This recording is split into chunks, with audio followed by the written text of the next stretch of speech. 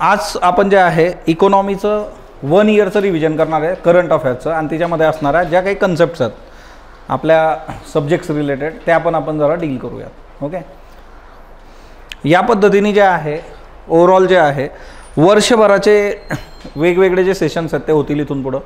राजकीय घडामोडी असतील ओके एन्व्हायरमेंट असेल ईच अँड एव्हरीथिंग आणि एक द हिंदूचं सेशन सगळ्यात शेवटी होईल बघा. ओके सो याच्यामध्ये जानेवारी ते डिसेंबर दोन हजार तेवीस संबंध जे काही अर्थशास्त्रासंबंधीच्या चालू घडामोडी आहेत तर त्या आपण बघणार आहोत. ओके चला आवाज क्लिअर आहे सगळ्यांना ऑनलाईन गुड आता हे येणार आहे कुठलीही परीक्षा असेल राज्यसेवा असेल कंबाईन असेल यू पी एस सी तर डायरेक्टली कोरिलेट होतं. आणि याची जी नोट आहे ही नोट पण तुम्हाला ग्रुपवर प्रोव्हाइड केली जाईल बघा. ओके सो आपली जी पहिली न्यूज आहे बघा इथं. आता ही न्यूज तृण आपली जी कडधान्य आहेत ओके त्याच्या संबंधीची न्यूज आहे. दोन हजार तेवीस हे जे वर्ष होतं बघा तर हे भरड धान्य वर्ष म्हणून साजरं केलं गेलं बघा. ओके भरड धान्य वर्ष किंवा यालाच जे आहे आपण काय म्हटलेलं आहे? Millets okay. मग आता मिलेट्स इयर जे आहे ट्वेंटी ट्वेंटी थ्री हा एक प्रश्न आपल्याला एम सी क्यू विचारला जाऊ शकतो. दोन हजार तेवीस भरड धान्यांसाठीचं वर्ष जे आहे आता याच्यामध्ये भरड धान्यांचं वर्ष आपण साजरं केलं गेलं तर याच्यामध्ये ज्वारी बाजरी नाचणी याचं जे बियाणं आहे त्याला जगभरातून मोठ्या प्रमाणावर मागणी आल्याला आपल्याला आली होती की ते बियाणं जे आहे याच्यामध्ये गल्फ कंट्रीज ज्या आहेत बघा आखाती देश असतील युरोपियन देश असतील त्यांनी आयात केलेली आहे आणि तिथं तृणधान्याचं उत्पादन करण्याचं धोरण त्यांनी आखलेलं आहे. सो त्यामुळे जे आहे की हे ज्या ह्या ज्या कंट्रीज आहेत इथं पण मोठ्या प्रमाणावर येत्या काळामध्ये भरड धान्याचं उत्पादन करण्याचं त्यांचं जे आहे तर तो मानस आहे. देन जगामध्ये वेगवेगळ्या ज्या बँका आहेत बघा त्या बँका बऱ्याच गडबडलेल्या आहेत दोन हजार तेवीसमध्ये. मग याच्यामध्ये वेगवेगळ्या बँकांचा विचार केला तर यू एसमधल्या बँकांची कंडिशन अतिशय वाईट आहे. तीन बँका ज्या आहेत त्या कोलॅप झालेल्या आहेत. ही जी बँक आहे बघा स्विस नॅशनल बँक हिला दोन हजार बावीसमध्ये एकशे त्रेचाळीस अब्ज डॉलरचा तोटा आलेला आहे बघा. म्हणजे हा एकशे पंधरा वर्षातला सगळ्यात मोठा तोटा यांचा आहे. स्विस बँक आता ही कुठली असेल बरं? स्विस नॅशनल बँक स्वित्झर्लँड जी आहे. ओके सो एकंदर जे आहे स्विस फ्रँक जो आहे बघा बाजारात जे आहे स्विज फ्रँक जे आहे तर तो तेजीत आहे. त्याचाही नकारात्मक परिणाम इकडं झालेला आहे. सो ही बँक जी आहे आता आपल्याला काय बघायचं की दोन गोष्टी इथं कोरिलेट करूयात आपण. करंटमधले जे आस्पेक्ट्स आहेत आणि त्याच्या दृष्टीने तुम्हाला पुस्तकात काय बघायचं आहे. सी बी बीचे तसे आपली बॅच आहेत पण सी बी बीचा एक वन डे रिव्हिजन सेशन पण मी घेईल पण आता सायमल्टेनियसली हे पण नोट डाऊन करायचं की पुस्तकातून लास्ट मिनिट रिव्हिजनसाठी कुठले फोकस करायचे मुद्दे. तर बँकिंग जे आहे ते महत्त्वाचं आहे. मग बँका तोटात जाणं किंवा बँका गडबडणं याच्यात सगळ्यात बेसिक गोष्ट असते N P A N P A काय असतो बरं? Non performing asset non performing asset म्हणजे की ज्यावेळेस तुम्ही कर्ज देता आणि ते दिलेलं जे कर्ज असतं ते समोरचा फेडत नाही. किंवा ते परत करत नाही. आणि त्याच्यासाठी जे आहे जे काही प्रीमियम तुम्हाला भरायचे असतात किंवा जे लोन रिपे करायचं आहे सलग नव्वद दिवस जर तुम्ही नाही केलं म्हणजे काय? तीन हप्ते जर चुकवले बँकेचे तर ते काय होईल? नॉन परफॉर्मिंग ॲसेट सो तो नॉन परफॉर्मिंग ॲसेट ठरतो. याच्यामध्ये पण बरेच प्रकार आहे बघा. ते इकॉनॉमीमध्ये शिकताना बेसिक कन्सेप्टमध्ये आपण बघू. पण एक बेसिक असतं की जर कर्ज घेऊन लोक भरत नसतील पैसे तर बँक काय होईल? डब्यात जाणार आहे फिक्स आहे. सो ते एक लक्षात ठेवायचं. एन पी एवर फोकस असला पाहिजे.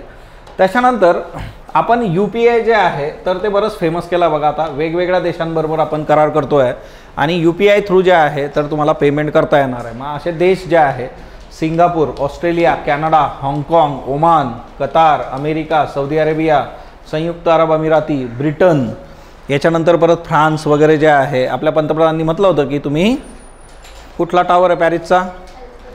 है ना तिथून तुम्ही U P I through payment करू शकता असं त्यांनी म्हटलं होतं.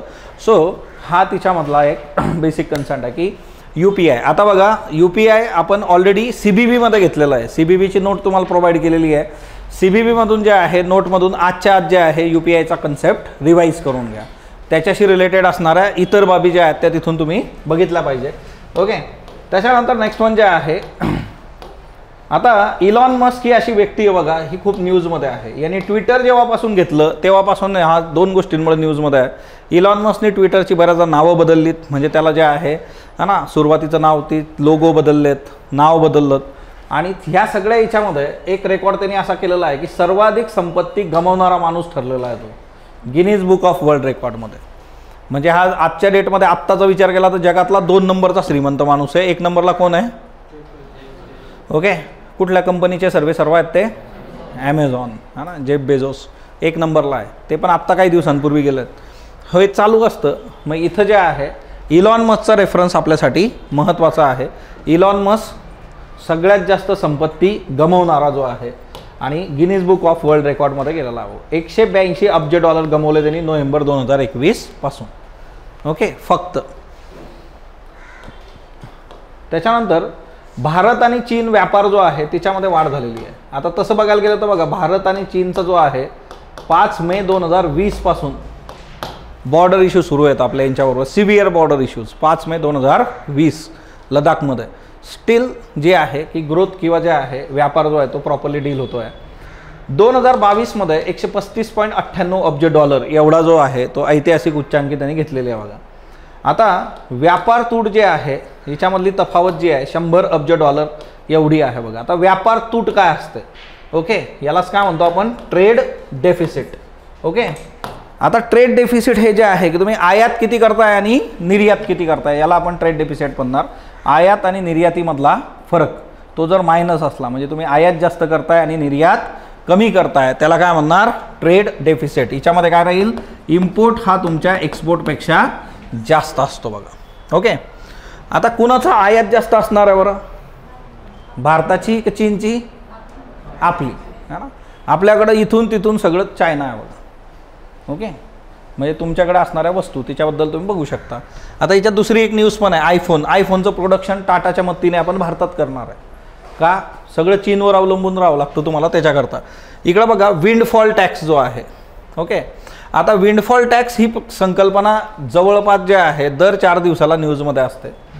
विंडफॉल टॅक्स एक जुलै दोन हजार बावीसला पहिल्यांदा लागू केला होता बघा. एम सी क्यूसाठी लक्षात ठेवा. तारीख जे आहे. विंडफॉल टॅक्स का असतो? की तेल उत्पादक कंपन्या ज्या आहे ऑइल प्रोडक्शन ज्या करणाऱ्या कंपन्या आहेत त्यांनी कुठलीही संसाधनं खर्च न करता अनपेक्षित त्यांना जे आहे जो काही नफा होतो त्या नफ्यावर जो काही टॅक्स सरकार लावतं म्हणजे तुम्ही काही कष्ट घेतलेले नाही आहेत पण तुम्हाला जे आहे शंभर रुपये मिळाले. या शंभर रुपयावर जे आहे सरकार काय करतं? टॅक्स लावतं. याला काय म्हटलं जाईल? विंडफॉल टॅक्स आलं लक्षात? सो ही संकल्पना जी आहे की या ऑइल प्रोडक्शन कंपन्यांसंबंधीची आहे आणि हा पहिल्यांदा एक जुलै दोन हजार बावीसला लावला होता बघा. त्याच्यानंतर महिंद्रानी जे आहे जगातली सगळ्यात वेगवान कार जी टी बटिस्टा म्हणून जे आहे ती लॉन्च केली होती. सो भारतीय कंपनी जे आहे महिंद्रा यांनी जे आहे जगातली सर्वात वेगवान कार लॉन्च केलेली आहे. हा रेफरन्स एक लक्षात ठेवा. नेक्स्ट वन ओके आता पुढचा जो मुद्दा आहे बघा तो आहे रशियाने जे आहे भारत आणि रशिया हिच्यामध्ये रशियाकडून जी आयात करतो आपण तिच्यामध्ये नियर अबाउट तीनशे चौऱ्याऐंशी टक्क्याची वाढ झालेली आहे. म्हणजे इमेजिन करा तुम्ही. म्हणजे जर शंभर रुपयाच्या गोष्टी आपण आयात करत होतो तर त्या किती झाल्यात आता? तीनशे चौऱ्याऐंशी टक्क्यांनी वाढ झाली तीनशे चौऱ्याऐंशी अधिक शंभर. एवढं जे आहे. सो भारत जो आहे चीन आणि अमेरिकेनंतर जगातला तिसरा सर्वात मोठा तेल आयातदार देश आहे बघा. ऑइल जो आहे इम्पोर्ट करतो भारत. सगळ्यात जास्त करतो चीन अमेरिका त्याच्यानंतर भारत. आता सगळं ऑइल आपण कन्झ्युम करतो का? नाही. रिफाईन करून विकतो पण आपण. ओके सो तो पण एक मुद्दा याच्यामध्ये आहे. सो हे जे रँकिंग आहे हे रँकिंग आता रशियाकडून आपण जे आहे ऑइल मोठ्या प्रमाणावर घेतलं. कसं घेतलं? युक्रेन आणि रशियाचं जे युद्ध झालं तिच्यामध्ये रशियावर जे आहे युरोपियन कंट्रीज असतील किंवा जे आहे अमेरिका वगैरे त्यांनी निर्बंध टाकले. निर्बंध टाकले म्हटल्यानंतर जे आहे की यांच्याकडून वस्तू विकत घ्यायच्या नाही. मग आम रशिया म्हटलं आम्ही तेल कमी दरात तुम्हाला देतो. तुम्ही घेणार का? हां म्हटलं ठीक आहे. हा ना? आपल्या अशा पण विहिरी ज्या आहेत त्या कोरड्या पडल्या आहे द्या येईल आम्हाला आपण घेतलं. सो कमी याच्यामध्ये. म्हणून युक्रेनने एकदा कमेंट केली होती आपल्यावर की आमच्यामुळे तुम्हाला फायदा होतो आहे तर किमान त्याच्यासाठी तर आमच्याशी बोला. आमच्याबद्दल बोला तुम्ही. ना. पण त्यांच्याबद्दल आपण काही बोललो नाही. काय नाही बोललो? कारण कसं असतं भूतकाळात तुम्ही जे जे केलेलं आहे ते आठवतं की आपल्याला. एखाद्याने आपलं नाव घेतलेलं असलं विसरतो का आपण? नाही. तर त्याने आपल्याला बराच त्रास दिलेला आहे. सो दॅट आपण काय ते विसरत नाही. हा तिच्यातला एक महत्त्वाचा फॅक्टर आहे. सो शेहेचाळीसाव्या आंतरराष्ट्रीय कोलकाता पुस्तक मेळाव्यामध्ये पंचवीस पॉईंट पन्नास कोटी रुपयाहून अधिक किमतीची पुस्तकं जी आहेत तर ती विकली गेली. आता हा जो मुद्दा आहे कोलकाता बुक फेअरचा तर कोलकाता बुक फेअर हे ॲक्च्युली एवढे जास्त पुस्तकं कधी विकले गेलेलं नव्हते हे विक्रमी विक्री आहे म्हणून ते एक फॅक्ट तो आहे. आणि ही चांगली गोष्ट आहे की लोक पुस्तकं वाचायला लागली ओके अदरवाईज जे आहे नव्वद टक्के वेळ कुठं आहे? शॉर्ट्स रील्स ओके सो ते डील होतं बघा. देशाला जे आहे आशियातली सर्वात मोठी हेलिकॉप्टर फॅक्टरी मिळालेली आहे. कर्नाटकामधल्या तुमाकुरू इथं जे आहे आपण ही फॅक्टरी उभी केलेली आहे बघा. पंतप्रधान नरेंद्र मोदी यांनी याचं उद्घाटन केलं होतं. कर्नाटकामधलं तुमाकुरू आशिया खंडातली सर्वात मोठी हेलिकॉप्टर फॅक्टरी जी आहे. आता हा ग्रीनफील्ड हेलिकॉप्टर कारखाना आहे. आता ही कन्सेप्ट काय ग्रीनफील्ड म्हणजे काय? दोन पद्धतीने गोष्टी असतात. एक असतं ग्रीनफील्ड आणि दुसरं असतं ब्राऊन फील्ड. ब्राऊन फील्ड म्हणजे काय? की जे आहे तिच्यातच सुधारणा करणं आणि ग्रीन फील्ड म्हणजे शून्यातून उभं करणं. म्हणजे सिम्पली तुम्ही जर शून्यातून जे आहे घर बांधलं की एक प्लॉट घेतला आणि तिच्यावर घर उभं केलं तर ते काय झालं? Green field. तुम्ही एखादं एक्झिस्टिंग वास्तू घेतली आणि तिच्यामध्ये कलर वगैरे थोडंफार चेंज केले ते काय झालं? Brown field. हे लक्षात ठेवायचं. हा ग्रीन फील्ड आहे बघा. आणि येत्या वीस वर्षात एक हजाराहून अधिक हेलिकॉप्टर बनवण्यात येणार आहेत असं म्हटलं गेलेलं आहे. हे वीस वर्षानंतरच कळेल आपल्याला की किती झाले मोजून. ओके? सहाशे पंधरा एकरमध्ये हा कारखाना आहे बघा हेलिकॉप्टरचा. ओके? त्याच्यानंतर जे आहे अमेरिकेची जे आहे फर्स्ट रिपब्लिक बँक जी आहे ती पण बुडाली. अमेरिकेमधल्या जवळपास तीन बँका बुडालेल्या आहेत. या तीन बँकांचा जर विचार केला आपण तर तिच्यामध्ये कुठल्या कुठल्या आहेत? आता ही first republic silicon valley signature bank. आणि फर्स्ट रिपब्लिक बँक. अशा तीन बँका आहेत अमेरिकेतल्या त्या बुडालेल्या आहेत.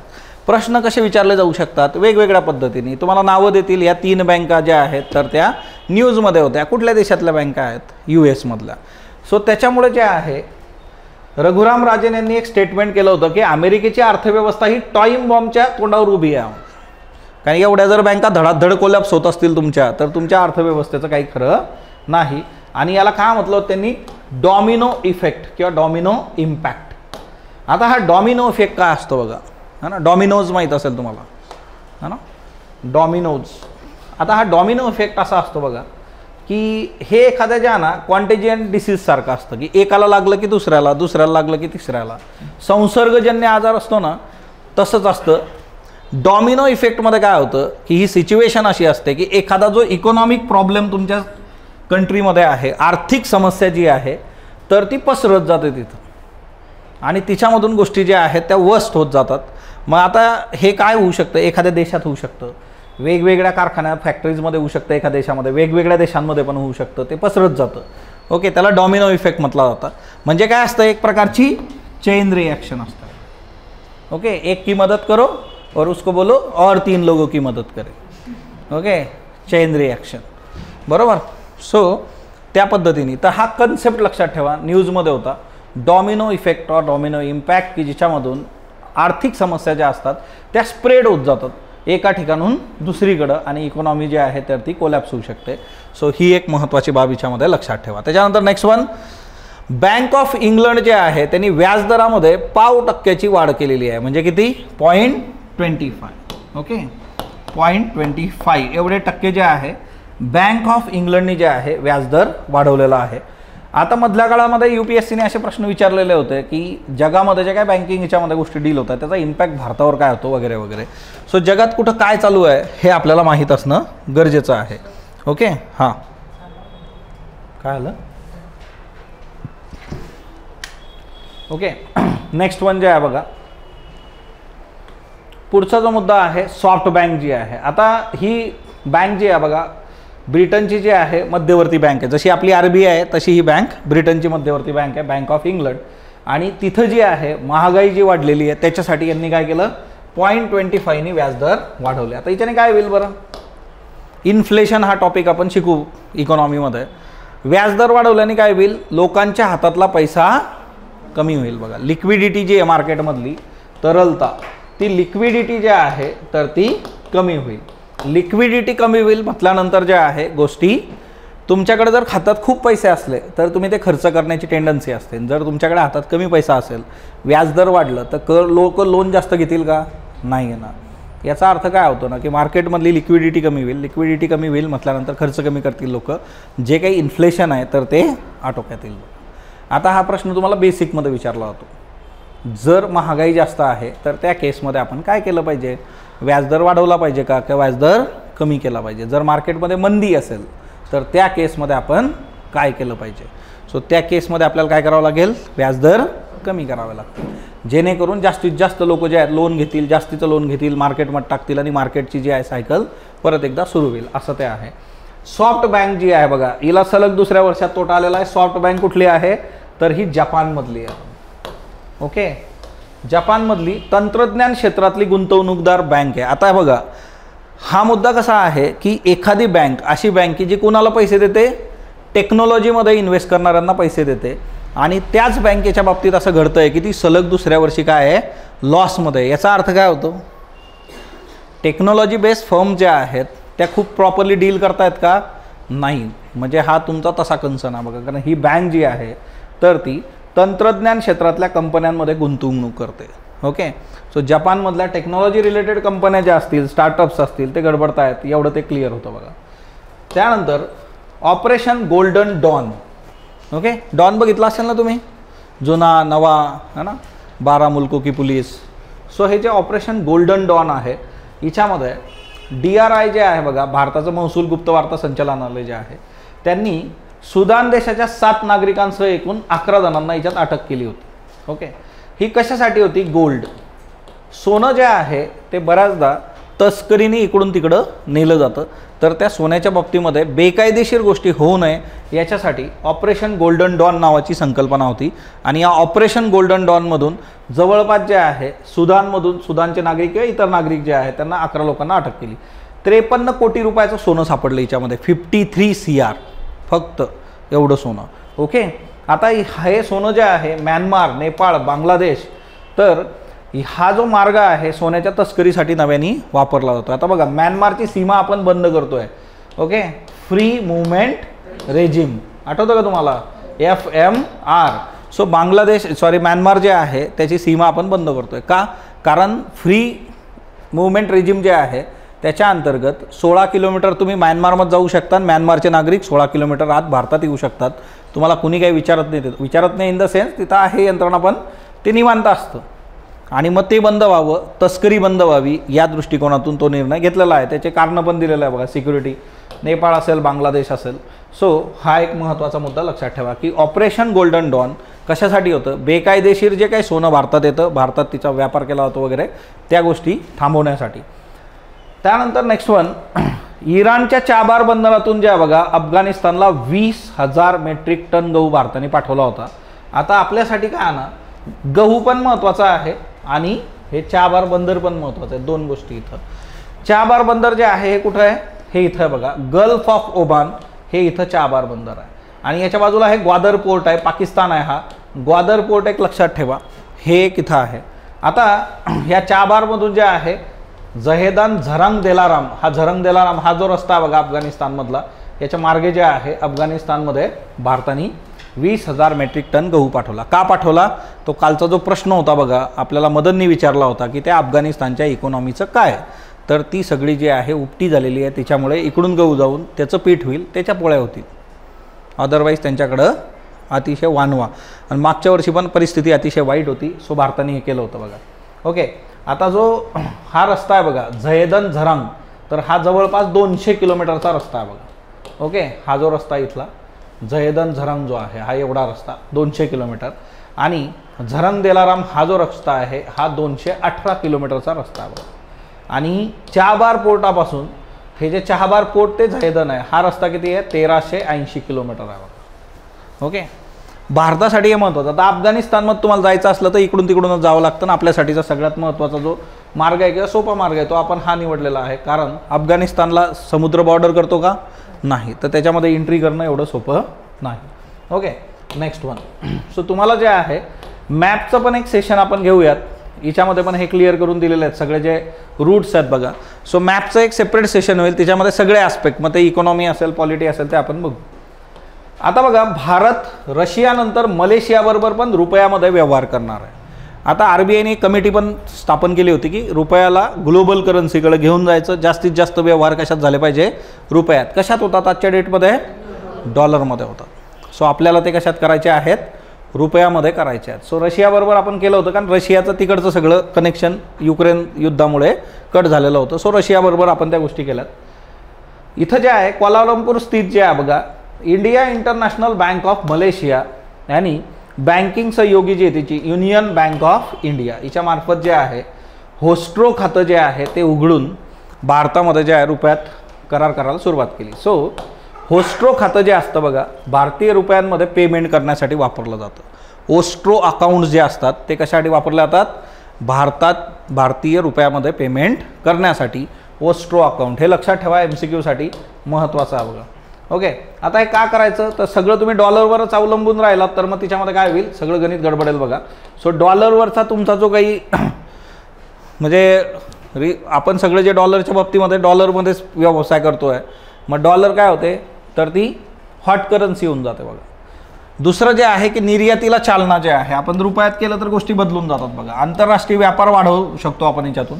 परकीय चलन साठा जो आहे त्याच्यावरचा भार कमी होऊ शकतो. ओके फॉरेक्स रिझर्व जे आहे.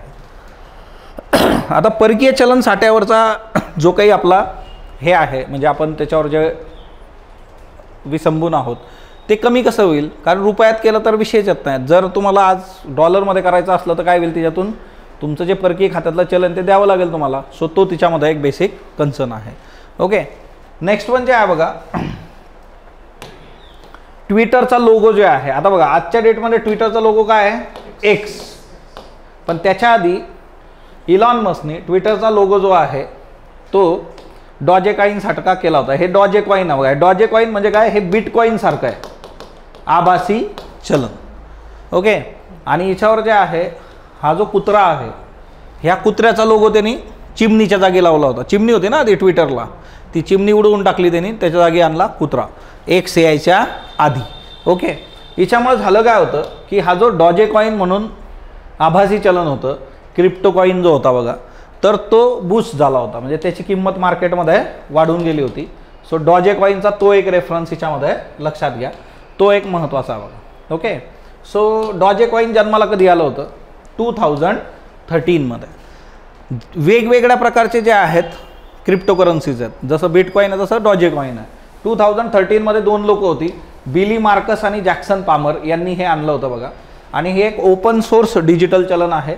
डॉजे वाईन आणि एक जो आहे शिबू इनो जातीचा कुत्रा जो आहे तर एक डॉजे नावाचं एक इंटरनेट बीम फेमस होतं. तिच्यामध्ये या कुत्र्याचं तोंड होतं. सो त्यांनी ते उचलून त्यावेळेस ते डॉजे कॉईन काढला होता. आणि तेच तोंड यांनी इलॉन मस्कनी ट्विटरला लावलं.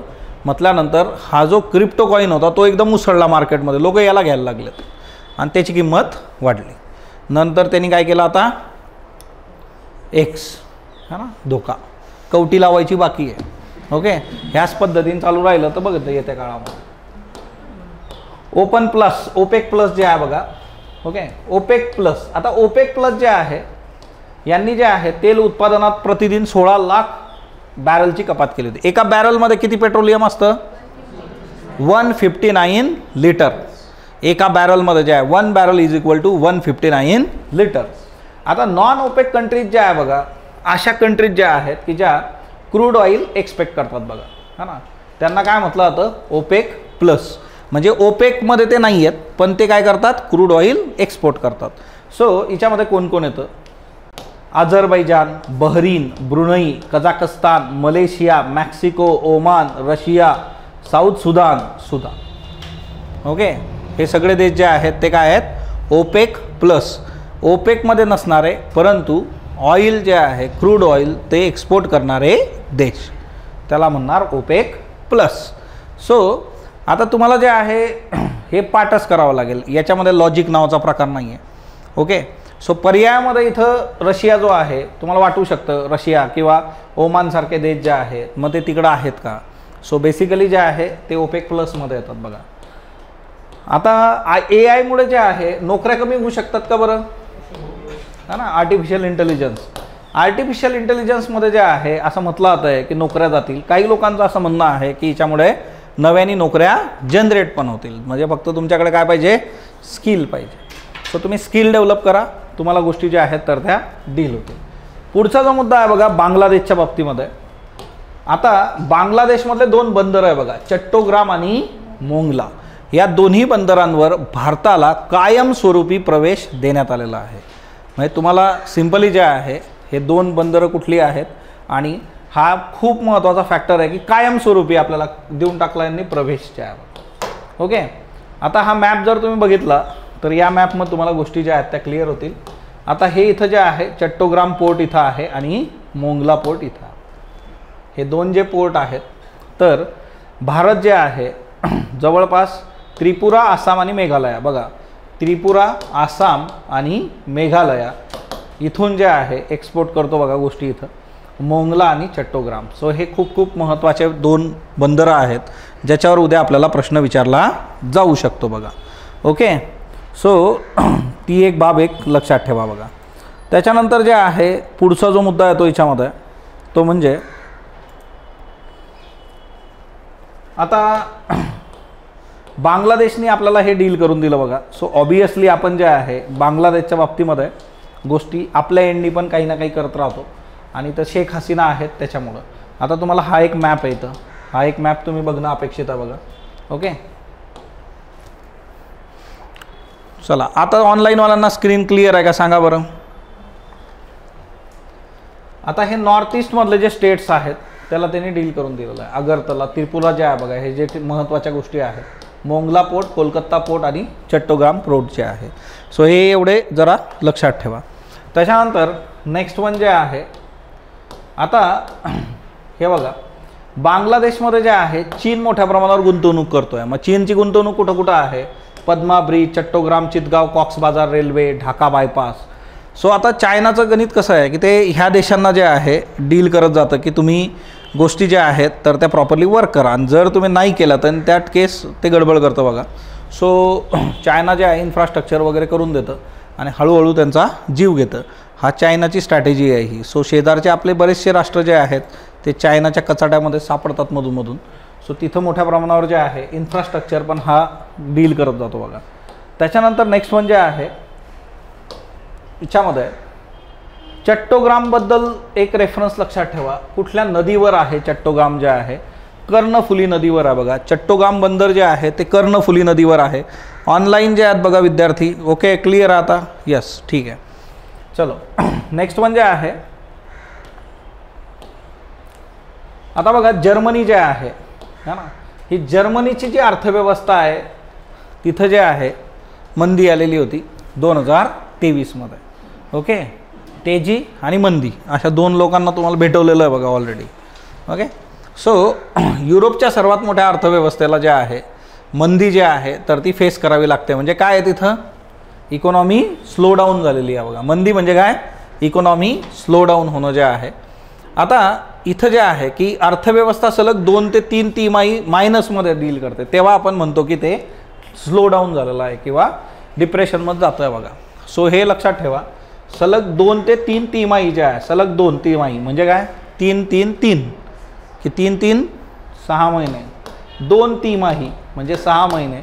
सहा महिने जर तुम्ही मायनसमध्ये असाल तुमची ग्रोथच मायनस होते तर त्या केसमध्ये आपण काय म्हणणार?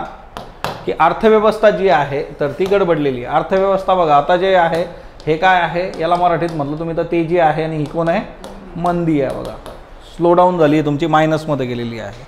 ओके सो हा एक रेफरन्स हिच्यामध्ये लक्षात असू देत. जर्मनीनंतर न्यूझीलंड पण आर्थिक मंदीमध्ये गेलेलं आहे बघा. म्हणजे जागतिक स्तरावर जे तुम्हाला अहवाल बघायला मिळतात की इकॉनॉमी खूप काही चांगल्या करत नाही आहे जर्मनी जर्मनीनंतर न्यूझीलंडसुद्धा जे आहे तर ते सुद्धा जे आहे गडबडलेलं आहे इथं.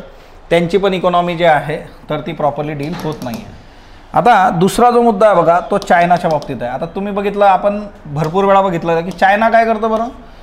साऊथ चायना सी जो आहे दक्षिण चिनी समुद्र तो सगळा आपलाच आहे अशा आविर्भावात वाचते.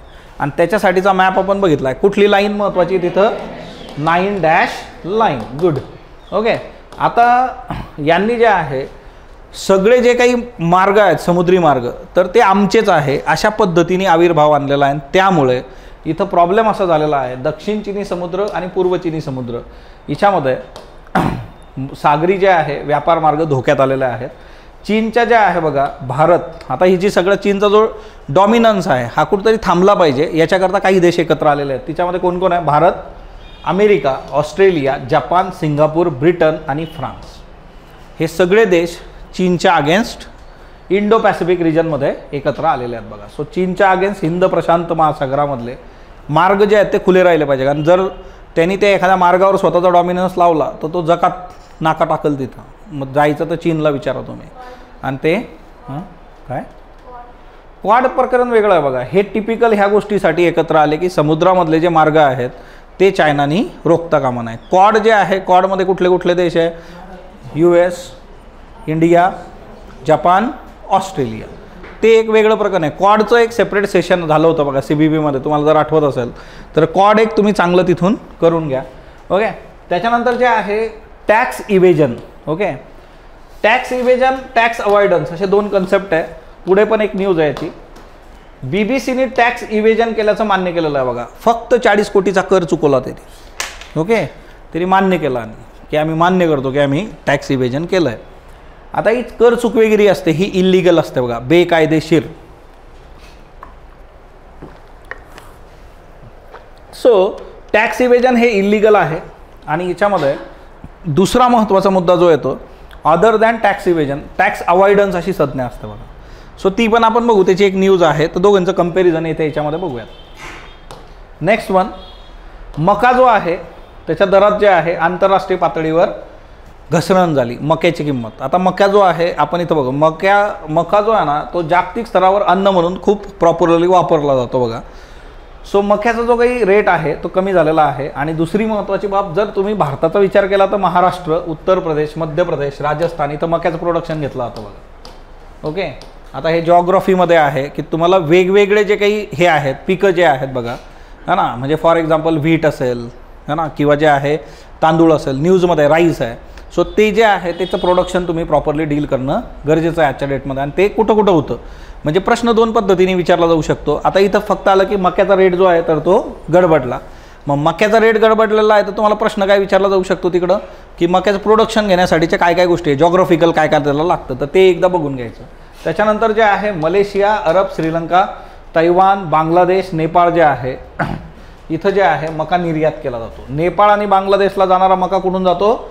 बिहारमधून जातो. कारण बिहार नेपाळ शेजारी शेजारी आहे. तुम्ही फिरत फिरत पण जाऊ शकता तिकडं. ओके? सो ते एक बेसिक लक्षात ठेव. त्याच्यानंतर पाम तेलाची आयात घटली आहे बघा. पाम तेल जे आहे हे चांगली गोष्ट आहे आपल्यासाठी. पाम तेलाची आयात घटली. पाम तेल कुठून मागवतो आपण?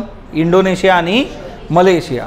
वनस्पती तेलाचा विचार केला तर जगामध्ये त्या तेलाची आयात करणारा पहिल्या क्रमांकाचा देश कुठला आहे? तर तो भारत आहे बघा. ओके सो दुसरी बाब जी आहे की पाम तेलाची घटली आहे आणि कच्च्या सूर्यफलाची तेलाची आयात जी आहे ती वाढलेली आहे बघा. म्हणजे सूर्यफुलाचं सनफ्लॉवर ऑइल जे आहे तर ते वाढलेलं आहे ओके झी फाईव्ह बघता का तुम्ही? तिच्यावर आहे ना सनफ्लॉवरची वेबसिरीज जी आहे ती. बघितली का? ओके दुसरा पार्ट आला ना त्याचा आता. वनस्पती तेलाच्या आयातीमध्ये जगात भारताचा पहिला क्रमांक लागतो. हा प्रश्न विचारून झालेला आहे वेगवेगळ्या वेळे की वनस्पती तेलात है ना? देशात एकूण वनस्पती तेल आयातीमध्ये पाम तेलाचा वाटा किती आहे? फिफ्टी नाईन पर्सेंट हा प्रश्न आपण आपल्या टेस्ट सिरीजमध्ये पण बघितला होता की किती पाम तेल आपण डील करतो आहे सो जेवढं काही खाण्याचं तेल आहे त्याचा जर तुम्ही विचार केला तर तिच्यात वनस्पती तेल आयात करणारा देश आपला आहे. ओके पाम तेलाच्या प्रोडक्शनसाठी आपण बरेच प्रोजेक्ट घेतलेले आहेत. अंदमान निकोबारमध्ये लागवड केलेली आहे. मधल्या कामामधल्या पट्ट्यात भारतात पण जे आहे डील केला होता बघा. आता भारत कुठून काय मागवतो तो एक महत्त्वाचा मुद्दा आहे. इंडोनेशिया मलेशियातून आपण काय मागवतो? पाम तेल. सोयाबीनचं तेल मागवतो आपण अर्जेंटिनामधून युक्रेन आणि रशियातून सूर्यफूल. आता सगळे सूर्यफुलं जे आहे माना टाकून खाली पडली आहेत दोन वर्षापासून. का? तर या दोघांचं भांडण सुरू आहे तिकडं. त्याच्यामुळे जे आहे युरोपमध्ये पण गोष्टी ज्या आहेत तर त्या गडबडलेल्या आहेत. सो एम सी क्यूसाठी तर हा पण प्रश्न मी विचारला होता तुम्हाला. तिथं जे आहे टेस्ट सिरीजमध्ये भारतातून बँकॉकला बाय रोड पण जाता येणार आहे आता. आणि तीन देश आहेत बघा की जिच्यामध्ये रस्ता तयार होतो डायरेक्टली बाय रोड जोडलं जाईल. सो हे आपल्यासाठी एक कारण इकडं जाणाऱ्यांची संख्या बरीच आहे बघा इकडून. ओके? भारत म्यानमार आणि Thailand. Okay? India Myanmar and Thailand. आता हे कोलकात्यापासून सिलिगुडू श्रीरामपूर गुवाहाटी कोहिमा मार्गे जे आहे मोरे मार्गे म्यानमारमध्ये जाईल. तिथून मग तामू मार्गे कलेवा मंडाले यॉंगानवरून थायलंडला जोडलं जाईल बघा. आणि थायलंडमध्ये मैसॉट आणि सुथाईवरून बँकॉकपर्यंत ते जाणार. सो हा रूट आहे सगळा. आणि चौदाशे किलोमीटर इतकी लांबी असणार आहे या महामार्गाची. सो हा महामार्ग बनतो आहे सो इथून पुढं जे आहे तुम्ही तुमची गाडी घेऊन तिकडं फिरायला जाऊ शकता ओके रुपया. रुपयाला आंतरराष्ट्रीय चलन बनवायचं आहे. याच्याकरता आर बी आयनी कमिट्या बसवल्यात आणि वेगवेगळ्या गोष्टी ज्या आहेत त्या डील केल्या जातात. जसं आता आपण बघितलं रशिया आणि मलेशिया रुपयामध्ये आपण व्यवहार करणार आहे यांच्याबरोबर. सो आता हे आंतरराष्ट्रीय चलन करण्यासाठी जे आहे आपल्याला काय करायचं? तर याच्यामध्ये एक गोष्ट यांनी सुचवली होती. उद्या सी बी बीच्या लेक्चरमध्ये आपण बघणार बघा. आय एम एफ आपल्याला बघायला आपण डब्ल्यू टी ओ बघितलं आहे सो स्पेशल ड्रॉइंग राईट जे आहेत S D R S D आरच्या बास्केटमध्ये भारतीय चलन जे आहे तर ते इन्क्लूड करायचं. आता मला सांगा बरं कमेंट बॉक्समध्ये जेवढी लोक आता ऑनलाईन आहात तुम्ही की एस डी आरमध्ये कुठले कुठले चलन असतात आय एम एफच्या तुम्ही पण जे लिहून काढा बरं साईडला आठवतं का तुम्हाला? जे आठवत नसतील ते चेक करायचे नंतर.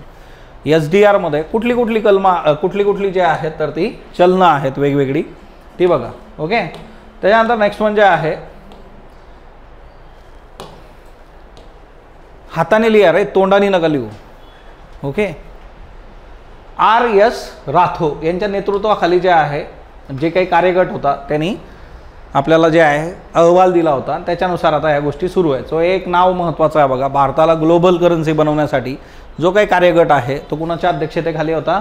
आर एस राथो ओके ही एक बाब लक्षात ठेवा.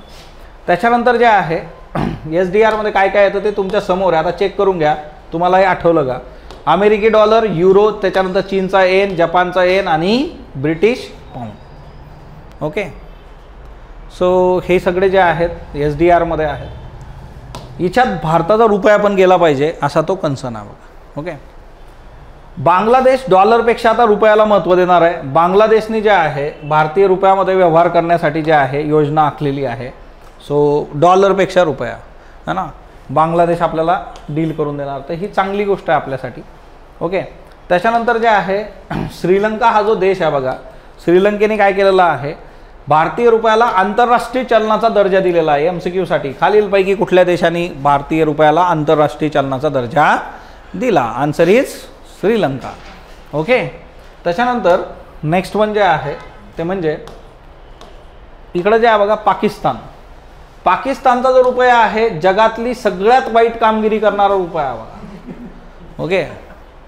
जगातली सगळ्यात वाईट कामगिरी करणारा रुपया पाकिस्तानी रुपया. ओके? हा ना यथा प्रजा तथा राजा सगळंच गणित गडबड तिथं. ओके? युक्रेनला जे आहे नाटोनी सुरक्षेची हमी दिलेली आहे. आता हे एक काय प्रकरण आहे? युक्रेनला नाटोचं सदस्य व्हायचं आहे पण नाटोचं सदस्य होणं इतकं सोपं नाही आणि त्याच्याआधी एक कालावधी जाऊ शकतो. आता रिसेंटली कुठला देश झाला बरं नाटोचं सदस्य? कितवा देश येतो ओके सो इथं जे आहे त्यांनी युक्रेनला सांगितलं की तुम्ही लगेच तर काय बनत नाही पण आम्ही तुम्हाला जे आहे मदत करू जर गडबड झाली तर ओके आणि तिच्यामुळे जे आहे रशियाला ते आवडलं नाही. आता नाटोची जी परिषद होती बघा ती कुठं सुरू होती? लिथुनियामध्ये. इथं सुरू होती बघा. आणि इथं ही सगळी चर्चा झाली होती. आता इथं तुम्हाला जे आहे बाल्टिक सी आहे. बाल्टिक सीला बॉर्डर करणारे देश करून ठेवा मागेही सांगितलं आहे आणि बाल्टिक नेशन्स तीन आहे बघा. कुठले कुठले आहेत ते? काय? गुड ओके सो रिव्हिजन करा बरं. रिव्हिजन महत्त्वाचं आहे.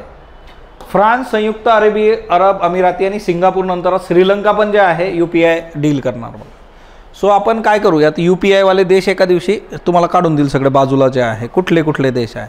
ओके आता हे फिनलँडच्या बाबतीमध्ये जे आहे एकतीस नंबर जे आहे. ओके सो श्रीलंका जो आहे तर तो लक्षात ठेवा. त्याच्यानंतर next one okay. U A ईमध्ये आपण जे आहे द्विपक्षीय करार केलेला आहे. यू ए ई हा जो देश आहे बघा. यू ए ईमधून काय जातं? ट्रॉपिक ऑफ कॅन्सर जातं बघा.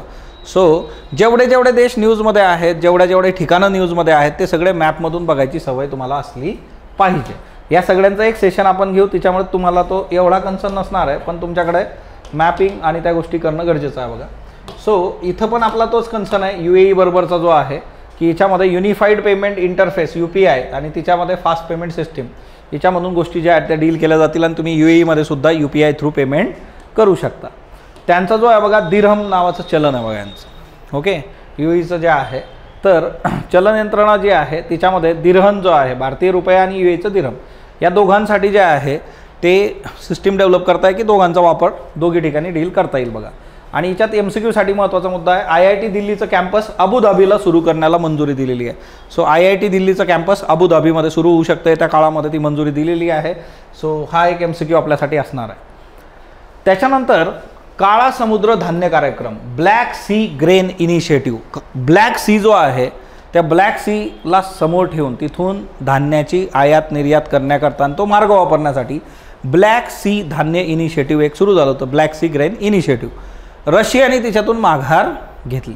ओके युक्रेनची खूप इच्छा आहे की आम्हाला इथून गोष्टी डील करायच्या पण रशिया नाही करायचं. सो तुम्हाला इथं दोन गोष्टी आहेत की ब्लॅक सी माहीत पाहिजे. हा ब्लॅक सी तुमच्यासमोर आहे. ब्लॅक सीला बॉर्डर करणारे देश तुम्हाला माहीत पाहिजे वा टर्की ओके जॉर्जिया आहे रशिया आहे हा युक्रेन आहे. हा रशिया आणि युक्रेनच्या मध्ये काय? सी ऑफ अझो आहे ओके सी ऑफ अझो इथं आहे. त्याच्यानंतर जे आहे रोमानिया आहे बुल्गेरिया आहे बघा. त्याच्यानंतर हा टर्की जो आहे हा टर्कीने पूर्ण राऊंड केलेला हा काय आहे? सी ऑफ मरमरा आहे बघा. मुरमुरा खाल्ला असेल ना तुम्ही? हा मरमरा आहे. आणि इकडं जे आहे ए जी एन सी आहे. सो तुम्हाला हा पण प्रश्न विचारला होतो हा टर्कीवाला की ब्लॅक सी आणि मेडिटेरियन सीच्यामध्ये असणारा देश कुठला? याच्या खाली जो आहे काय आहे? मेडिटेरियन सी आहे. सो ब्लॅक सीला बॉर्डर करणारे देश जर पाठ नसले आजच्या आज पाठ करून मोकळं करायचं बघा. ओके तुम्ही आठवून बघा तुम्हाला पाठ आहेत का हे देश? पाठ नसले तर पटापट पाठ करून टाकायची. जी लोक ऑनलाईन आहे ते पण जे आहे बघा. ओके त्याच्यानंतर जे आहे पुढचा जो मुद्दा आहे बघा. दोन हजार बावीसमध्ये संयुक्त राष्ट्र आणि तुर्की यांनी या करारासाठी मध्यस्थी केली होती की ब्लॅक सीमधून ग्रेन संबंधीचं जे आहे तर ते आयात निर्यात प्रॉपरली झाली पाहिजे. तो रस्ता जो आहे समुद्र रस्ता आणि त्या गोष्टी डील झाल्या पाहिजेत. हे कुणी केलं होतं? संयुक्त राष्ट्र आणि तुर्की. आता तुर्कीने का केलं? कारण तो तिथं आहे. आणि संयुक्त राष्ट्र. ओके आता रशिया आणि युक्रेन हे जे दोन देश आहे हे काय करतात? गहू सातू सूर्यफूल हा ना? याचे निर्यातदार देश आहेत बघा हे. पण आता या दोघांमध्येच युद्ध सुरू झालेलं आहे. त्याच्यामुळे युरोपियन कंट्रीजला जे आहे या गोष्टींचा तुटवडा भासतो आहे त्याच्यानंतर केर्श पूल हा ना? रशिया आणि क्रिमिया यांना जोडणारा हा एक केर्श पूल आहे. याच्यावर स्फोट झालेला आहे. हा मॅप बघितल्यावर तुम्हाला जास्त क्लिअर होईल. केर्श जे आहे हे जे ठिकाण आहे बघा तर इथं बॉम्बस्फोट करण्यात आला. आता हे बघा हा ॲक्च्युली मॅप आहे. इथं केर्श आहे बघा. हा क्रिमिया हा रशिया. आणि याला झूम केल्यानंतर तुम्हाला हे दिसतं हे इथं केर्श आहे. तर हा जो ब्रिज आहे तिथं जे आहे बॉम्बस्फोट केला होता. बायो बारा माईलचा हा जो आहे तर तो एरिया आहे. म्हणजे तो लेंथ जी आहे त्याची बारा माईल्स एवढी आहे. आणि तिथं बॉम्बस्फोट झाला. आता आपल्याला बॉम्बस्फोट कुठं झाला असं नाही विचारणार. आपल्याला विचारताना काय केलं जाईल? केच हे ठिकाण विचारलं जाईल तुम्हाला की केच जे आहे तर ते कुठं आहे किंवा कुठल्या देशाशी संबंधित आहे. सो तो एक मुद्दा इथं लक्षात ठेवा. त्याच्यानंतर नेक्स्ट म्हणजे आहे भारतीय तेल कंपन्या इराणकडे वळत आहेत बघा. ओके सो भारतीय तेल कंपन्या इराण या देशाकडे वळत आहेत आता ऑबियसली जे आहे की इराणमध्ये जे आहे त्यांना चांगल्या पद्धतीने गोष्टी डील करून दिल्या जात आहेत किंवा व्यवहार जे आहेत तर ते प्रॉपरली होत आहेत आता काय झालेलं आहे जी सेवन कंट्रीज जे आहेत त्यांनी काय केलं की रशियाच्या बाबतीमध्ये निर्बंध लादलेत रशियावर निर्बंध लादल्यामुळे झालेलं काय आहे की तेलाच्या आयातीवर पिंपामागे साठ डॉलर मर्यादेपर्यंत किंमत नियंत्रण आहे बघा तिथं. ओके? म्हणजे याच्या किमतीखाली सवलतीत उपलब्ध आहे तोवर रशियन तेलाचं भारतीय कंपन्यांमध्ये आकर्षण मग आता साठ डॉलरच्या वरती गेल्यानंतर मग भारतीय कंपन्या पण ज्या आहेत त्या डील करत नाही आहे सो निर्बंध टाकल्यामुळे काय झालं? इराककडं आपण वळलेलो आहोत. सो तो एक मुद्दा याच्यामध्ये लक्षात ठेवा. ओके. आणि याच्या आधी काय होतं रशियावर ते निर्बंध नव्हते साठ डॉलरचे तिच्यामुळे रशियाकडूनच मोठ्या प्रमाणावर तेल आपण घेत होतो. जसे रेट वाढलेत मग आपण कुठं गेलो? इराककडं गेलो बघा. त्याच्यानंतर नेक्स्ट वन जे आहे की चीनमधून जे आहे आता सीमेवर तलाव असला तरी चीनी गुंतवणूक जी आहे तिला भारताने दारं उघडी करून दिली. याचा अर्थ काय आहे की एकंदर तुम्ही भारतामध्ये इनरोल करू शकता पैसे टाकू शकता इन्व्हेस्टमेंट करू शकता. टिकटॉकसह जे आहे तीनशे चीनी ॲप्सवर आपण बंदी घातलेली आहे बघा. ओके मग टिकटॉक जे आहे माहिती आहे ना तुम्हाला टिकटॉक?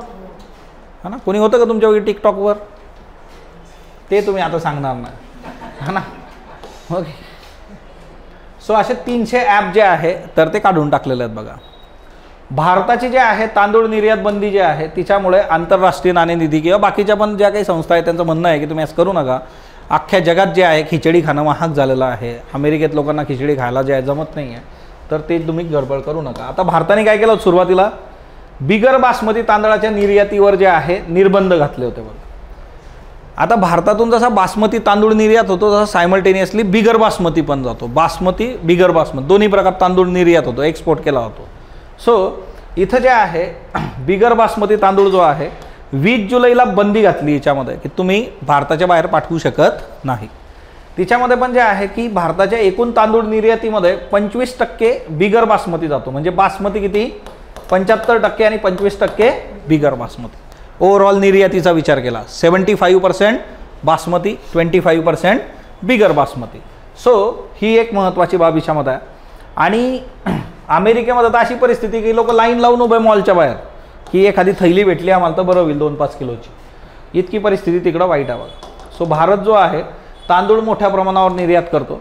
इथं जर तुम्ही बघितलं भारताची जी आहे बिगर बासमती तांदूळाची निर्यात तर ती आहे जवळपास दोन हजार बावीस तेवीसमध्ये बेचाळीस लाख डॉलर दोन हजार एकवीस बावीसमध्ये सव्वीस पॉईंट दोन लाख डॉलर जे आहे. निर्यात कुणाला करतो? अमेरिका थायलंड इटली स्पेन आणि श्रीलंका. ओके या इटलीमधल्या ज्या इडल्या बनतात त्या आपल्या तांदूळाच्या बनतात. ओके? आणि ते निर्यात बंद झाली त्याच्यामुळे प्रॉब्लेम झाला आहे तिकडं. आता तिथले जे रेट्स आहेत बघा तर ते बारा वर्षामध्ये उच्चांकी झालेले आहेत. कारण काय होतं आहे बघा निर्यात बंदी आहे तर रेट वाढणारच आहे सप्लाय कमी झालेला आहे म्हटल्यानंतर डिमांड कमी होते का माणसाची? खाणं कमी करतो का तो? नाही. सो त्याच्यामुळे जे आहे रेट्स वाढायला लागलेत बघा जागतिक स्तरावर जे आहे.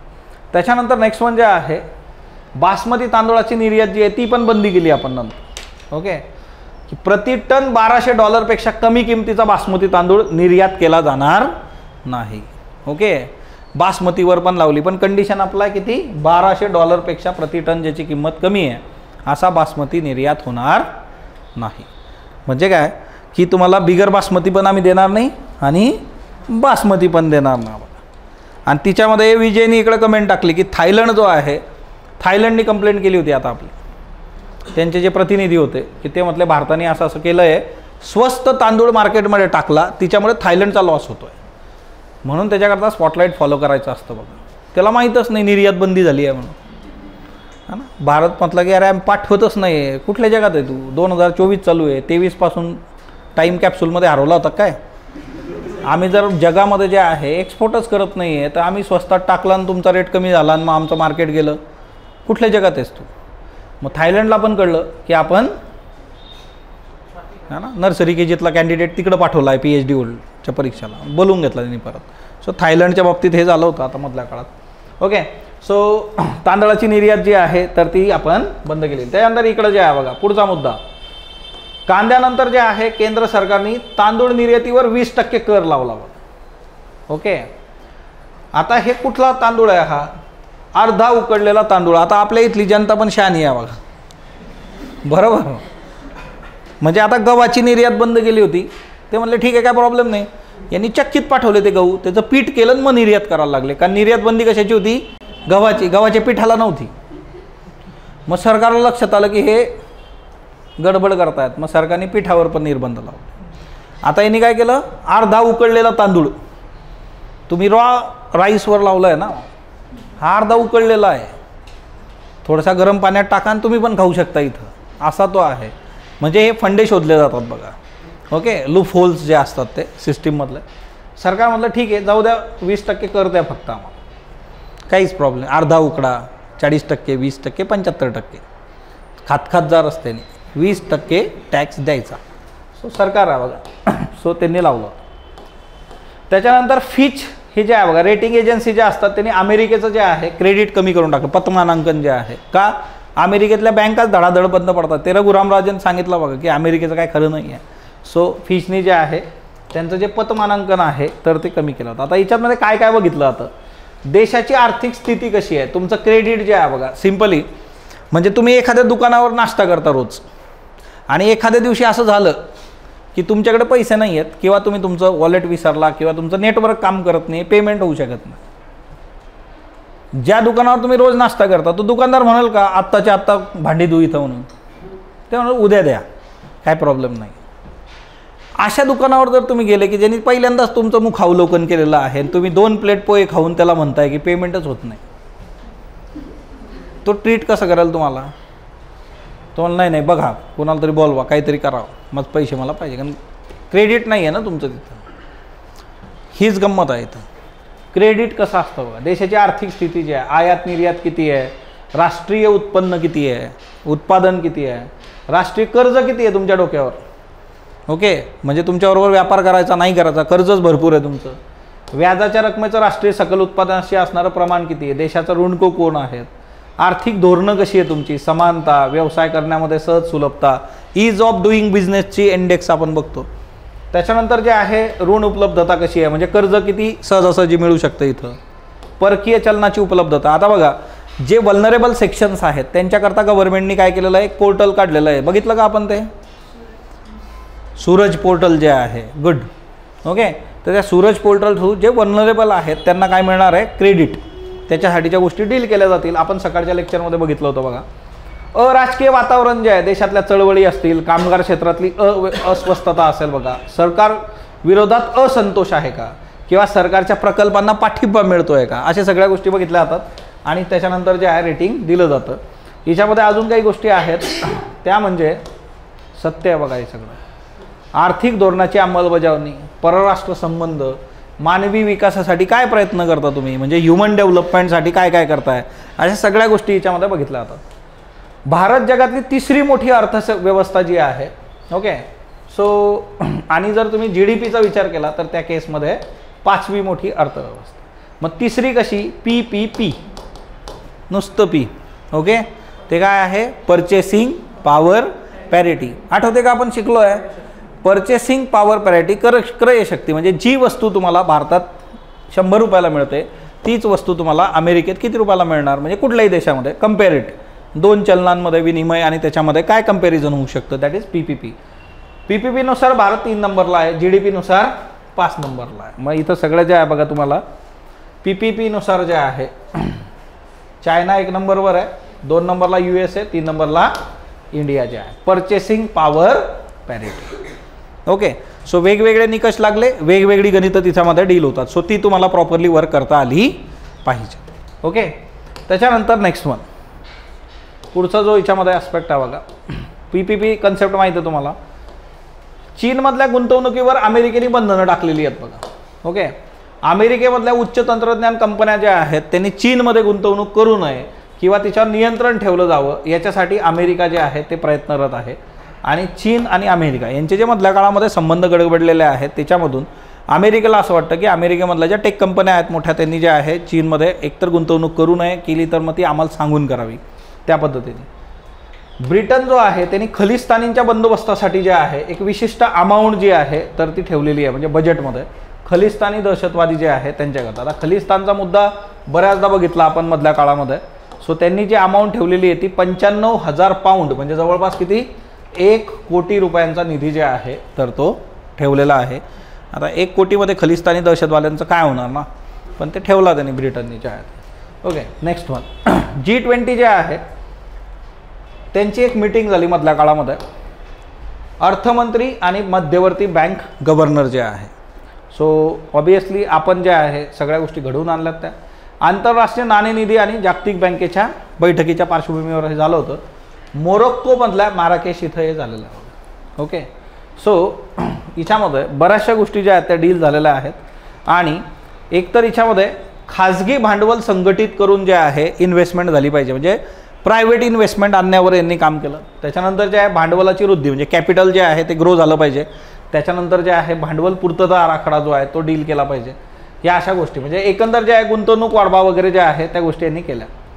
ब्राझीलची जी साखर आहे बघा तिच्यामुळं काय झालेलं आहे जागतिक स्तरावर यावर्षी जे काही क्लायमेट आणि ज्या काही सिच्युएशन होता त्याच्यातून साखरेचं उत्पादन कमी होणं किंवा साखर जी आहे तिचा तुटवडा निर्माण होण्याची स्थिती होती. पण ब्राझीलमध्ये साखरेचं उत्पादन चारशे एकवीस लाख टनांवर जाणार आहे आणि तिच्यामुळे अख्ख्या जगाला जे आहे साखर खायला मिळेल होलसेल जे आहे ते. ओके सो ब्राझीलनी जे आहे कुछ मिठा हो जायमध्ये चार चान लावलेलं आहे. बघा ओके इंटरनॅशनल शुगर ऑर्गनायझेशन ही तुम्हाला माहीत पाहिजे. आंतरराष्ट्रीय साखर परिषद असं पण काहीतरी आहे. आंतरराष्ट्रीय साखर परिषद तीन डिसेंबर नाईन्टीन सिक्स्टी एटला आली होती फिफ्टी फोर इयर्स अगो आणि लंडन यू केमध्ये याचं हेडक्वार्टर आहे बघा. हा त्याचा लोगो आहे international sugar organisation okay I S O okay next one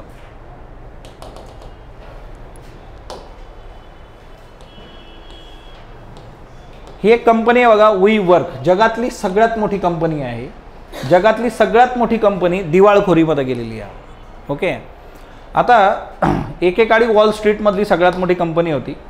आणि त्यांनी जे आहे की आता आम्ही जे आहे डील करू शकत नाही. आणि त्याच्यासाठी अर्ज केला. वी वर्क नावाची कंपनी. जागतिक स्तरावर. एक तर अमेरिकेमधल्या बँका ही एक मोठी कंपनी जाणं. म्हणून अमेरिकेच्या बाबतीमध्ये गडबड इकॉनॉमीची दिसून येते.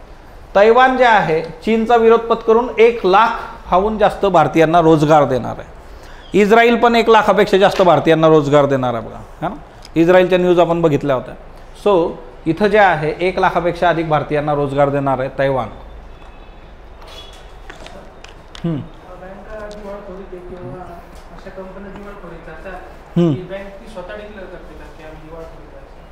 दोन पद्धतीने होऊ शकतं. एक तर बँक प्रामाणिकपणे सांगू शकते की आमचे छप्पर उडाले. अदरवाईज रुपेशचे पैसे बँकेत रुपेश गेला.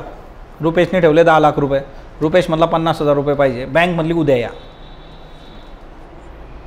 रुपेश म्हणणार अरे डिमांड डिपॉझिटचं खातं आहे मला. डिमांड डिपॉझिट द्या मला पन्नास. पाहिजे आत्ता.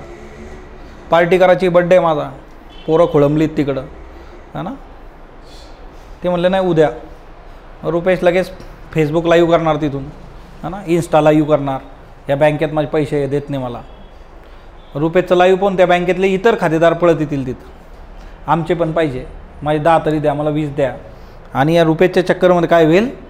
जवळपास ज्यांच्यापर्यंत ही बातमी पसरेल आणि अशा बातम्या इतक्या जोरात पसरतात. है ना? सगळी लोक ॲट अ टाईम तिथं. बँक दोन मिनटात बँकेला सांगायचं कामच नाही. अख्ख्या जगाला माहीत. अशा कितीतरी बँक ह्याच्या सहकारी म्हणून ज्या आहेत बऱ्या किंवा कोऑपरेटिव्ह सोसायट्या काढल्या होत्या लोकांनी त्या तशाच गेलेल्या आहेत. आयदर बँक सांगू शकते किंवा ते अशा पद्धतीने पण डील होत जातात म्हणजे कधी कधी ते विचार करतात की आपण मॅनेज करून घेऊ. पण असं काहीतरी क्रायसिस होतं आणि त्यांना मॅनेज करायला स्कोप काही मिळत नाही. ओके असं पण होऊ शकतं बघा. हा ना? रुपेश लोन न घेऊ. तुला पैसे भेटतील बँकेतून तर रुपेश म्हणाल गेले माझे पैसे. असं काय होणार ना? दोन हजार पंचवीसपर्यंत जे आहे आता तैवान एक लाख लोकांना का पेमेंट देणं का रोजगार देतोय भारतीय? तर तैवानमध्ये म्हाताऱ्या लोकांची संख्या वाढते दिवसेंदिवस. दोन हजार पंचवीसपर्यंत तैवान एक सुपर समृद्ध समाज बनणार आहे बघा. म्हणजे तिथं वृद्ध लोक जास्त असणार. ओके? आणि म्हणजे परावलंबी लोक. आपल्याकडं असतं ना ते डिपेंडंट की आफ्टर फिफ्टी सिक्स तुम्ही वर्क फोर्सचा भाग ना साठपासून तुम्ही काय आले डिपेंडंट झाले. मग अशी लोकं जर वाढली तर मग तिथं काम कोण करणार? सो तो यांचा प्रॉब्लेम आहे. म्हणून तुम्हाला जे आहे तुमचा डेमोग्राफिक डिव्हिडंड जो असतो तो प्रॉपरली मेंटेन केला पाहिजे. आपण आपली जी लोकसंख्या आहे ती प्रॉपरली डील झाली पाहिजे. अदरवाईज असे प्रॉब्लेम्स होतात. ओके त्यानंतर नेक्स्ट वन जे आहे भारत सरकारने बघा जपान फ्रान्स यू के असे तेरा देश आहे त्यांच्याबरोबर असे करार केलेले आहे की लोड नका घेऊ. आम्ही लोक पाठवतो तुमच्याकडे कामाला. नेदरलँड ग्रीस आपल्याकडे भरपूर आहेत ना? डेन्मार्क स्वित्झर्लँड त्यांच्याशी पण चर्चा केली जाते. पण आज आपण तरुणांचा देश उद्या काय होईल? हां वृद्धांचा देश होणारा. म्हणून आपापली व्यवस्था नीट लावून ठेवणे. बरोबर? सो सायकल आहे ना तैवान भारतामध्ये तेरा हजार कोटी रुपयाची गुंतवणूक पण करतात. आता हे तैवान आणि चायना हे कसं आहे?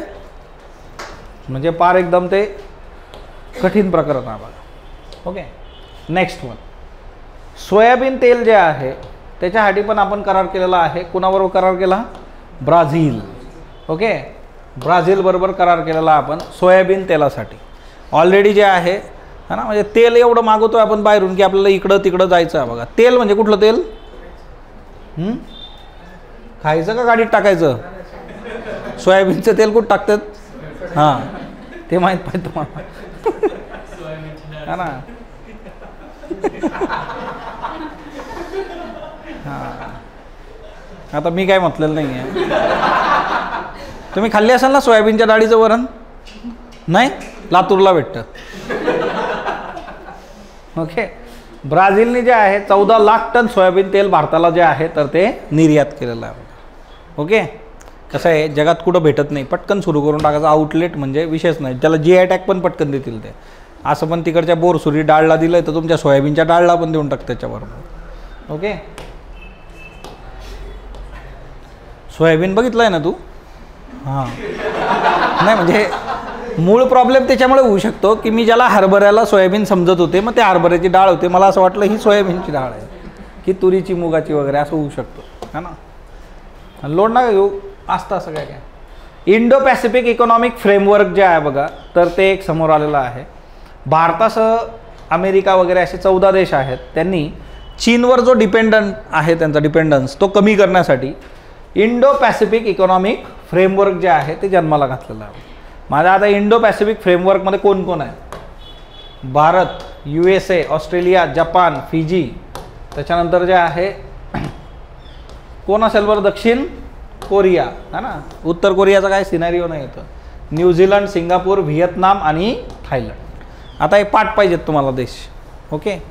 आता एवढ्या पटापट सांगितलेत म्हणणं पाठ कसे होणार? ओके? तर ही पी डी एफ प्रोव्हाइड करेल मी. डोंट वरी सो तुम्हाला तिथून पाठ करायचं आहे. आता हे जागतिक जी डी पीमध्ये फोर्टी पर्सेंट यांचा वाटा आहे बघा. व्यापारामध्ये अठ्ठावीस टक्के आहे. आणि एकतर जे आहे की हा करार जो आहे सॅन फ्रान्सिस्कोमध्ये याच्यावर स्वाक्षरी झालेली आहे. सो हे ठिकाण लक्षात ठेवा. सॅन फ्रान्सिस्कोमध्ये याच्यावर जे आहे सही झालेली आहे स्वाक्षरी केलेली सर्वांनी. आणि चीनचं व्यापारामधलं जे वर्चस्व आहे ते कमी करायचं आपल्याला. काय हे? Indo Pacific economic framework okay Indo Pacific economic framework okay so ही एक बाब लक्षात ठेवा. त्याच्यानंतर जे आहे क्रिप्टो किंग बघा आता हा गौर से देखो इस मासूम चेहरे को ओके सॅम बँकमन फ्राईड जो आहे मनी लॉन्ड्रिंग प्र प्रकरणात त्याला दोषी ठरवलं. अमेरिकेच्या इतिहासातला सगळ्यात मोठा स्कॅम करणारा पोरगा आहे बघा. ओके यांनी जे आहे मनी लॉन्ड्रिंग जे आहे तर ते डील केलं. जगातली दुसरी सर्वात मोठी क्रिप्टो एक्सचेंज फर्म त्याची होती आणि जवळपास जे आहे दहा अब्ज डॉलरची गुंतवणूक आणि ग्राहकांची त्यांनी फसवणूक केली असं म्हटलं गेलेलं आहे. ओके? आपल्याकडेही असे प्रकार घडत असतात. वेगवेगळे गुंतवणुकीचे हे असतात बघा. है ना तुम्ही करा अजून दोन लोकांना घेऊन या त्या टाईपमध्ये. है ना? असतं की नाही ते? दोन दोन दोन दोन चेन रिॲक्शन आपली. डोमिनो इफेक्ट मी बर्बाद झालो तुम्ही पण व्हा. चला. है ना? सो ते आपल्याकडं पण आहे. अमेरिकेमध्ये अंड्यांच्या किमतीमध्ये चाळीस टक्क्यांची वाढ झाली बघा. हां? छातीलाच हात लावला बापरे. आता मी काय खाणार? हां? ना हो. हां? ही पिवळी अंडी कोणाची आहेत बरं? शामृगाची आहेत. ओके? छोटा शामृग ओके? आता हे काय झालेलं आहे ना हे सगळं गणित काय आहे? युक्रेनबरोबर जे युद्ध सुरू आहे यांचं. तर या केसमध्ये काय झालेलं आहे? की यांच्यावर जे काही निर्बंध लादलेले आहेत तर निर्बंध लादल्यामुळे यांना काय आहे ना अंडी पण एक्सपोर्ट करता येत नाही हा यांचा प्रॉब्लेम झाला. आहे ओके मग आता अंडी एक्सपोर्ट करता येत नाही आहे त्यातल्या त्यात जे आहे की अंडी उत्पादनासाठी जे रॉ मटेरियल लागतं की ज्या काही तिथल्या कोंबड्या आहेत त्यांना जे आहे खाद्य लागतं ते पण इथल्या लोकांना मिळत नाही आहे ओके आणि तिच्यातून इथली गणितं जरा गडबडलेली आहेत. अंड्यांच्या बाबतीमध्ये राष्ट्रीय स्तरावर अहवालच आहे आपल्याकडं तोही आपण बघणार आहोत. ओके त्याच्यानंतर नेक्स्ट वन जे आहे बघा fiscal deposit fiscal physical deficit जे आहे फिजिकल डेफिसिट म्हणजे काय? राजकोषीय तूट. ओके राजकोषीय तूट जे आहे. म्हणजे काय? सरकारकडे जेवढा रिव्हेन्यू येतो आणि सरकार खर्च जे करतं त्याला काय म्हटलं तर राजकोषीय तूट. ओके कारण सरकारचं गणित कसं आहे? हे घ्या ते घ्या ते घ्या. अजून काय पाहिजे ते सांगा. ओके मग त्या केसमध्ये किंवा आता बघा सकाळी एक न्यूज मी तुम्हाला घेतली होती सुरुवातच केली होती त्यातून काँग्रेसनी महिला मंडळासाठी जे आहे पाच वेगवेगळ्या गोष्टी सांगितल्या तिच्यामध्ये. आम्ही एक लाख रुपये देणार आम्ही हे देणार आम्ही ते देणार आम्ही ते देणार. आता इतकं सगळं फक्त द्यायचं. जर तुमच्याकडे रेव्हेन्यूच नसेल तर काय होईल? उद्या गव्हर्नमेंट बँक करप्ट होऊन जाईल ते. म्हणजे हे सगळेच तसे आमिष देतात बघा. म्हणजे असं काय नाही की हा एक पक्ष आहे. Each and every political party ते डील करते. सत्तेत आल्यानंतर त्या गोष्टी फुलफिल करायच्या. याच्यामध्ये तिजोरी कधी खाली होते यांनाच कळत नाही. आणि यांच्याकडे येणारा रिव्हेन्यू आणि खर्च केलेला याच्यामध्ये तफावत असते. त्यालाच काय म्हटलं जातं? फिस्कल डेफिसिट किंवा राजकोषीय तूट जे आहे. ओके त्याच्यानंतर नेक्स्ट वन जे आहे ब्ल्यूमबर्ग लिस्टमध्ये जगातली सगळ्यात श्रीमंत कुटुंब सांगितली बघा तिच्यामध्ये यू एचं हाऊस ऑफ नाह्यान जे आहे ते जगातलं सगळ्यात श्रीमंत कुटुंब आहे. ओके सो ब्ल्यूमबर्ग या यादीमध्ये जे आहे हाऊस ऑफ नाह्यान आता हे संयुक्त अरब अमिरातीचे अध्यक्ष जे आहे Sheikh Mohammed bin Zayed Al Nahyan त्यांचं कुटुंब. म्हणजे कोण? यू एचे अध्यक्ष. मग त्यांच्याकडे तेलच तेल आहे बघा. कुठलं? खायचं नाही. गाडीत टाकायचं. फ्यूल. आणि त्याच्यावर जे आहे तर ते किंग आहे बघा. तीनशे पाच अब्ज डॉलर एवढी संपत्ती त्यांच्याकडं. ओके? आणि मग दोन नंबरवर जे आहे अमेरिकेचं वॉल्टन कुटुंब आहे. तीन नंबरला फ्रान्सचं हर्मिस कुटुंब आहे. आणि मग आपले हे कुठं आहेत? है ना? अंबानी. ओके? पहिल्या दहामध्ये आहेत ते. ओके? पण पहिल्या तीनमध्ये हे तीन आहेत हे जरा लक्षात ठेवा. ओके? अनंत अंबानीनंतर आपल्याला असं वाटायला सगळा पैसा इथंच आहे भारताचा. ओके? आता भारतीय अर्थव्यवस्था जी आहे सोळा टक्क्याहून अधिक योगदान देते बघा जागतिक वाढीमध्ये असं आय एम एफनी म्हटलेलं आहे. तर आय एम एफ बघा तुम्हाला आपण उद्या घेणार आहोत सी बी बीमध्ये आता या सगळ्या ज्या इन्स्टिट्यूट आहेत त्या खूप महत्त्वाच्या आहेत. वर्ल्ड बँक असेल डब्ल्यू टी ओ असेल आय एम एफ असेल एशियन डेव्हलपमेंट बँक असेल. हे वारंवार न्यूजमध्ये असतात. आणि भारतीय इकॉनॉमी खूप चांगल्या पद्धतीने ग्रो करते असं आय एम एफ म्हणतं आहे त्याच्यामुळे ते जे आहे आपल्याकरता महत्त्वाचं आहे. त्याच्यानंतर रेमिटन्समध्ये भारत एक नंबरला आहे बघा. रेमिटन्स म्हणजे काय? भारतातून बाहेर गेलेली आपली जी जनता आहे बघा ती आपल्याला काय करते? पैसे पाठवते. म्हणजे फॉर एक्झाम्पल उद्या तुम्ही जर अमेरिकेत जॉब करायला लागला तर तुम्ही तुमच्या कुटुंबाला काहीतरी पाठवता तिकडून कमवलेले पैसे. ते रिमिटन्स आहे. परतावा असं त्याला म्हटलं होतं जगामध्ये रिमिटन्स सर्वाधिक कमवणारा कुठला देश आहे? भारत एक नंबरला आपण आहे बघा. कारण आपली जनता जशी इकडं खचून भरलेली आहे तशी जगात पण आहे. असा कुठला देश नाही तिथं आपण नाही आहे बघा. आणि इतके कामसुईत लोक काम करतात पैसे पाठवतात. एक नंबरला आहे भारत ओके? आणि हे चलन जे आहे अब्ज डॉलरमध्ये किती आहे? एकशे पंचवीस. दोन नंबरला कोण आहे? मॅक्सिको. मॅक्सिको सदुसष्ट म्हणजे डायरेक्ट डबल आहे आपण. आपल्या हापच आहे हे बघा इथं. त्याच्यानंतर जे आहे चीन आहे बघा. है ना? एकोणपन्नास पॉईंट पाच. छोटे छोटे आहेत ते म्हणून पॉईंट पाच येतात ओके सो भारत मॅक्सिको आणि चीन. पहिल्या तीन नंबरचे देश लक्षात ठेवा रिमिटन्समध्ये जे आहे. त्याच्यानंतर नेक्स्ट वन जे आहे ओके सो हे जे आहेत महत्त्वाच्या आंतरराष्ट्रीय घडामोडी होत्या बघा. नाव नॅशनल ज्या आहे. नॅशनल ज्या न्यूज आहेत जानेवारी टू डिसेंबर इकॉनॉमीमध्ये तिच्यामध्ये एम व्ही गंगा विलास जे आहे सर्वात लांब अंतरावरचं नदीवरचं क्रूज आहे बघा हे. ओके हे पण जे आहे फसलं होतं नदीत. काढलं त्याला बाजून बाहेरच्या. आहे आता वाराणसीमधल्या गंगा किनाऱ्यावर जे आहे टेन सिटीचे पंतप्रधान मोदी यांनी जे आहे उद्घाटन केले होते. म्हणजे याचं पण उद्घाटन त्यावेळेस केलं होतं. फाईव्ह स्टार हॉटेल आहे बघा हे एक प्रकारचं. म्हणजे तुम्ही जर गेलात तर याच्यात बसायचं तिकीट किती आहे? किती असेल बरं? पन्नास पन्नास रुपये. हा ना? हजारो लाखांचा कार्यक्रम आहे हा. ओके भरपूर पैसे कमवा आणि बसवून त्याच्यात. सो गंगा उघडी विद्यावती भागीरथी मातला पद्मा जमुना ब्रह्मपुत्रा हिच्यातून तिने प्रवास केला होता. पहिल्यांदा जो प्रवास आहे त्या क्रूजचा. या सगळ्या नदी आहेत बघा. तर नद्या तुम्हाला अशाही विचारल्या जातात. जॉग्रफीमधला रुटीन आहे प्रश्न आहे एकदम. मग नद्या आणि त्यांच्या संबंधीचे ड्रेनेज सिस्टम तर ते तुम्हाला प्रॉपरली डील करणं गरजेचं आहे. जी एस टीमध्ये महाराष्ट्र पहिल्या क्रमांकावर आहे. ओके सो जी एस टीच्या बाबतीमध्ये सगळ्यात जास्त जी एस टी कमावणारा राज्य जर कुठला असेल कमवणारं राज्य तर ते कुठलं आहे? महाराष्ट्र. वस्तू आणि सेवा करांच्या संकलनामध्ये महाराष्ट्र आघाडीचं राज्य आहे. महाराष्ट्र कर्नाटक गुजरात जे आहे लाईनीन जर तुम्ही बघितलं सगळ्यात जास्त जी एस टी आता याच्यामध्ये दुसरी एक बाब आहे. सगळ्यात जास्त जी एस टीत वाढ झालेलं राज्य कुठलं आहे? आपण टेस्ट सिरीजमध्ये हा प्रश्न बघितला होता. हां? बिहार कुठलं? एम पी आणि सर्वात कमी? ओके. सो त्याच्याकरता सांगितलं आहे की ज्या टेस्ट सिरीज होत आहे त्याचे डिस्कशन बघा. है ना? किती वेळा सांगितलं मी हे? की जर तुम्ही टेस्ट सिरीज देत नसाल तर ते डिस्कशन बघा. तिच्यामध्ये एक्झाम ओरिएंटेड गोष्टी ज्या आहेत ना त्या जिथून जिथून तुम्हाला डील होतील तर त्या तुम्ही केल्या पाहिजे. सो तो एक रेफरन्स आपल्यासाठी महत्त्वाचा असतो बघा. स्वतंत्र भारताचे पहिले अर्थमंत्री कोण होते? रामासाणी कंडस्वामी षण्मुख चेट्टी जे आहेत हे स्वतंत्र भारताचे पहिले अर्थमंत्री होते बघा. सो यांचा एक रेफरन्स लक्षात ठेवा. ब्रिटिश साम्राज्याने सर अशी पदवी त्यांना दिली होती. Okay Ramaswamy Kandaswamy Shanmukha Chetty. Okay so हे एक न्यूजमध्ये होते. म्हणजे एक आर्टिकल यांच्याबद्दल आलं होतं. आणि त्याच्यानंतर दुसरं जे बघा म्हणजे सव्वीस नोव्हेंबर एकोणावीसशे सत्तेचाळीस भारताचा पहिला अर्थसंकल्प त्यांनी सादर केला होता. म्हणजे हे नेहमीचं स्टॅटिक एक महत्त्वाचं आहे. आणि ते काँग्रेसमध्ये नव्हते तरी भारताचे पहिले अर्थमंत्री झाले होते. हे त्यावेळेचं राजकारण होतं. म्हणजे असं नाही की आता डॉक्टर बाबासाहेब आंबेडकर काँग्रेसमध्ये होते का? नाही. स्टील ते मंत्री होते बघा. म्हणजे जी लोकं चांगली होती त्यांना संधी दिली गेली होती की आपल्याला डेव्हलपमेंट करायची किंवा हा देश पुढे घेऊन जायचा त्याच्याकरता. आताची परिस्थिती कशी आहे? दिवसभरच शिकायचं इकडं. आमच्याकडे ये आमच्याकडे येतो का तुला हे देईल तुला ते देईल. है ना? काय आवडतं तुला? ये बनवलं आहे चल बाबा. है ना? इथं तसं नव्हतं. हे त्यावेळेचं ना आताच्या राजकारणातला डिफरन्स आहे बघा. जॉन मथई जे आहे प्रजासत्ताक भारताचे पहिले अर्थमंत्री. बघा इथंच दोन एम सी क्यू आहे तुमच्यासाठी.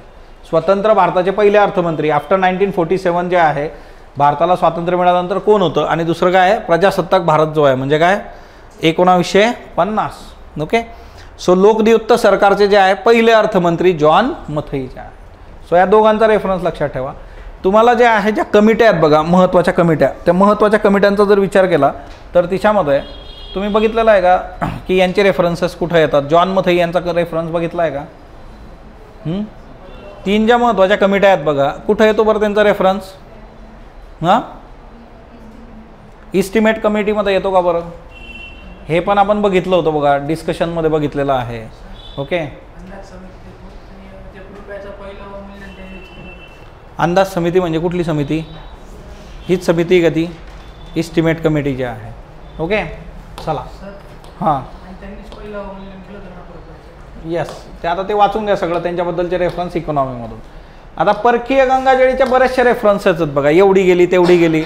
परकीय गंगाजळी याला मला इंग्लिशमध्ये काय म्हटलं होतं forex reserve Indian forex reserve आता फॉरेक्स रिझर्वमध्ये काय येतं? ही संकल्पना एम सी क्यूला विचारली जाऊ शकते. याच्यात काय काय येतं? फॉरेन करन्सी ॲसेट तुमच्याकडे विदेशी चलन किती आहे? ते. गोल्ड रिझर्व तुमच्याकडे सोनं किती आहे? त्याचा साठा किती आहे? S D R special drawing rights जे आहेत ते किती आहेत? आणि reserve position with the I M F त्यालाच रिझर्व पोझिशन ट्रान्सचे असं म्हटलं जातं. हे आय एम एफशी संबंधित आहे. एवढ्या चार गोष्टी ज्या आहेत त्या फॉरेक्स रिझर्वमध्ये येतात. तुम्हाला हा डायरेक्टली एम सी क्यू विचारला जातो किंवा बऱ्याचदा विचारून झालेला आहे. सो पाठ पाहिजे की फॉरेक्स रिझर्वमध्ये काय येतं.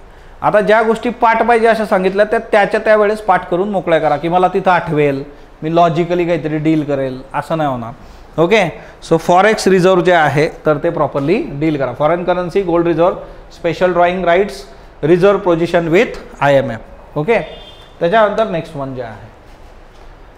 पंच्याहत्तर रुपयाचं नाणं आपण रिलीज केलं बघा. का रिलीज केलं?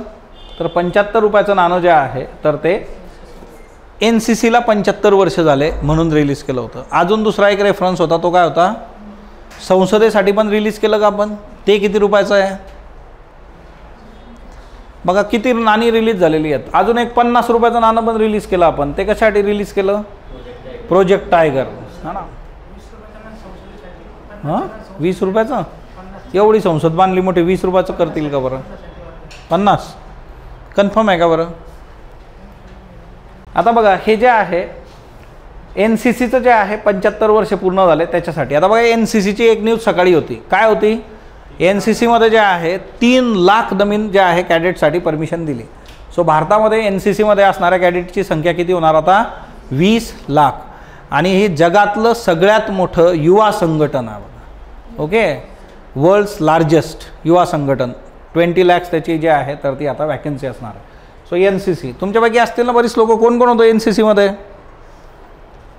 एवढेच लोक होते. बघा तुम्हाला संधी मिळाली असती पण तुम्ही पुढं निघून आला आहे टाईम तुमच्या ह्याच्यात. है ना? तीन लाख आता वॅकन्सी परत दिलं त्यांनी. नेक्स्ट वन होडाफोन आणि आयडियामध्ये भारत सरकार तेहतीस टक्के भागीदार बनणार आहे बघा. ओके सोळा हजार कोटी रुपयांचं व्याज देय रकमेच्या शेअर्समध्ये रूपांतर. सो वोडाफोन आयडिया भारत सरकार तेहतीस टक्के भागीदार. असंही यांचं काय उरलेलं नाही आहे बघा. आहे का काय उरलेलं? त्याच्यानंतर नेक्स्ट वन प्रसार भारतीने जे आहे हिंदुस्तान समाचारशी करार केलेला आहे. हे प्रकरण काय असतं की याच्यामध्ये तुम्ही सगळ्या न्यूज ज्यांना प्रोव्हाइड करणार आणि ते न्यूज चालवतील. सो दूरदर्शन ऑल इंडिया रेडिओला बातम्यांचा मजकूर जे आहे तर ते पुरवण्याचं काम कुणाचं आहे? हिंदुस्तान समाचार. दोन वर्षाचा करार आहे यांचा. सकाळी याच्या संबंधी पण एक गोष्ट बघितली बघा आपण. कुणी कुठलं पोर्टल सुरू झालं बरं ते? काय सुरू केलं त्यांनी? आठवत आहे का तुम्हाला? हां? सकाळच्या याच्यामध्ये ही पण एक न्यूज बघितली आपण. हां काय होतं ते? ओके शब्द. सो ते एक लक्षात ठेवा. त्याच्यानंतर बघा हुबळी स्टेशन जे आहे Guinness book of world record केलं. जगातला सगळ्यात लांब प्लॅटफॉर्म जो आहे तर तो हुबळी रेल्वे स्टेशनचा आहे. सगळ्यात लांब प्लॅटफॉर्म. प्लॅटफॉर्म बघितला आहे प्रत्येकाने? ओके? ट्रेन येते जेव्हा आपण जिथं उभे राहिलेलो आहोत त्याला प्लॅटफॉर्म म्हणतात बघा. ओके? तो सगळ्यात लांब प्लॅटफॉर्म कुठला आहे? Hubli. Okay? Guinness book of world record करून टाकलं बघा त्यांनी. हा यात त्याची लांबी जी आहे पंधराशे सात मीटर एवढी लांबी आहे बघा. सिद्धरुडा स्वामीजी हुबल्ली. ओके? भारत जे आहे भारतात एक एप्रिलपासून जे आहे म्हणजे दोन हजार तेवीस सोन्यासाठी सहा अंकी हॉलमार्क सिस्टीम अनिवार्य आहे बघा. म्हणजे एप्रिल दोन हजार तेवीसपासून सोन्याकरता सहा अंकी हॉलमार्क कंपल्सरी आहे. मधल्या काळामध्ये सरकारने हे पण केलं होतं बघा गव्हर्नमेंटचे जे आहेत आउटलेट्स आहेत तिथं जाऊन तुम्ही तुमचे सोन्याचे दागिने काय करू शकतात? हॉलमार्क तिच्यावर घेऊ शकता. है ना पन्नास रुपये पंचेचाळीस रुपये असं त्याच्यासाठी होतं की प्युरिटीसाठी हे असतं. ओके सो सहा अंकी हॉलमार्क हिच्यावर जे आहे तर ते राहील बघा. Okay hallmark alphanumeric unique identification असणार आहे बघा. एक एप्रिलपासून त्याच्यानंतर जवळपास अठरा कंपन्यांचे परवाने रद्द झालेले आहेत बघा. डी जी सी आयनी केले. का? डी जी सी आय कोण आहे? Drug controller general of India भारतामधून मोठ्या प्रमाणावर डुप्लिकेट मेडिसिन तयार होत आहे बघा. आणि ते बाहेर एक्सपोर्ट पण केलं जातं आहे काही देशांमधल्या लहान मुलांचा डेथ तिच्यामध्ये झालेली आहे. कप सिरपचे रेफरन्सेस आपण बघितले होते. एम के मॅक्स वन जे आहे ते. सो त्यामुळे अशा ज्या कंपन्या आहेत त्यांच्या विरोधात मग ही मोहीम जी आहे ती चालवण्यात आलेली आहे. कारण याच्यामुळे होतं काय बघा एक तर निरपराध लोकांचा जीव जातो आणि दुसरी गोष्ट अशी असते की आपलं नाव पण खराब होतं भारताचं. सो ते झालं नाही पाहिजे. सो तो कन्सर्न याच्यामध्ये आहे. आणि इथं जर तुम्ही बघितलं तर ऑनलाईन विक्रीवर पण बंदी घातलेली आहे बघा. ओके तरी पण जी आहे ऑनलाईन विक्री होते. ऑनलाईन औषधांची विक्री जी आहे बऱ्याचदा बंदी पण टाकलेली आहे त्याच्यावर तरी पण लोक घेतात. आणि त्यातल्या त्यात आजकाल असं आहे की घरच्या घरी सगळे डॉक्टर बनलेले आहेत बघा. ओके हा एक मेजर प्रॉब्लेम असतो. सर्च करायचं आणि मग ते घ्यायचं. किंवा मेडिकलवाल्याला विचारून घेतात काही लोक. माझं डोकं दुखतं आहे माझा एक ज्युनियर होता. होता म्हणजे आहे अजून. ओके तो ना आफ्टर म्हणजे झालं सगळं ग्रॅज्युएशन त्याच्यानंतर तो मेडिकलवाल्याला विचारत जाऊन म्हणजे सगळं त्याचं झाला तो झाला डॉक्टर पण तो जाऊन त्याला विचारायचा मग डोकं दुखतं आहे गोडी दे की एक चांगली. ओके? आणि तो आज एक सक्सेसफुल डॉक्टर आहे पुणे शहरामध्ये. हो ना? सो तुम्ही सांभाळून राहा. कस्टम ड्युटी जे आहे टॅक्स इम्पोज जे आहे आता याच्यामध्ये काय केलेलं आहे की जे रेअर डिसीज जेवढे आहेत बघा तर त्याच्यावरचे जे आहे मेडिसिनवर कस्टम ड्युटी लागणार नाही आहे मग कस्टम ड्युटी काय असते? कस्टम ड्युटी जे आहे इम्पोर्ट आणि एक्सपोर्टवर लागते बघा. कस्टम ड्युटी हा प्रश्न जो आता हे बेसिक आहे एकदम की तुम्हाला इकॉनॉमीच्या बेसिकमध्ये कस्टम ड्युटी माफ केली. मग कस्टम ड्युटी काय असते? कस्टम ड्युटी म्हणजे असा कर जो आयात आणि निर्यातवर लागतो बघा वस्तूंच्या. Okay what is custom duty custom duty tax impose on import and exports of goods वस्तूच्या आयात निर्यातीवर लागणारा कर म्हणजे जे आहे कस्टम ड्युटी आणि ती असे जे काही रेअर किंवा दुर्धर आजार आहेत त्याच्यासाठीच्या मेडिसिनवर माफ केलेली आहे. कारण त्या मेडिसिन ऑलरेडी महाग असतात. परत तुम्ही त्याच्यावर टॅक्स लावणार मग ते अजून महाग होणार. असं नको व्हायला म्हणून. त्याच्यानंतर एनिमी प्रॉपर्टी एनिमी प्रॉपर्टी हा जो कन्सर्न आहे की असे काही लोक की जे आता पाकिस्तानमध्ये राहतात. है ना? भारताचा भाग नाही आहे एनिमी प्रॉपर्टी ज्या आहेत अशा किती आहेत आपल्याकडे तर भरपूर आहे बघा. सगळ्यात जास्त एनिमी प्रॉपर्टी कुठं आहे? उत्तर प्रदेशमध्ये.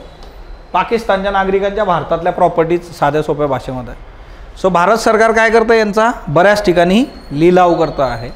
आणि सहा हजार दोनशे पंचावन्न. उत्तर प्रदेश. दोन नंबरला पश्चिम बंगाल आहे बघा. तीन नंबरला दिल्ली आहे. ओके? आणि हा अख्खा मग वेगवेगळ्या ठिकाणी आहे. महाराष्ट्रामध्ये आहेत का? यस महाराष्ट्र पाचव्या क्रमांकावर आहे.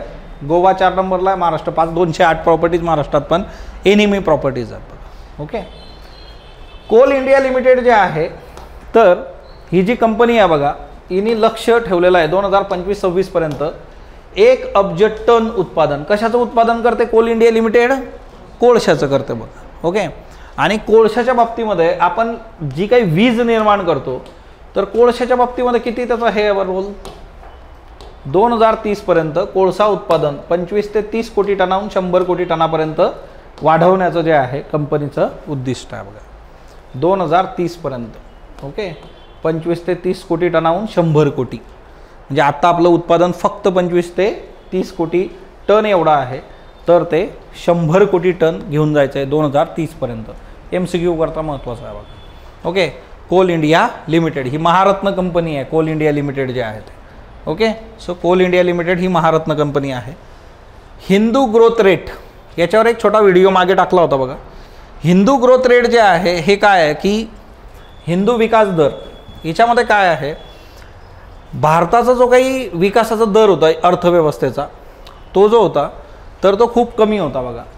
म्हणजे आफ्टर इंडिपेंडन्स भारतामधलं जे काही सगळं इकॉनॉमी आहे ती ॲग्रिकल्चर इकॉनॉमी आहे. आणि आपला जो काही हिच्यामधला जो काही दर होता वाढीचा दर तो खूप कमी होता. म्हणून जे आहे त्याला जो काही म्हटलं जायचं हा ना नाईन्टीन सेवन्टी एटमध्ये असं म्हटलं गेलं होतं की हिंदू रेट ऑफ ग्रोथ आता याचा हिंदू धर्माशी काही संबंध नाही. याचा लोकसंख्येशी काही संबंध नाही. ओके किंवा हिंदूंची लोकसंख्या जशी वाढली असं एकाने उत्तर मला दिलं होतं. असं काय नाही आहे ते नाव दिलं गेलं ते. आता रघुराम राजन म्हटले होते की आताची जी इकॉनॉमी आपली ती कशी होईल? हिंदू ग्रोथ रेटसारखी का? तर तीन गोष्टी त्यांनी सांगितल्या. खाजगी क्षेत्रात कमकुवत गुंतवणूक आहे. प्रायव्हेटमध्ये खूप कमी इन्व्हेस्टमेंट आहे. उच्च व्याजदर आहे बघा जास्तीचं जे आहे इंटरेस्ट आहेत आणि मंदावलेला आर्थिक विकास दर जो आहे. सो तिच्यामध्ये खूप जास्त काही आपली ग्रोथ होत नाही आहे सो असे तीन रिजन्स आहेत. त्याच्यामुळे आजही आपली तशी स्थिती होऊ शकते. असं हे म्हटलं होतं बघा. सो हिंदू ग्रोथ रेट जे आहे आणि प्राध्यापक राजकृष्ण जे आहे यांनी ही संकल्पना समोर आणली होती. सगळ्यात पहिले जी व्यक्ती आहे ज्यांनी हे मांडलं बघा प्राध्यापक Rajkrishna nineteen seventy eight. Hindu growth rate की तुमच्या इकॉनॉमीचा जो रेट आहे आणि हा किती असतो नियर अबाउट साडेतीन चारच्या आसपास तेवढा तो असतो बघा. ओके आयफेल टावरपेक्षा उंच पूल आपल्या इथं तयार झालेला आहे बघा. काय पाहिजे तुम्हाला आयुष्यामध्ये? ओके सो तुम्ही त्या पुलावर जाऊन उडी वगैरे नाही पण बघू शकता खाली. आयफेल टावरच्या आहे okay so Udhampur Srinagar Baramulla railway link प्रकल्प जो आहे त्याचं काम डिसेंबर तेवीस किंवा जानेवारी चोवीसपर्यंत पूर्ण होईल असं म्हटलं होतं. आणि मग जम्मू ते श्रीनगर ट्रेन धावेल. तर बघू आपण. अजून तरी आपल्याला असं ऑथेंटिसिक आल्या की गोष्टी बघूयात. चिनाब नदीवर पूल बांधलेला आहे बघा. ओके चिनाब नदी जी आहे तिच्यावर हा पूल आहे. सो चिनाब नदी पण तुमच्यासाठी महत्त्वाची आहे. उंची जी आहे पुलाची तीनशे एकोणसाठ मीटर आहे बघा. आयफेल टावरची किती आहे? तीनशे तीस मीटर आहे. सो याची उंची जी आहे तीनशे एकोणसाठ आयफेल टावर तीनशे तीस मीटर आहे. त्याच्यानंतर नेक्स्ट वन जे आहे पुढचा जो मुद्दा आहे बघा आपला तो म्हणजे बेनामी कंपन्यांची आपल्याकडे काही व्याख्या प्रॉपरली केलेली नाही. आता बेनामी कंपन्या काय असतात? शॉशंक रिडम्शन नावाचं मूवी बघितलं का तुम्ही?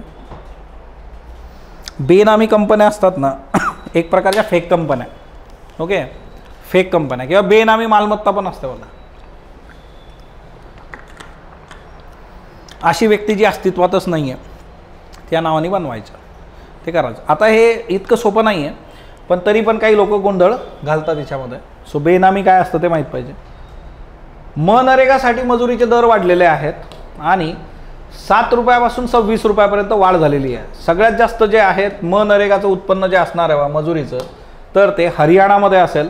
हरियाणामध्ये पाचशे सदोतीस रुपये प्रतिदिवस सॉरी तीनशे सदोतीस रुपये प्रति दिवस तीनशे सत्तावन्न ओके थ्री फाईव्ह सेवन एवढं असणार आहे. मध्य प्रदेश आणि छत्तीसगडमध्ये सगळ्यात कमी दोनशे एकवीस रुपये असणार. मनरेगा जे आहे मग मनरेगाची योजना जी आहे ती तुम्हाला माहीत पाहिजे. मनरेगाचा एक व्हिडिओ आपल्या चॅनलवर आहे. ज्यांना योजनेबद्दल काही कन्फर्म न गोष्टी नसतील त्यांनी ते बघून घ्या. त्याच्यानंतर पी एफवरच्या व्याजदरामध्ये वाढ झाली आहे बघा. पी एफ प्रोव्हिडंट फंड जो आहे सो त्याचं जे व्याजदर आहे तर ते आता जे आहे आठ पॉईंट झिरो पाच होता तो आठ पॉईंट पंधरा टक्के झालेला आहे. सो पी एफवरचा व्याजदर वाढला आहे आता एक एक्झाम असते बघा ई पी एफ ओची ई पी एफ ओची एक्झाम पण द्यायची बघा येत्या काळामध्ये. So E P F O एक आहे की जे तुम्ही डील करू शकता. त्याच्यानंतर पुढचा जो मुद्दा आहे याच्यामध्ये तो म्हणजे भारताने जे आहे बघा तेला आयातीमध्ये जे आहे रॉसनेफ्ट कंपनी जी आहे तिच्याबरोबर करार केलेला आहे रशियाच्या. सो रशियाच्या बाबतीमध्ये असंही जे आपण बघितलं बघा की रशियाकडून आपण मोठ्या प्रमाणात तेल घेतलं होतं. फक्त ज्यावेळेस तो साठ डॉलरचा कन्सर्न आला तिथं त्या केसमध्ये आपण बाजूला सरकलो. पण यांच्यानी रॉस नेफ्टबरोबर पण करार केलेला आहे. सो इथून पुढं त्यांचं ते रिलेशन असणार आहे तिथून पैसे आपल्याला येईल ते. लोकसंख्येमध्ये भारताने चीनला मागे टाकलं बघा. ओके सो आत्ता जगामध्ये सगळ्यात जास्त लोकसंख्या असणारा देश कोणता आहे? आपण आहे बघा. ओके भारत आहे. So united population report twenty twenty three जे आहे. बरोबर? याच्यानुसार जगाची लोकसंख्या आठ बिलियनपेक्षा सुद्धा जे आहे तर ती जास्त आली. आता हा वर्ल्ड पॉप्युलेशन रिपोर्ट जो आहे तर याच्यावर रुटीन प्रश्न विचारले जातात. एक गोष्ट लक्षात घ्या. इकॉनॉमीचे जर पी वाय क्यूज बघितले तर तिच्यावर पॉप्युलेशनवर प्रश्न रुटीन आहेत तुम्हाला. त्यातल्या तर त्याच्याशी रिलेटेड संकल्पना रुटीन आहेत. रेग्युलर प्रश्न तुम्हाला विचारले जातात. डेमोग्राफिक डिव्हिडंडचा प्रश्न तुम्हाला विचारला जातो. राज्यसेवा मुख्य जी आहे एम सी क्यू तिच्यामध्ये रुटीन प्रश्न याच्यावर पॉप्युलेशन प्रॉस्पेक्टस रिपोर्ट तेही तुम्हाला विचारलेले आहेत. सो याच्याबरोबरच आणि पॉप्युलेशन पॉलिसी जी आहे national population policy okay so national population policy दोन हजार ते पण एक महत्त्वाचं आहे. ते पण करून ठेवा. राष्ट्रीय लोकसंख्या धोरण. हिच्यामध्ये तुम्हाला दोन हजार पंचेचाळीस जे आहे ते आपल्याला जे आहे की स्टेबल पॉप्युलेशन जे आहे दोन हजार पंचेचाळीसमध्ये. हा प्रश्न राज्यसेवा पूर्वला दोन वेळा विचारून झाला. एकदा तिसऱ्यांदा की दुसऱ्यांदा तिसऱ्यांदा त्यांनी ऑप्शन चुकवले त्याचे. पी वाय क्यूजमध्ये बघायला मिळेल तुम्हाला. म्हणजे आपलाच प्रश्न रिपीट करताना पण चुकवतात ते. काय गरज त्यांचं? बरोबर? सो याच्यामध्ये तुम्हाला बऱ्याचशा गोष्टी आहेत. आता भारताचं जे प्रजनन रेट आहे बघा.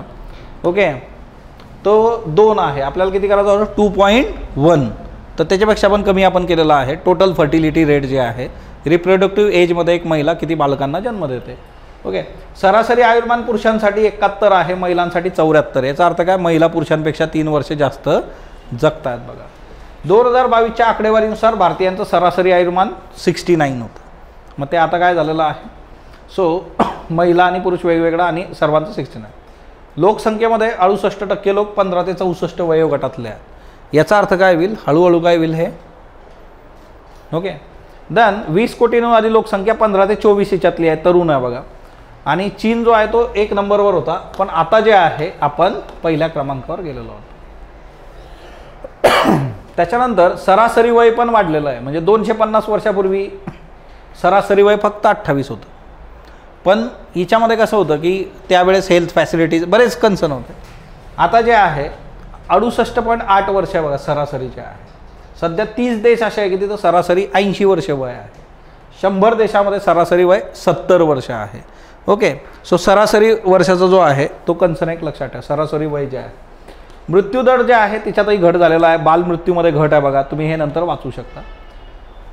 इंडियन पोस्ट पेमेंट बँकेने जे आहे व्हॉट्सअप बँकिंग सर्व्हिस लॉन्च केलेली आहे. सो पोस्ट पेमेंट बँकेचे जे ग्राहक आहेत त्यांना व्हॉट्सअपवरून जे आहे बँकिंगमध्ये गोष्टी डील करता येतील. आणि याच्या आधी जे आहे एअरटेलनी पण हे डील केलेलं आहे बघा. सो एअरटेल पोस्ट पेमेंट याच्यामध्ये पण व्हॉट्सअप बँकिंग आहे. व्हॉट्सअपवरून तुम्ही बँकिंग करू शकता. आणि व्हॉट्सअपचं सगळ्यात महत्त्वाचं फीचर काय आहे? एंड टू एंड इन्स्क्रिप्शन कुणालाच काही कळत नाही असं ते म्हणतात. बरोबर? सो तुम्ही सावध राहा. सो तो एक त्यांचा कन्सर्न आहे. त्याच्यानंतर कॉस्मस बँक जो आहे तिच्यामध्ये दोन सहकारी बँकांचं विलिनीकरण झालेलं आहे बघा. दी साहेबराव देशमुख सहकारी बँक आणि मराठा सहकारी बँक या दोन सहकारी बँका कॉस्मॉस बँकमध्ये विलीन झालेल्या आहे विलिनीकरणावर प्रश्न आपल्याला विचारले जातात कुठल्या बँकेत कोण विलीन झालं? सो ते महत्त्वाचं आहे. केंद्रीय कर्मचाऱ्यांच्या सेवानिवृत्तीचं वय जे आहे ते साठ वर्ष आता असणार आहे बघा. आता केंद्रीय सेवा नियम लागू केलेला आहे दोन हजार बावीसपासून. सो अठ्ठावन्न वर्षावरून साठ वर्ष वय जे आहे तर ते करण्यात आलेलं आहे. ओके डी जी यात्रा ॲप जे आहे. आता डी जी यात्रा ॲप हे जे आहे तर तुम्हाला ज्यावेळेस बाय एअर तुम्हाला प्रवास करायचा आहे तर त्या केसमध्ये या ॲपचा वापर करून तुम्ही जे आहे तिथं डिजिटली सगळ्या गोष्टी करू शकतात. पेपर फ्री तुमचं सगळं जे आहे तर ते काम करू शकता. म्हणजे बोर्डिंग पास वगैरे असतो बघा तिथं जाऊन तुम्हाला तिकीट घ्यावं लागतं. मग त्या सगळ्या गोष्टी करायची गरज नाही. सो तुम्ही पेपरलेस पद्धतीने बोर्डिंग करू शकता फ्लाईटवर बसू शकता बघा. ओके सो डिजिटली चेकिंग तुम्हाला करता येतं. डी जे यात्रा ॲप याच्यासाठीचं आहे. सो ते एक बेसिक आहे याच्यामधलं. दुसरी जी बाब आहे याच्यामध्ये फोनपेनी जे आहे पिनकोड नावाचं ॲप लॉन्च केलेलं आहे बघा. ओके आता पिनकोड म्हणजे आपल्याकडं काय? पुणे तीसमध्ये आहे आपण तसं बघायला गेलो होतो आता. बरोबर?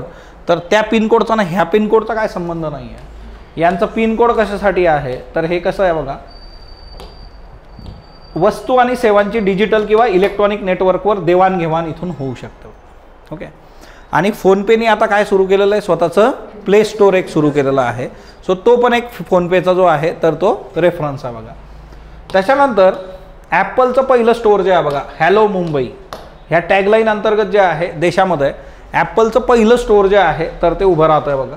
हॅलो मुंबई त्याच्यानंतर ॲमेझॉन इंडियावर जे आहे भारतीय आशयाच्या प्रसारासाठी माहिती प्रसारण मंत्रालयाने करार केलेला आहे. सो ॲमेझॉन इंडियावर जे आहे भारतासंबंधीचं कॉन्टेंट जे आहे तर ते जाईल. म्हणजे आपलं कल्चर असेल आपल्या प्रथा परंपरा किंवा आपल्या इथले काही इश्यू तर ते ॲमेझॉन इंडियावर दाखवले जातील. टाटांच्या कंपन्यानंतर आता एच डी एफ सी बँकेने पण जे आहे चीफ इथिक्स ऑफिसर नेमलेला आहे बघा. सो मुख्य नीतीशास्त्रासंबंधीचा का नैतिक अधिकारी की तो बघेल की गोष्टी ज्या आहेत रूल्स रेग्युलेशन तर तुम्ही बघता पण त्याच्याबरोबरच नैतिकतेला धरून काही चालू आहे की नाही चालू आहे? सो तो याच्यामध्ये मुद्दा त्याच्यानंतर C N G P N जीमध्ये पण दरात कपात झालेली आहे. सो ती एक बातमी आहे बघा. ओके आता याच्या संबंधी कोणी सांगितलेलं होतं किरीट पारिक समिती होती बा. नैसर्गिक वायूची किंमत. एम सी क्यू करता हे लक्षात ठेवा की नैसर्गिक वायूच्या किमतीबाबत जे आहे कुठली समिती नेमण्यात आली होती? किरीट पारिक समिती जे आहे. सो हा एक रेफरन्स लक्षात ठेवा. नॅचरल गॅससाठी किरीट पारिक समिती. त्याच्यानंतर नेक्स्ट वन जे आहे विप्रोनी बायबॅक योजना जी आहे ती आणली होती. आता बायबॅक जे आहे बघ बायबॅक म्हणजे काय? आपले शेअर आपण विकत घेतो. का विकत घेतो? आपणच आपले शेअर आता हे कॅपिटल मार्केटशी संबंध येतो एखादी कंपनी स्वतः विकलेले शेअर स्वतः विकत घेते. सिम्पली जे आहे की एकतर त्या कंपनीच्या शेअरची व्हॅल्यू खूप कमी होऊन जाते मार्केटमध्ये सो त्याच्यात परत तेजी आणायला जे आहे तर ते विकत घेतं. किंवा दुसरी गोष्ट याच्यामध्ये जे आहे की वेगवेगळे आस्पेक्ट जे आहेत त्याची एक अजून न्यूज आहे बायबॅकची तिथं आपण हे बघूयात. त्याच्यानंतर डिजिटलायझेशनमुळे जे आहे बघा आता काय झालेलं आहे? टाकसळी जे आहे टाकसळी म्हणजे काय? जिथं मिंटिंग होतं बघा कॉईन्स बनतात. सो डिजिटलायझेशनमुळे आता तिथं काम राहिलेलं नाही आहे तेवढ्या पैशाची गरज पडत नाही आहे आजकाल लोक डिजिटली गोष्टी डील करतायत. आणि डिजिटली डील केल्यामुळे एक रुपया दोन रुपयाचे विषय पण संपलेत बघा. नाही तर चॉकलेट घ्या बिस्किट घ्या ते संपून गेलेलं आहे आता. सो आठ पट घट झालेली आहे. जेवढी काय रिक्वायरमेंट होती कॉईन्स वगैरे तिच्यामध्ये आठ पट घट आहे. जगातल्या अठरा देशांमध्ये रुपयांचा व्यवहार सुरू झालेला बघा Botswana Fiji Germany Guyana Israel Kenya Malaysia Mauritius Myanmar New Zealand Oman Russia Singapore Sri Lanka Tanzania Uganda United Kingdom रुपयामधून व्यवहार जे आहेत तर ते सुरू आहेत बघा. हे महत्त्वाचे देश आहेत रुपयात व्यवहार. ओके? सो हे देश लक्षात ठेवा. त्याच्यानंतर जे आहे कोलकातामध्ये अंडर वॉटर मेट्रो पहिल्यांदा धावलेली आहे. सो ही हिस्ट्री आहे बघा. ओके? त्याचे रेफरन्समधल्या काळातही बघितले आपण. अंडर वॉटर मेट्रो जी आहे कोलकाता. ओके? तेहतीस मीटर खोलीवर जे आहे सर्वात खोल स्टेशन याच्यातलं आहे आणि भारतात पहिल्यांदा असं घडतं आहे बघा. सो हुगळी नदीखाली पाचशे वीस मीटरचं अंतर पंचेचाळीस सेकंदात ती कापते बघा. नदीखालचा बोगदा आहे ओके? सो अनुभव घ्यायला कोकणात जाऊ शकता तुम्ही. बरोबर? बैजूतचं प्रकरण मी तुम्हाला बऱ्याचदा समजून सांगितलेलं आहे. बैजूतचा सगळ्यात मेजर कन्सर्न आजच्या डेटमध्ये जे आहे की आता बैजूतला दिलासा दिला आहे कोर्टाने ॲक्च्युली जी काही तिथं मीटिंग झाली होती आता याच्यामध्ये कसं आहे ना बैजूस ही जी कंपनी आहे या कंपनीचे स्वतःचे काही नियम आहेत बघा कंपनी बनताना. तर नियम असे आहेत की संचालकाशिवाय तुम्ही मीटिंग्स प्रॉपरली डील करू शकत नाही. संचालक कोण आहे याच्यामध्ये दादा वहिनी आणि भाऊजी. ओके म्हणजे हे यांच्या पत्नी आणि यांचे बंधू असे तीन संचालक. ओके आता यांनी जे रेकॉर्ड ठेवलेलं आहे किंवा रिटर्न्स फाईल करणं अशा बऱ्याचशा गोष्टी म्हणजे फायनान्शियल गडबड आहे इथं सगळी. आणि त्याच्यामुळे यांचे जे इन्व्हेस्टर आहे ते बॅकआउट करताय बघा. असा सगळा मुद्दा आहे बैजूजच्या बाबतीमध्ये. सो फॉरेन एक्सचेंज मॅनेजमेंटचं यांनी जे आहे कायद्याचं उल्लंघन केलं आहे असं म्हटलं आता ईडीनी म्हटलेलं आहे. आता ईडी जे आहे ते खूप न्यूजमध्ये आहे बघा. ओके म्हणजे राजकारणाच्या याच्यामध्ये आज दिवसभर म्हणजे सगळ्यात जास्त कुठला शब्द जो आहे अँकरच्या तोंडी असेल तर तो ईडी असणार बघा. है ना? ईडीच्या भीतीमुळे तुम्ही इकडं आलात का? ईडीच्या भीतीमुळे हे तिकडे गेल्यात असं म्हटलं जातं आहे वगैरे वगैरे वगैरे. सो ईडी जे आहे इन्फोर्समेंट डिरेक्टोरेट और सक्त वसुली संचनालय तर याच्यामध्ये साधी सोपी बाब अशी आहे की हे department of revenue union ministry of finance म्हणजे अर्थ मंत्रालय किंवा वित्त मंत्रालयाच्या अंडर आहे. आणि ईडी जे आहे ह्या कायद्यांच्या बाबतीमध्ये डील करतो बघा. तर कुठले कायदे आहेत? ईडीसाठीचे जे कायदे आहेत फोकसमध्ये दोन कायदे. Foreign exchange management act FEMA आणि prevention of money laundering act P M L A. आता बघा फेमामध्ये जे आहे किती शिक्षा होऊ शकते एखाद्या व्यक्तीला? बघितलं होतं का आपण डिस्कशनमध्ये हा प्रश्न का टाकला होता बघा? ज्या टेस्ट सेट केलेल्या आहेत त्याचं बेसिकच एकदम क्लिअर आहे की जे एक्सपेक्टेड आहे जे चालू आहे इथं. फेमा आणि फेरा. फेरामध्ये किती शिक्षा होती? पाच वर्ष. फेमामध्ये किती आहे? तीन वर्ष. थोडं लिबरलाइज करतात ओके सो हे लक्षात ठेवा. त्याच्यानंतर जे आहे फॉरेन एक्सचेंज मॅनेजमेंट ॲक्ट जो आहे तर हा नाईन्टीन नाईन्टी नाईनमध्ये आला होता बघा. सुरुवातीला हा फॉरेन एक्सचेंज रेग्युलेशन ॲक्ट होता नाईन्टीन सेवन्टी थ्रीमध्ये मग रेग्युलेशनचं मॅनेजमेंट याचं केलेलं आहे. त्याच्यातून बऱ्याचशा गोष्टी बदलल्या आहेत. तर त्या तुम्ही बघणं अपेक्षित आहे.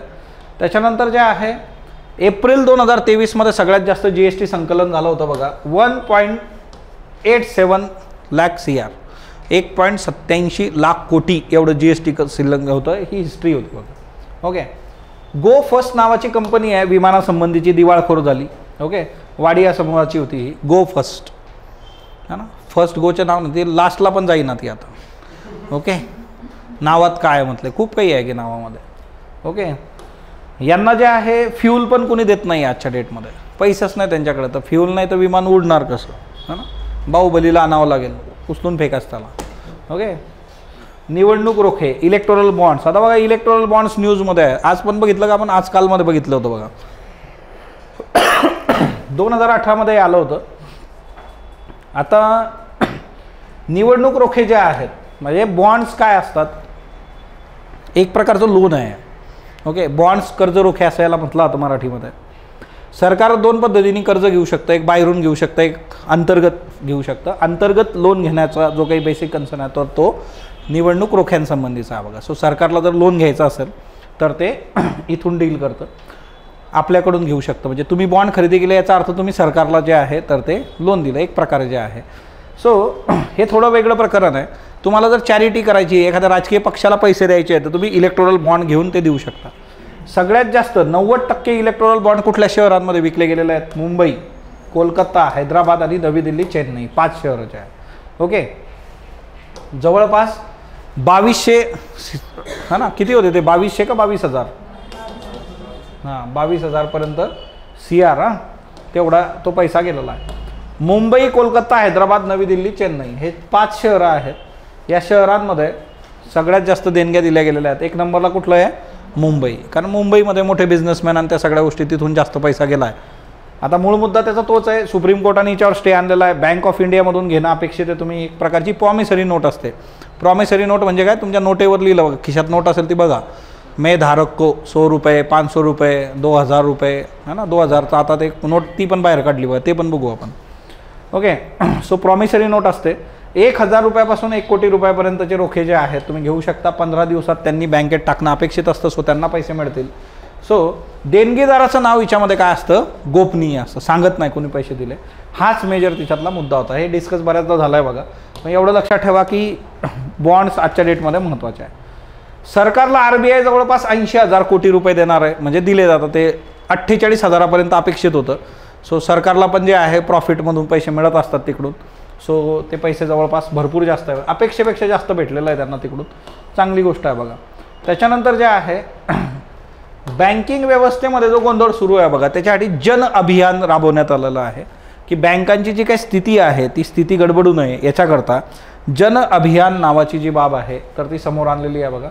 आणि याच्यामध्ये त्रेपन्न वर्षामध्ये तुम्ही बँकिंग जर बघितलं नॅशनलायझेशन नंतर बँकांच्या ब्रांचेस लाखांमध्ये गेलेल्या आहेत. मग त्या सगळ्या कंट्रोल करणं किंवा त्याच्यावर गोष्टी ज्या आहेत त्या वॉच ठेवणं त्या गोष्टी महत्त्वाच्या आहेत. भारतामध्ये आयफोन बनणार आहे आता. टाटाने जे आहे करार केलेले आहेत आणि भारतात आयफोनचं प्रोडक्शन होणार आहे. आतापर्यंत कोणावर डिपेंडंट होतो आपण? चायना ओके आणि आयफोनची क्रेज तुम्हाला माहीत आहे बघा. प्रचंड क्रेज आहे आयफोनची म्हणजे पगार पाच हजार पण घ्यायचा आयफोनच आहे बघा. ही परिस्थिती आहे आजची. का? दोन गोष्टी आहे. सोशल स्टेटस हा एक मुद्दा आहे आणि काही लोकांना फोटो काढायचे असतात. आता जसे आहे तसंच दिसणार आहे. त्याच्यात काही वेगळं दिसणार आहे का बरं? किती पैसे खर्च केले तरी? ओके सो आयफोन जे आहे. एल आय सीचे जे शेअर्स आहेत ज्यांनी घेतले होते त्यांना फटका बसला बघा. एल आय सी जे आहे गुंतवणूकदारांना टू वन पॉईंट पाच लाख कोटींचा फटका बसला. आता एल आय सीने ज्यावेळेस सगळे I P I P O म्हणजे काय? इनिशियल पब्लिक ऑफरिंग पहिल्यांदाच जेव्हा तुम्ही शेअर देता आणि तिच्यामध्ये लोक शेअर घेतात तर तो कन्सर्न तिच्यात येतो आय पी ओ. आता इथं जे आहे लिस्टिंग केलेलं आहे तुम्ही शेअर विकताय पण तिच्यात शहाण्णव पॉईंट पाच टक्के हिस्सेदारी कुणाकडे आहे? सरकारकडे आहे बघा. तर एवढी हिस्सेदारी सरकार ठेवून करणार काय सो ते शेअर जे आहे तर ते रिलीज करणं गरजेचं होतं. एल आय सीचा एकवीस हजार कोटी रुपयांचा आय पी ओ. हा देशातला आत्तापर्यंतचा सर्वात मोठा इश्यू होता बघा. इश्यू इन द सेन्स एकदाच रिलीज केले त्यांनी एकवीस हजार कोटीचे जे आहेत shares initial public offering okay so ही कन्सेप्ट एक लक्षात ठेवा. कॅपिटल मार्केटशी संबंधित आहे बघा. दोन हजाराच्या नोटा वितरणातून बाहेर काढल्यात बघा. आहेत का तुमच्याकडे आता दोन हजाराच्या नोटा? ओके त्या बँकेत जमा करायच्या होत्या. कुणी हौशी असेल तर त्यांनी ठेवून घेतली असेल. की येणाऱ्या पिढ्यांना मी दाखवेल किंवा नंतर मी विकल कुणाला तरी. है ना? दोन हजारची नोट दोन लाखाला. होतं का असं? होतं की असं? काही लोकांना कॉईन जमा करायचा शौक असतो बघा. मग तुमच्याकडे जर असं जुना एखादा कॉईन आहे तो त्याच्याकडे नाही आहे मग तो जास्तीचे पैसे देऊन घेतो. सो असं होऊ शकतं.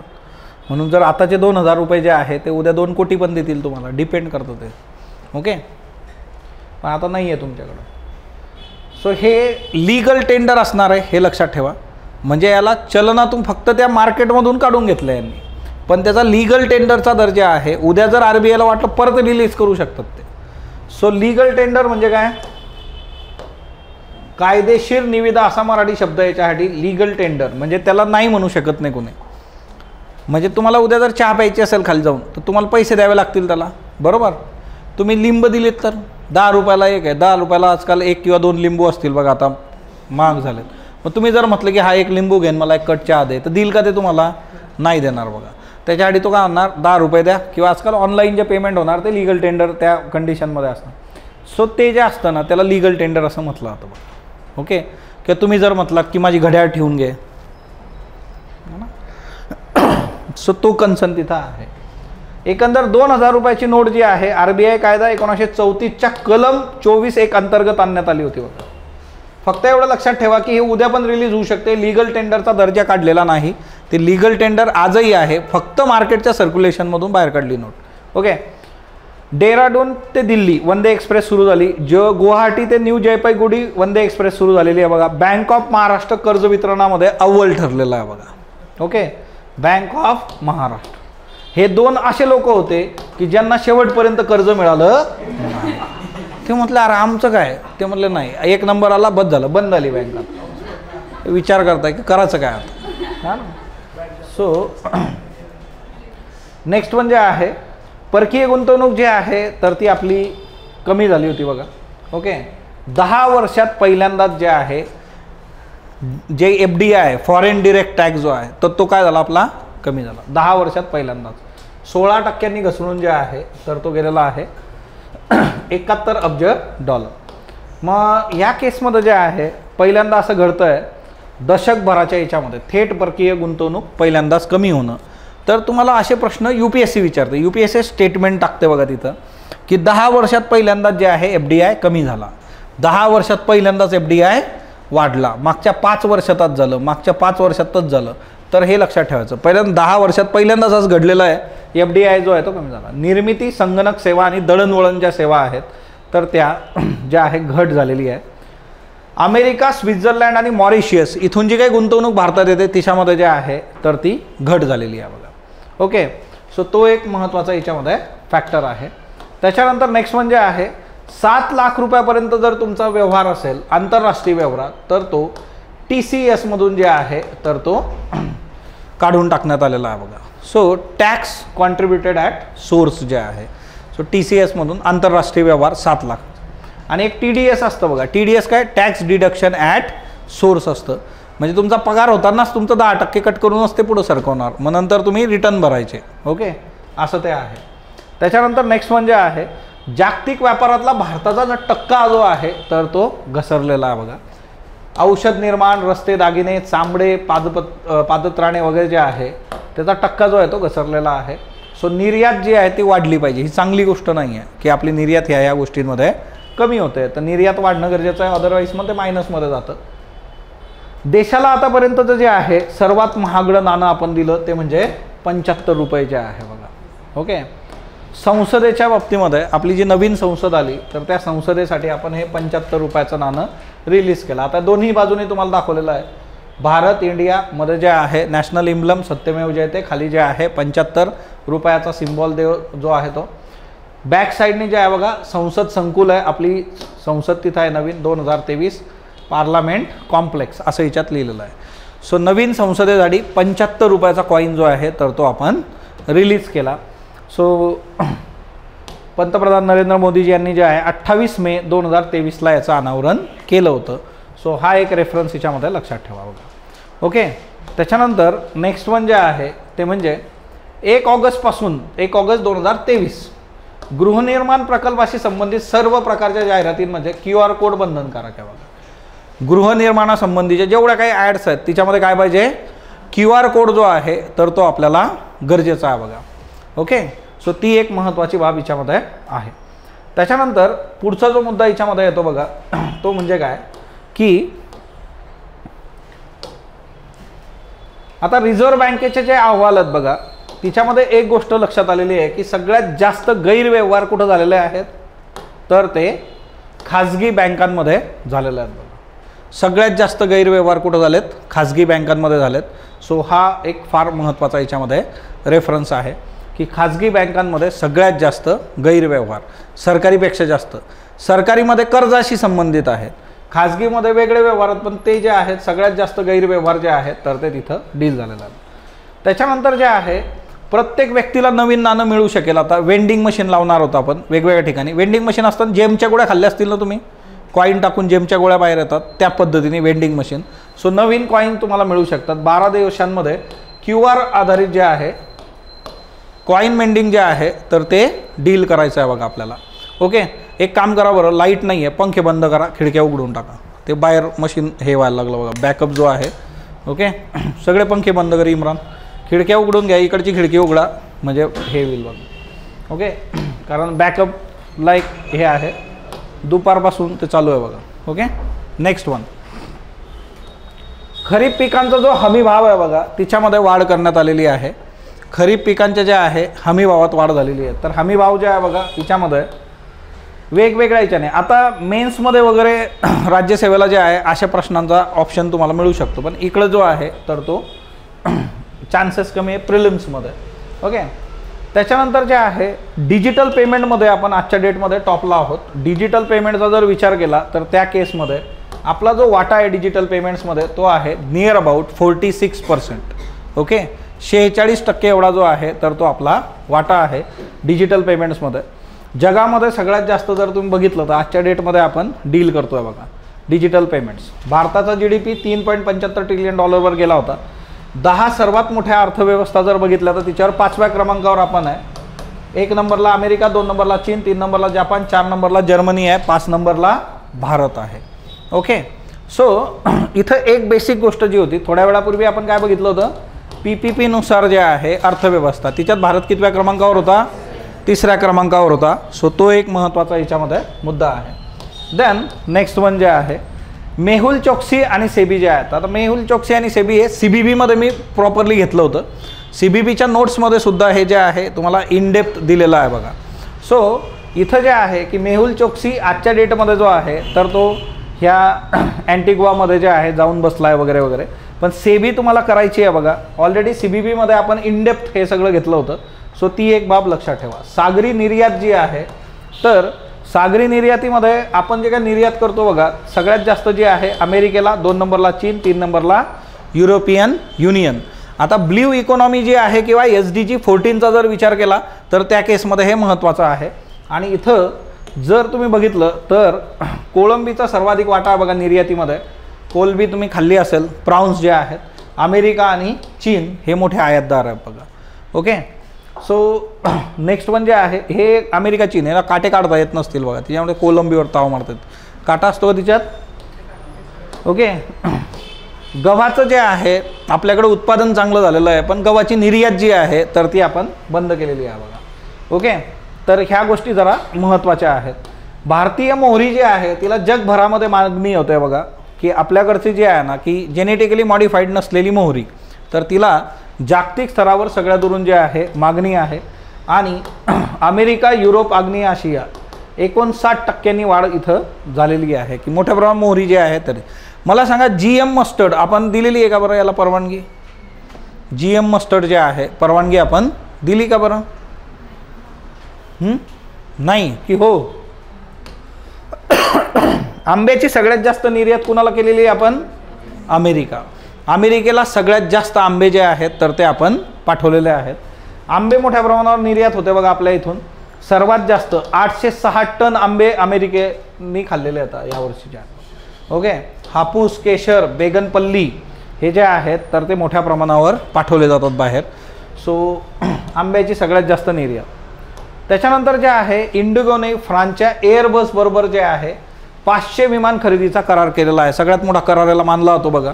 सो हे एक लक्षात ठेवा. इंडिगो जे आहे फ्रान्सच्या एअरबस बरोबर पाचशे विमानांचा करार जो आहे दोन हजार पंचवीसपर्यंत प्रत्येक ट्रकमध्ये तुम्हाला ए सी बसवायचा आहे बघा. ओके ट्रकमध्ये बसून जर तुम्ही कुणी प्रवास केला असेल तर एकतर भारतामधलं जे आहे टेम्परेचर खूप जास्त आहे.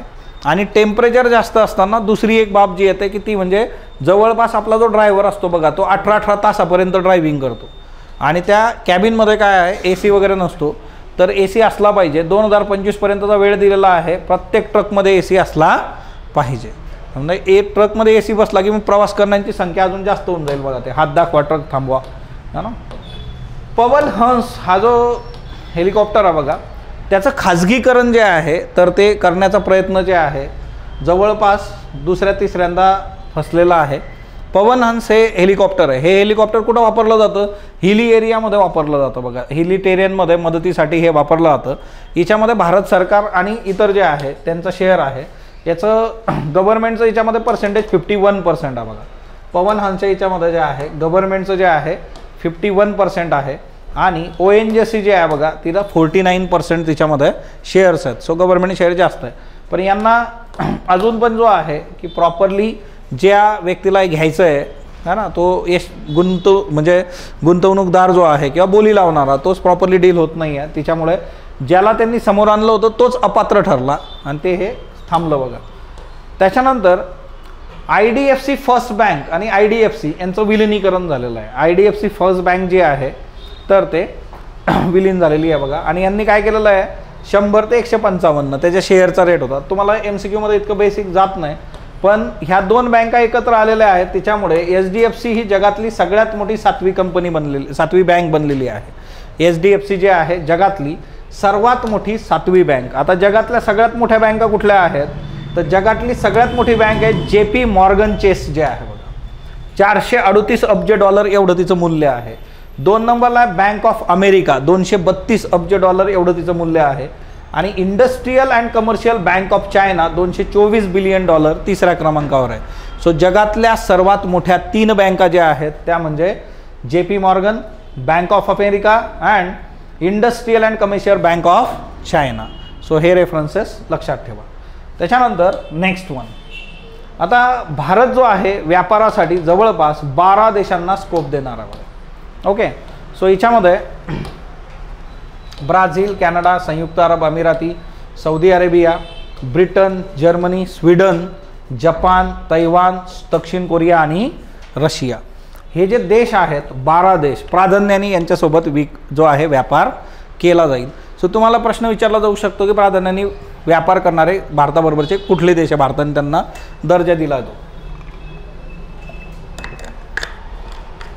सतरावं भारतीय सहकार संमेलन झालं आहे बघा.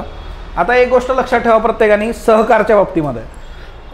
सहकारचं मंत्रालय आहे बघा रिसेंट म्हणजे नवीन आहे ते. सहकारच्या बाबतीमध्ये तुम्हाला गोष्टी प्रॉपरली माहीत पाहिजे. सहकारचे references पॉलिटीमधून ninety seven constitutional amendment act तिकडं जे आहे आपल्या इकॉनॉमीमधला सहकार जे आहे तर ते बेसिक चांगलं तुमचं असलं पाहिजे.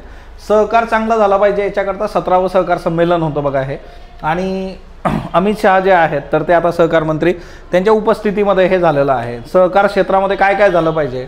भांडवल उभारणी झाली पाहिजे तंत्रज्ञान आलं पाहिजे बघा. संस्था चालवण्यासाठी उत्तम प्रशासन जे आहे तर त्या गोष्टी असल्या पाहिजेत. पण त्या गोष्टी प्रॉपरली डील होत नाही आहे हा याच्यातला महत्त्वाचा कन्सर्न आहे बघा.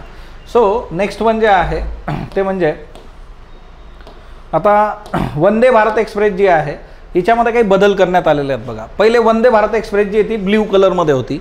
आता ती केशरी रंगामध्ये सुद्धा जे आहे तर ती येते. हिच्यामध्ये जवळपास पंचवीस चेंजेस केलेले आहेत बघा. प्रवाशांनी जे सांगितलं त्याच्यानुसार पंचवीस बदल हिच्यामध्ये आहेत. वंदे भारतमधून तुम्ही प्रवास केला आहे का बरं? कुणी कुणी केला बरं वंदे भारतमध्ये प्रवास? हा ना? केला बऱ्याच लोकांनी. वंदे भारतमध्ये जे आहे तुम्हाला प्रवाशांना गाडीत चढता आलं पाहिजे उतरता आलं पाहिजे. किंवा एकतर जम्मू काश्मीरसारखा जो आहे म्हणजे जिथं जे आहे बर्फ आहे अशा ठिकाणी जे आहे टेम्परेचर मेंटेन झालं पाहिजे जास्तीचं टेम्परेचर अशा गोष्टी केलेल्या आहेत. पंचवीस गोष्टी डील करून दिल्या बघा. स्लीपर वंदे भारत पण त्याचं नियोजन करतायत. कारण या चेअर कार होतं आहे याच्यामध्ये. तर स्लीपर पण डील करून देत आहेत. हा ना? खुर्चीला चांगलं जे आहे फोम लावणार आहेत बघा. तुम्हाला बसल्यानंतर मऊ मऊ वाटलं पाहिजे. ओके? व्यापक जनहितासाठी ईडी संचालकांना मुदतवाढ हा गव्हर्नमेंटचा निर्णय जो होता याच्या अगेन जे आहेत बरेच इश्यू झाले होते. सो जनहितासाठी जे आहे यांना मुदतवाढ दिली संजय कुमार मिश्रा. सक्त वसुली संचालनालयाचे संचालक. आता याच्यावरून पण इश्यू झाला होता की दुसरी कुठली व्यक्ती नाही आहे का? एकच व्यक्तीला तुम्ही देताय. हा ना? एवढ्या मोठ्या लोकसंख्येचा देश. कोणतरी भेटेलच की तुम्हाला. पण ते म्हटलं नाही नाही. यांना जे कळतं ते इतरांना कळत नाही. म्हणून यांना ठेवायचं आहे. ओके सो संजय कुमार मिश्रा जे आहेत बघा. जी एस टीची पन्नासावी बैठक झाली. आता जी एस टी कम परिषद जी आहे त्याचे अध्यक्ष कोण असतात बरं? गुड ओके सो हिच्यामध्ये काय काय गोष्टी ज्या आहेत की ज्याचे रेट वाढलेत कशाचा जी एस टी वाढला तर तो तुम्हाला विचारला जाऊ शकतो. बऱ्याचदा जे आहे की हिच्यामध्ये कुठल्या कुठल्या गोष्टी ज्या आहेत. आता बघा जी एस टी ज्या आहेत एकतर जे काही कॅन्सर रिलेटेड जे काही मेडिसिन्स आहेत त्याला सूट दिलेली आहे. दुर्मिळ आजारावरची औषधं आहे त्याला जी एस टीतून सूट दिलेली आहे. खाजगी कंपन्यांच्या उपग्रह प्रक्षेपणासाठी ज्याला काही लागतं त्याला सूट दिलेली आहे बघा. मत्स्य तेल काढताना मिळणारं जे द्रव्य असतं बघा स्पीच सॉलिबल पेस्ट असेल एल डी स्लॅग असेल बघा त्याला पण अठरा टक्क्याहून पाच टक्के करण्यात आलेलं आहे. आता काय आहे ना की हे सगळं लक्षात ठेवायचं का आपण? किती गोष्टींवरचा पाच टक्के झाला बारा टक्के झाला महत्त्वाचं काय आहे याच्यामध्ये? एक ऑनलाईन गेमिंग अठ्ठावीस टक्के. ओके ऑनलाईन गेमिंगसाठी बराच प्रयत्न झाला की याचा परत विचार करा वगैरे वगैरे वगैरे. ते म्हणलं नाही अठ्ठावीस टक्के बस. कॅसिनो वगैरे असतात ना? क्रांतीवीर बघितला असाल ना तुम्ही? मेरे आंखों में आके डाल के देखो अब घुमाओ. है ना? तसं झालं तर भेटतात पैसे ना आता काय खरं नाही. सो आता जे काही सिनेमागृह आहे तिच्यामध्ये खाद्यपदार्थ दिले जातात. तिच्यावर अठरा टक्क्याहून पाच टक्के कर लावलेला आहे. म्हणजे जे तुम्हाला पॉपकॉर्नचं जे हा ना बकेट असते दीडशे रुपये दोनशे रुपये ते बारा टक्क्याहून पाच टक्के झालं त्याच्यावर. ओके मक्याचा भाव घसरला तिकडं. पण इकडं पॉपकॉर्नचा भाव तेवढाच असतो बघा. ओके कारण ते पॉपकॉर्न आहे प्रोसेस्ड ओके सो हिच्यामध्ये टिपिकल बघा कर्करोगावरचं जे आहे जिन्यू टुक्सिमॅप म्हणून आहे किंवा food for special medical purpose जे आहे त्याच्यामध्ये सूट दिलेली आहे. है ना? हे बघा हे इकडं पॉपकॉर्न स्वस्त झालेत बघा. सो जा पॉपकॉर्न खा. ओके हॉस्टेलमध्ये जे पी जीमध्ये राहतात त्यांना बारा टक्के जी एस टी आहे बघा. ओके कोण कोण राहतं पी जीमध्ये सांगा बरं हॉस्टेलला आता. हां मग लागला का तुम्हाला जी एस टी नाही. कारण त्यांनी बिल दिलं का तुम्हाला जी एस टीचं नाही. इथंच प्रॉब्लेम आहे. ओके सो जर ते बनलं तर बारा टक्के जी एस टी मग तुम्ही पण काय म्हणणार? नको काय गरजच नाही ना. आपले रिलेशन किती चांगले आहेत काय गरज आहे? ओके ऑनलाईन गेमिंग अठ्ठावीस टक्के. म्हणजे याच्यामध्ये एवढ्या गोष्टी आहेत बघा की ते येत राहतात. किंवा इकडं जे आहे बघा जे काही भरड धान्य आहे तिच्यावरचं अठरा टक्क्यावरून पाच टक्के केलेलं आहे. कारण भरड धान्याचं वर्ष साजरं केलं आपण. दोन हजार तेवीस जे आहे त्याच्यानंतर जे आहे सुटं पीक जे आहे सुटं पीठ जे आहे ते जर विकलं तर तिच्यावर कुठलाही कर आपण जो आहे तर तो आकारणार नाही. सुट्या पिठावर जे आहे आणि पस तेच जर पॅकिंगमध्ये विकलं तर तिच्यावर कर लागेल तुम्हाला. मग कसं घ्यायचं? द्या मग सुटच. हा ना? असं ते आहे. ओके? नाही तर मग आम्ही आमचंच पीठ करतो घरी. ओके? अशा बऱ्याचशा गोष्टी याच्यात तुम्हाला सापडतील त्या तुम्ही वाचू शकता पण याच्यातलं महत्त्वाचं आहे गंगा जलावर जी एस टी आहे का? नाही. आता अशा व्हायरल झाल्या होत्या बातम्या सोशल मीडियावर की गंगा जलावर जी एस टी लावला. बघा सरकारला कळतं आहे काही वगैरे वगैरे वगैरे. धार्मिक पूजेचं जे साहित्य आहे त्याच्यावर जी एस टी नाही. सो तो एक रेफरन्स प्रत्येकाने लक्षात ठेवा. धार्मिक पूजेचं जे काय साहित्य आहे त्याच्यावर जी एस टी नाही आहे बघा. त्याच्यानंतर ज्वारीचं एक नवीन वाहन आलेलं आहे दोन हजार सहाशे वीस. ओके म्हणजे नवीन एक हे काढलं. याच्यामध्ये काय आहे की लोह आणि प्रथिनं म्हणजे काय? Protein as well as ion ते तिच्यामध्ये जास्त आहे. ओके त्याच्यानंतर नेक्स्ट वन जे आहे कॉर्पोरेट कंपन्या ज्या आहेत तर त्यांना लिस्ट केलं जाईल बघा डायरेक्टली त्याच्या संबंधीचे प्रयत्न सुरू आहेत. केंद्रीय अर्थमंत्र्यांनी सांगितलं आहे. सो कॅपिटल मार्केटशी संबंधित ते एक महत्त्वाचा मुद्दा होता. खनिज उत्पादनामध्ये मेन दोन मे दोन हजार तेवीसमध्ये सहा पॉईंट चार टक्क्याची वाढ झाली बघा. तर चांगली गोष्ट आहे. ॲज कंपेअर टू मे दोन हजार बावीस. एक वर्षाचा लॅग ते बघतात. सो त्या केसमध्ये हे वाढलेलं आहे. लॅपटॉप टॅबलेट आयातीवर निर्बंध टाकलेले आहेत सरकारने. मग आता तुम्हाला जर ह्या कंपन्या आहेत बघा कुठल्या कुठल्या कंपन्या लॅपटॉपमध्ये आता? ओके डेल आहे त्याच्यानंतर जे आहे ओके तर हे बऱ्याचशा कंपन्या ज्या आहेत आता त्यांना प्रॉब्लेम्स पण तिच्या त्यांनी सांगितलं की डायरेक्टली जे आहे तुम्ही मागू शकत नाही. परमिशन थ्रू डील करा. आणि लॅपटॉपचं प्रमाण खूप कमी आहे. ॲज कंपेअर टू इलेक्ट्रॉनिक हिच्यात सगळ्याचा विचार केला तर लॅपटॉपच्या आहे तिचं प्रमाण कमी आहे. सो हा एक हिच्यामध्ये महत्त्वाचा रेफरन्स आहे बघा. त्याच्यानंतर कोळसा उद्योग जो आहे त्याच्या बाबतीमध्ये काही गोष्टी महत्त्वाच्या आहेत. कोळसा मंत्रालय जे आहे त्यांनी कोळसा खाणीच्या लिलावातून जे काही सातशे चार कोटी मिळाले होते ते राज्यांकडे हस्तांतरित केलेलं आहे बघा. आता कोळसा ही बाब जी आहे यांनी कुणाकुणाला दिलं? महाराष्ट्र छत्तीसगड झारखंड मध्य प्रदेश ओडिसा आणि पश्चिम बंगाल. कोळशाच्या बाबतीमध्ये बघा काय काय करणार तुम्ही? बेसिक त्याचे कोळशाच्या बाबतीमध्ये ते भारतीय कोळसा जो आहे त्याची क्वालिटी खूप काही चांगली नाही आहे भारतीय कोळशामधून राख मोठ्या प्रमाणावर निर्माण होते. आपण मोठ्या प्रमाणात बाहेरून कोळसा आयात करतो. थर्मल पॉवर जी आहे ती मॅक्झिमम आपण कुठून डील करतोय तर ती कोळशातून करतोय. मोर दॅन फिफ्टी फाईव्ह पर्सेंटची आहे ती एनर्जी तिथून येते. त्याच्यानंतर सगळ्यात चांगला कोळसा जो आहे त्याचे ओर्स जे आहेत ते करून ठेवायचे बघा. अँथ्रेसाईड जे आहे लिग्नाईट पीठ जे आहे. सगळ्यात बेस्ट कुठलं असतं? ओके सगळ्यात डल कुठला आहे? ओके सो त्या गोष्टी करून ठेवा. कोळशासाठी ते महत्त्वाचं आहे. कार्बन उत्सर्जनाचे टार्गेट्स भारत कार्बन न्यूट्रल कधी होणार? रेल्वे कधी होणार? ओके दोन हजार तीस. है ना? बघितलं होतं का आपण हे?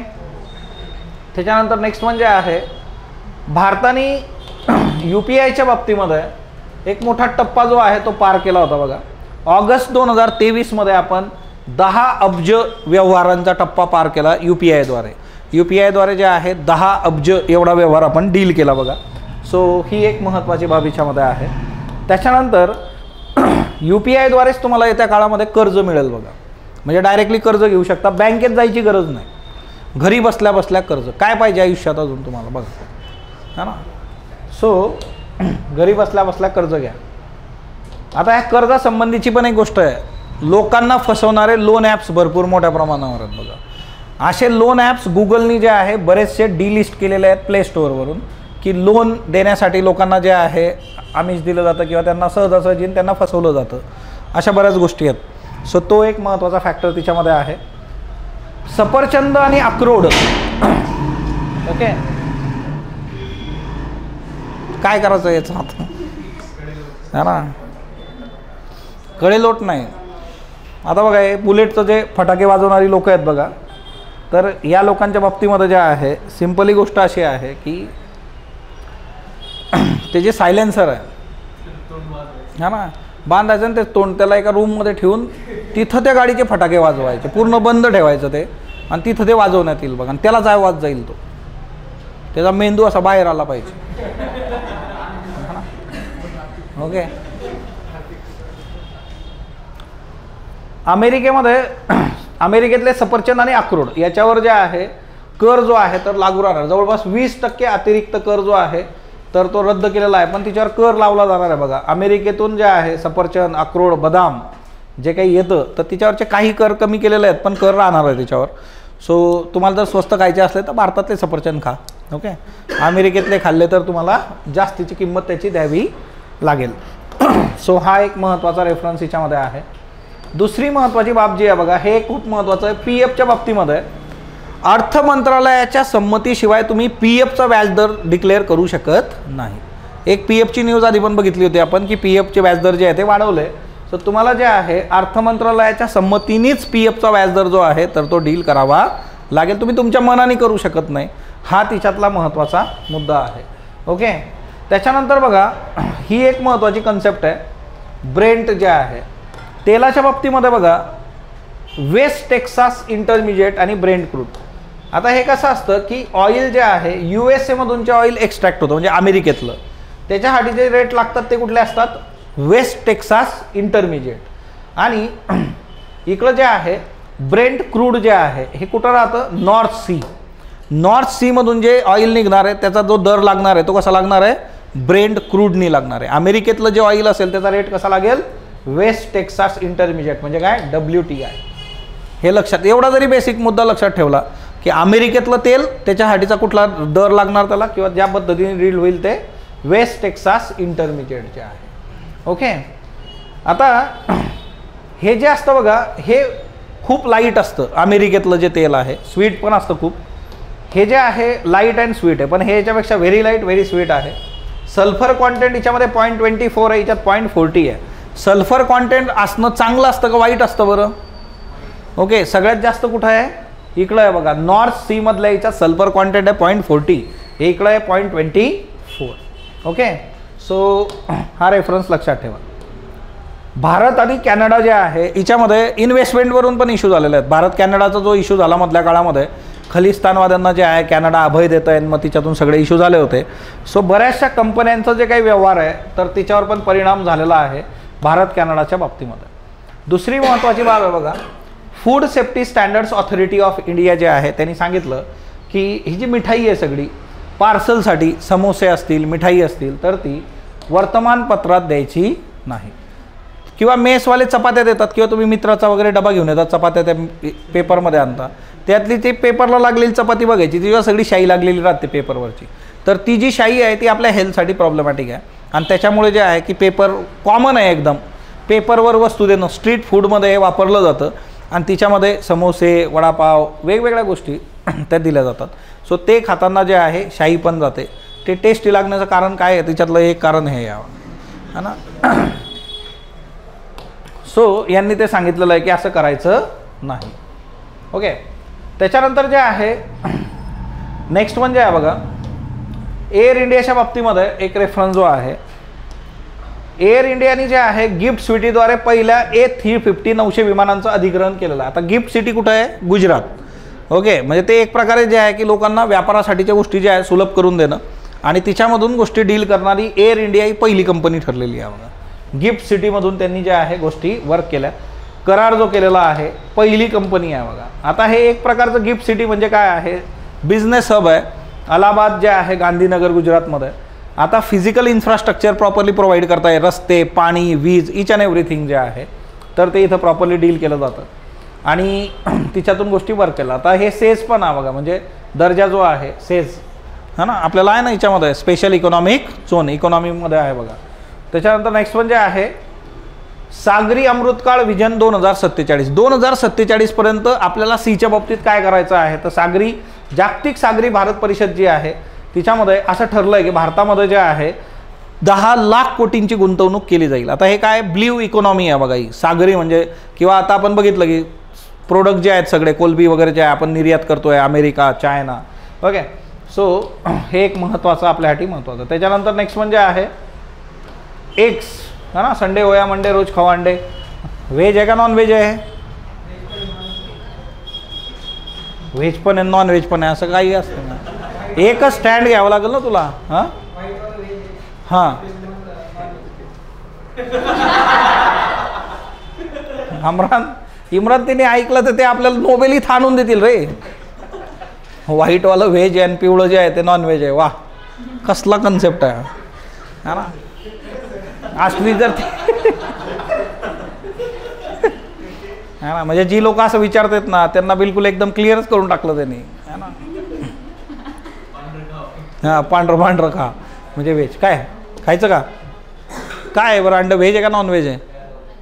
माहीत नाही? खाते का तू? हे व्हेज आहेत बघा. पण ठीक आहे. आता बघा सगळ्यात जास्त अंड्याचं प्रोडक्शन कुठं होतं भारतामध्ये? आंध्र प्रदेश तमिळनाडू तेलंगणा पश्चिम बंगाल कर्नाटक जे आहे बघा. आंध्रा तमिळ तेलंगणा पश्चिम बंगाल कर्नाटक. भारतात सगळ्यात जास्त अंड्याचं उत्पादन आंध्रा घेतं बघा. आणि एक जे आहे प्रोटीनसाठी ओळखलं जातं. हिच्यामध्ये भारतात जे आहे सर्वात स्वस्त अंडी उपलब्ध आहे बघा जगामध्ये. म्हणून पुतीनचं आणि आपल्यावर एवढं जे काय त्याचे हे आहे ना बघा. तिकडं अंड्याचा भाव वाटला मग पुतीन कधीचं आपल्या इथल्या अंड्याचं ऑमलेट खातं आहे बघा. ओके? स्वस्त आहे इकडं. जगातली साठ टक्के अंडी जी आहेत तर ती चीन युरोप अमेरिका आणि भारतात उत्पादित केली जातात बघा. साठ टक्के अंडी जे आहेत चीन अमेरिका युरोप आणि भारत. ओके? आता तुम्हाला हे प्रश्न विचारले जातात पर कॅपिटा किती आहे वगैरे वगैरे वगैरे. त्यातल्या त्यात जे आहे पर कॅपिटा जे आहे नाईन्टी वन अंडी प्रति व्यक्ती वापरली जातात दरवर्षी सरासरी. पर कॅपिटा अंडी. म्हणजे कशी काढायची इम्रान? पर कॅपिटा अंडी कशी काढायची? हां? सांग पटकन आता. हां कसं काढणार? हां. हां. दिवाज बाय भारताची लोकसंख्या. गुड हा ना? Per capita income per capita G D P per capita अंडी. हा ना? आता कन्फ्युजन होईल का? नाही. नाहीतर देशाचं उत्पादन divided by population is equal to per capita अंडी. ओके असं नाही आलं पाहिजे. सो एक्क्याण्णव अंडी प्रति व्यक्ती जे आहे तर ती आता हे काय ना हे रुटीन प्रश्न आहे. तुम्हाला जुन्या याच्यात पण दिसतील पी वाय क्यूमध्ये असे प्रश्न विचारलेला आहे तो बावीस ओके आता याच्यामध्ये खूप काही फरक पडत नाही हां? जे खात नाही ते त्यांचे मोजले की नाही मोजले होते. अरे ते इन जनरल असतं. ओके जे खात नाही त्यांच्याकडून घेऊन खायची मग आता काय करतो? दररोज एक कोटी अंड्यांचा तुटवडा महाराष्ट्रात आहे बघा. हा ना? तो तिच्यातला नव्याण्णव लाख जो आहे तो सदाशिव पेठेत आहे. आहे ना? महाराष्ट्रामध्ये जे आहे दोन पॉईंट पंचवीस कोटी अंडी जे आहे आणि दररोज एक कोटी अंड्याचा तुटवडा पडतो बघा. सो पाम तेलाची आयात एकोणावीस टक्क्यांनी वाढलेली आहे बघा. नंतरच्या काळात हे वाढलं. सुरुवातीला कमी झालं होतं पण नंतरच्या काळामध्ये पाम तेलाची जी आहे तर ती आयात वाढलेली आहे. सो हा एक रेफरन्स लक्षात ठेवा. पाम तेलाबद्दल बघितलं आपण. समृद्धी महामार्गावर देशातला सगळ्यात रुंद आणि राज्यातला सर्वाधिक लांबीचा बोगदा तयार झालेला आहे. ओके? हा बोगदा जो आहे तर तो समृद्धी महामार्गाच्या पिंपरी पिंपरी सरुद्दीन ते वशाळा बुद्रुक याच्यामध्ये तेरा पॉईंट एक किमी लांब नऊ पॉईंट बारा मीटर उंच आणि सोळा पॉईंट सहा मीटर रुंद असा जो आहे तर तो बोगदा आहे. हा इकडं आहे बघा. ओके? तुम्ही तुमच्या रिस्कवर जाऊ शकता. ओके? समृद्धी महामार्ग आहे तो.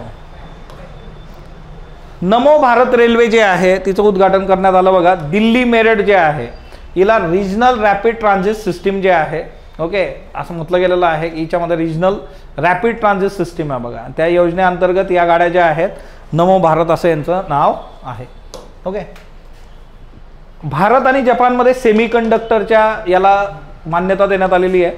सेमीकंडक्टरच्या बाबतीमध्ये एक गोष्ट लक्षात घ्या. आत्ताच सकाळी एक न्यूज होती बघा. कुठं उभं केलं बरं आपण? भूमिपूजन कुठं केलेलं आहे? कुठलं ठिकाण होतं? सकाळच्या न्यूजमध्ये कुठलं ठिकाण होतं? ढोलेरा जे आहे गुजरात. टाटाच्या इच्छाने जे आहे इनिशिएटिव्हनी हे जातं आहे त्यांनी म्हटलं आहे की भारतामध्ये सेमीकंडक्टरचं उत्पादन दोन हजार सव्वीसमध्ये पहिल्यांदा होईल ट्वेंटी ट्वेंटी सिक्स भारताला सेमीकंडक्टरचं हब बनवायचं आहे आपल्याला. इथं मॅक्झिमम सेमीकंडक्टर्स डील झाले पाहिजे. प्रोडक्शन झालं पाहिजे असा तो कन्सर्न आहे बघा. ओके जपानबरोबर पण करार झालेला आहे आपण. आता याच्यात एक दुसरी गोष्ट आहे की सकाळी आठच्या आधी आणि रात्री सात नंतर कर्ज वसुली करायची नाही. किती वाजले बरं? पाच मिनटं बाकी अजून कर्ज वसुलीसाठी. सो आर बी आयने सांगितलं सातच्या नंतर नाही आणि सकाळी आठच्या आधी नाही. तुम्ही जर बघितलं असेल ते वसुलीवाली जनता असते वसुली पथक. ती सकाळच्या चहाला येऊन बसतात ते. इथं चूल पेटलेली नसते पण ते आलेले असतात. किंवा कोविडमध्ये किंवा कोविडनंतर त्यांचे व्हिडिओ कॉल्स किंवा त्यांचे व्हिडिओज जे आहेत ते बरेच प्रसिद्ध झालेत. आणि बऱ्याच लोकांचं जे आहे कोविडमुळे इकॉनॉमी गडबडली त्याच्यामुळे हप्ते थकले. सो हे क्लिअर करून दिलं की आठच्या आधी आणि सात नंतर कर्ज वसुली नाही करायची. असं आर बी आयने सांगितलं. तेवढ्यात करून ते घरी जातात तोपर्यंत आर बी आयची चहा झालेली नसते बघा. क्रेडिट इन्स्टिट्यूशन आणि क्रेडिट इन्फॉर्मेशन कंपन्या ज्या आहेत त्यांनी तीस दिवसाच्या तक्रारीचं निराकरण करायचं अदरवाईज शंभर रुपये दंड. तुमचं जे क्रेडिट कार्ड आहे त्याला जर काही जास्तीचा दंड दंड लावला जास्तीचे ट्रान्झॅक्शन मारलं त्याच्यावर तर त्यांनी जे आहे डील करून द्यायचं तीस दिवसाच्या आत तक्रारीचं निराकरण करायचं. अदरवाईज काय होईल? शंभर रुपये दंड पडेल तुम्हाला. ओके प्रति दिवस. ओके कारण या कंपन्या कसे चार्जेस लावतील ते तुम्हाला क्रेडिट कार्ड वापरल्यावरच कळतं. त्याच्याशिवाय कळत नाही. शिव नाडर जे आहे भारतातल्या परोपकारकर्त्यांमध्ये जे आहे अग्रेसर आहेत म्हणजे चॅरिटी ओके हुरूंची लिस्ट आहे बघा ही. दोन हजार बेचाळीस कोटी रुपये त्यांनी देणगी दिलेली आहे. त्याच्यानंतर अमय प्रभू जे आहेत बघा सुरेश प्रभू माहीत आहेत का तुम्हाला? त्यांचे चिरंजीव जे आहेत अमय प्रभू. यांचं हे पुस्तक आहे बघा rock babas and other stories यांना जे आहे इंडियन चेंबर ऑफ कॉमर्सच्या अध्यक्षपदी जे आहे तर ती नियुक्ती मिळालेली आहे. सो त्याच्यामुळे हे एक नाव लक्षात ठेवा. महत्त्वाचं आहे बघा. त्याच्यानंतर नेक्स्ट वन पायरसी जी असते त्या पायरसीमुळे चित्रपट उद्योगाला जे आहे तर मोठ्या प्रमाणावर घरघर लागली. वीस हजार कोटी रुपयांचं त्यांचं नुकसान होतं आहे बघा आता पायरसीसाठी जे आहे सिनेमॅटोग्राफ सुधारणा कायदा एकोणीसशे बावन्न. हिच्यामध्ये जे आहे गोष्टी डील करून दिलेल्या आहेत की पायरसीसाठी जे आहे तुम्ही तक्रार प्राप्त करू शकता आणि त्याच्या संबंधीच्या ॲक्शन घेतल्या जाऊ शकतात. पायरसी म्हणजे काय? आता मधल्या काळामध्ये एकाला विचारलं होतं बघा की त्यावेळेस इंटरव्ह्यू सुरू होते आय थिंक राज्यसेवेचे सुरू होते आणि त्या याच्यामध्ये की ॲनिमल मूवी जो आहे तो बघितला असा काहीतरी रेफरन्स होता तिथं. कुठं बघितला? आणि कॅन्डिडेट सेट टेलिग्राम लक्षात आलं एकदम आणि ते म्हटलं नाही नाही थोडासाच बघितला. ओके तर टेलिग्रामवर मूवी बघणं जे आहे ते अपेक्षित आहे का? नाही पायरसी ओके सो तो मुद्दा तिच्यामध्ये होता बघा. त्याच्यानंतर नेक्स्ट म्हणजे आहे पुढचा जो कन्सर्न आहे इथं की घरांच्या किमती ज्या आहे वाढण्यामध्ये पाच टॉपची शहरे कुठली आहेत बघा. तर यामध्ये फिलिपिन्स मनीला जे आहे दुबई शांघाय मुंबई माद्रिद. पहिल्या पाच शहरांमध्ये मुंबई घरांच्या किमती वाढण्यामध्ये ज्या आहे. ओके? त्याच्यानंतर मेडिगट्टा धरण जे आहे या धरणाचा बराच इश्यू झाला बघा. तेलंगणामध्ये जे काही सरकार गडबडलं आहे तिच्यामध्ये हा पण एक रोल आहे बघा. सो मेडिगट्टा धरणाचं बांधकाम जे आहे ते सदोष आहे. याच्यामध्ये चेंजेस केले पाहिजे असा एक कन्सर्न होता. आणि या धरणाच्या बाबतीत बराच गोंधळ झालेला आहे असंही म्हटलं गेलं. सो डॅम सेफ्टी ॲक्ट एक तुम्हाला माहीत पाहिजे. डॅम सेफ्टी ॲक्ट दोन हजार एकवीस. ओके? याच्यावरून एक यू पी एस सी टेस्टमध्ये प्रश्न पण मी टाकला होता. डॅम सेफ्टी ॲक्ट जो आहे याच्यामध्ये तुम्हाला हा कुणाला अप्लाय होतो? सगळे डॅम ज्यांची हाईट पंधरा मीटरपेक्षा जास्त आहे. उंची जी आहे भिंतीची. पंधरा मीटरपेक्षा जास्त आहे. और height between ten and fifteen metre with certain design and structural condition म्हणजे पंधरा मीटरची भिंत आहे तुमची तर तो अप्लायच होणार. आणि दहा ते पंधरा मीटरमध्ये असेल तर कंडिशन्स आहेत. अशी अशी डिझाईन असेल तर अप्लाय होऊ शकतो. हे लक्षात ठेवा. ओके जलशक्तीच्या अंतर्गत हे सगळं जे आहे डील होतं जलशक्तीच्या अंतर्गत. नॅशनल डॅम सेफ्टी ऑथॉरिटी पण आपण जे आहे तर ती स्थापन केलेली आहे. सो तो पण एक रेफरन्स हिच्यामध्ये लक्षात ठेवा. कालेश्वरम सिंचन प्रकल्प जो आहे हा याच्याशी संबंधित आहे Medigadda Kaleshwaram lift irrigation system जी आहे जगातली सगळ्यात मोठी मल्टीपर्पज सिस्टीम आहे बघा. कालेश्वरम जी आहे ही जगातली जी आहे सगळ्यात मोठी मल्टीपर्पज सिस्टम आहे. सो कालेश्वरमचा रेफरन्स लक्षात ठेवा. ओके त्याच्यानंतर नेक्स्ट म्हणजे आहे महादेव ॲप जे आहे बघा. आता हे महादेव ॲप जे आहे बेटिंग ॲप होतं ऑनलाईन याच्यामुळे छत्तीसगडचे मुख्यमंत्री बघेल जे आहे ते पण अडचणीत आले होते काही काळापूर्वी. महादेव ॲप ह्या ॲपवरून बेटिंग केलं जायचं. मोठ्या प्रमाणावर याच्यामधून जे आहे पैशाची अफरातफर झाली होती. आणि हे महादेव ॲप जे आहे हे चालवणारी लोकं कोण होती? आता ज्यूसचे स्टॉल लागलेले आहेत बघा. असे दोन ज्यूस विक्रेते हे डील करत होते बघा. आणि ते कोट्यावधी त्यांनी जमवले तिथे. ओके तर ऑबियसली त्यांच्याबरोबर काही लोक असणारच आहे. तर त्याच्यातून ते डील झालं होतं. त्याच्यानंतर लोन ॲप्सचं तुम्हाला रेफरन्स दिला मी. लोन ॲप्स बरेचसे जे आहेत चुकीच्या पद्धतीने लोकांना फसवणारे लोन ॲप्स आहेत. तर ते आपण काय केलेले आहेत? म्हणजे आपण इन द सेन्स गुगलनी ते काढून टाकलेले आहेत.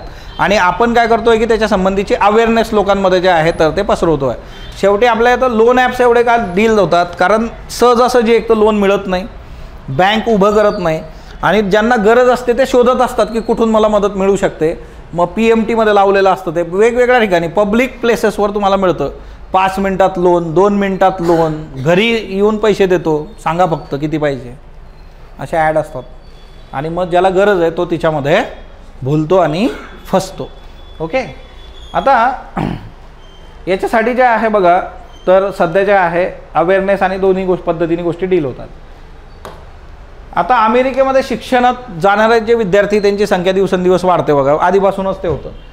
अमेरिकेमध्ये जे आहे सगळ्यात जास्त चीनचे विद्यार्थी दोन नंबरला भारत तीन नंबरला दक्षिण कोरिया चार नंबरला कॅनडा पाच नंबरला व्हिएतनाम सहा नंबरला तैवान. ओके अमेरिका काय करतं? ब्रेन गेन करतं. म्हणजे चांगली चांगली डोकी जमा करतं सगळची आणि तिथं चांगल्या फॅसिलिटी दिल्या ती लोक तिथंच राहतात. मग तो देश काय होतो अजून? ओके? Brain gain. त्याच्यानंतर बायबॅक टी सी एस पण होतं. बघा इकडं मी तुम्हाला सांगितलं होतं. बायबॅक का का केलं जातं बघा? एक कारण मी तुम्हाला तेव्हा सांगितलं होतं की अंडर व्हॅल्यू जर शेअर असतील मार्केटमध्ये जर त्या कंपनीचे शेअर खूप कमी याच्यात जात आहे तर बायबॅक होऊ शकतं. त्याच्यानंतर जे आहे टॅक्स फ्री असेल रिटर्न करायला कॅपिटल तर त्यावेळेस केलं जाऊ शकतं. त्याच्यानंतर जे आहे काय केलं जातं की किमती कमी असतात तर ते विकून मग जास्तीचं जे आहे किंमत प्रॉफिट कमवण्याचा पण उद्देश असू शकतो याच्यामध्ये. त्याच्यानंतर जे आहे त्यांचा जो स्टॉक आहे तो अनडायल्यूट करणं म्हणजे खूप जास्त आहे त्याची लिक्विडिटी तिथून कमी करून टाकायची. तो एक कन्सर्न याच्यामध्ये असतो बघा. त्याच्यानंतर नेक्स्ट वन जे आहे ग्लोबल साऊथ याचं दुसरं समिट झालं बघा व्हाईस ऑफ ग्लोबल साऊथ आता बघा ग्लोबल साऊथवर प्रश्न विचारला जाऊ शकतो का? तर हे ग्लोबल साऊथ असं आहे बघा इथं. ही ब्रँडंट लाईन आहे. ब्रँडंट लाईन जे आहे याच्या खालचं हे जे डार्क पिवळं दिसतंय ना तुम्हाला हे सगळं काय आहे? ग्लोबल साऊथ आहे. ग्लोबल साऊथमध्ये ऑस्ट्रेलिया वगैरे हे देश येत नाहीत. ओके? ग्लोबल साऊथ जे आहे ना की असे टिपिकल जॉग्रॉफिकल टर्म नाही आहे ग्लोबल साऊथ हे असं टिपिकल जॉग्रॉफिकल नाही बट ग्लोबल साऊथ हे जे आहे ना की याच्यामध्ये अशा काही कंट्रीज आहेत की डेव्हलपिंग कंट्रीज वगैरे मोठ्या प्रमाणावर आहे. इंडिया चायना हे नॉर्दर्न हेमिस्पियरमध्ये असणारे देश पण त्याच्यात इन्क्लूड होतात.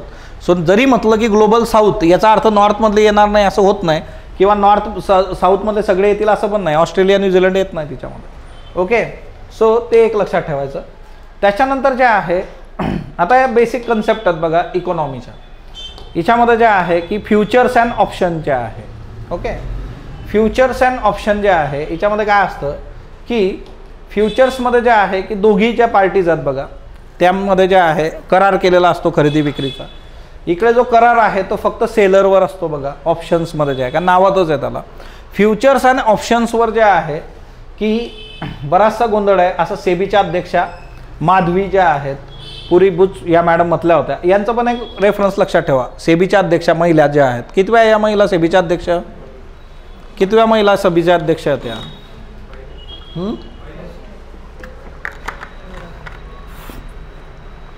पहिले जे आहेत तर तो रेफरन्स लक्षात ठेवा. त्याच्यानंतर जे आहे I P O I P O जे आहे बघा थोड्या वेळापूर्वी एल आय सीच्या बाबतीत आलं होतं. इनिशियल पब्लिक ऑफरिंग पहिल्यांदाच जेव्हा शेअर इश्यू केले जातात that is I P O जे आहे. याच्यावर एक प्रश्न पण मी विचारला होता तुम्हाला. आणि हे बघा टॅक्स इव्हेजन आणि टॅक्स अवॉइडन्स हा तो रेफरन्स आहे.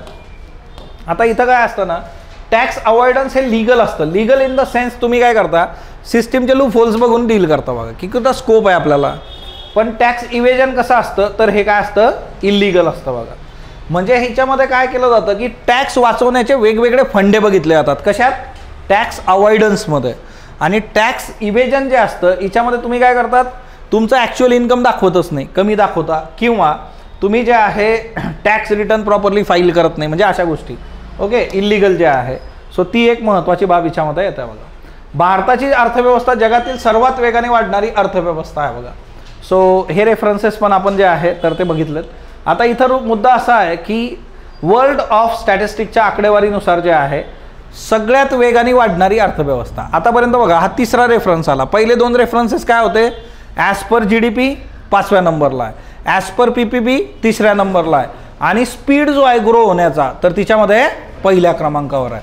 सो हे लक्षात ठेवा बघा. इंडिया ओके इथं जे आहे plus six point three so speed जो आहे वाढण्याचा तो सगळ्यात जास्त आहे आपला. तर ती एक बाब लक्षात असू दे. त्याच्यानंतर जे आहे सोवेरियन गोल्ड बॉन्ड्स जे आहेत. सोवेरियन गोल्ड बॉन्ड जे आहे बघा ही बाब काय ना की सरकारने हे सव्वीस नोव्हेंबर दोन हजार पंधराला ही योजना आणली होती.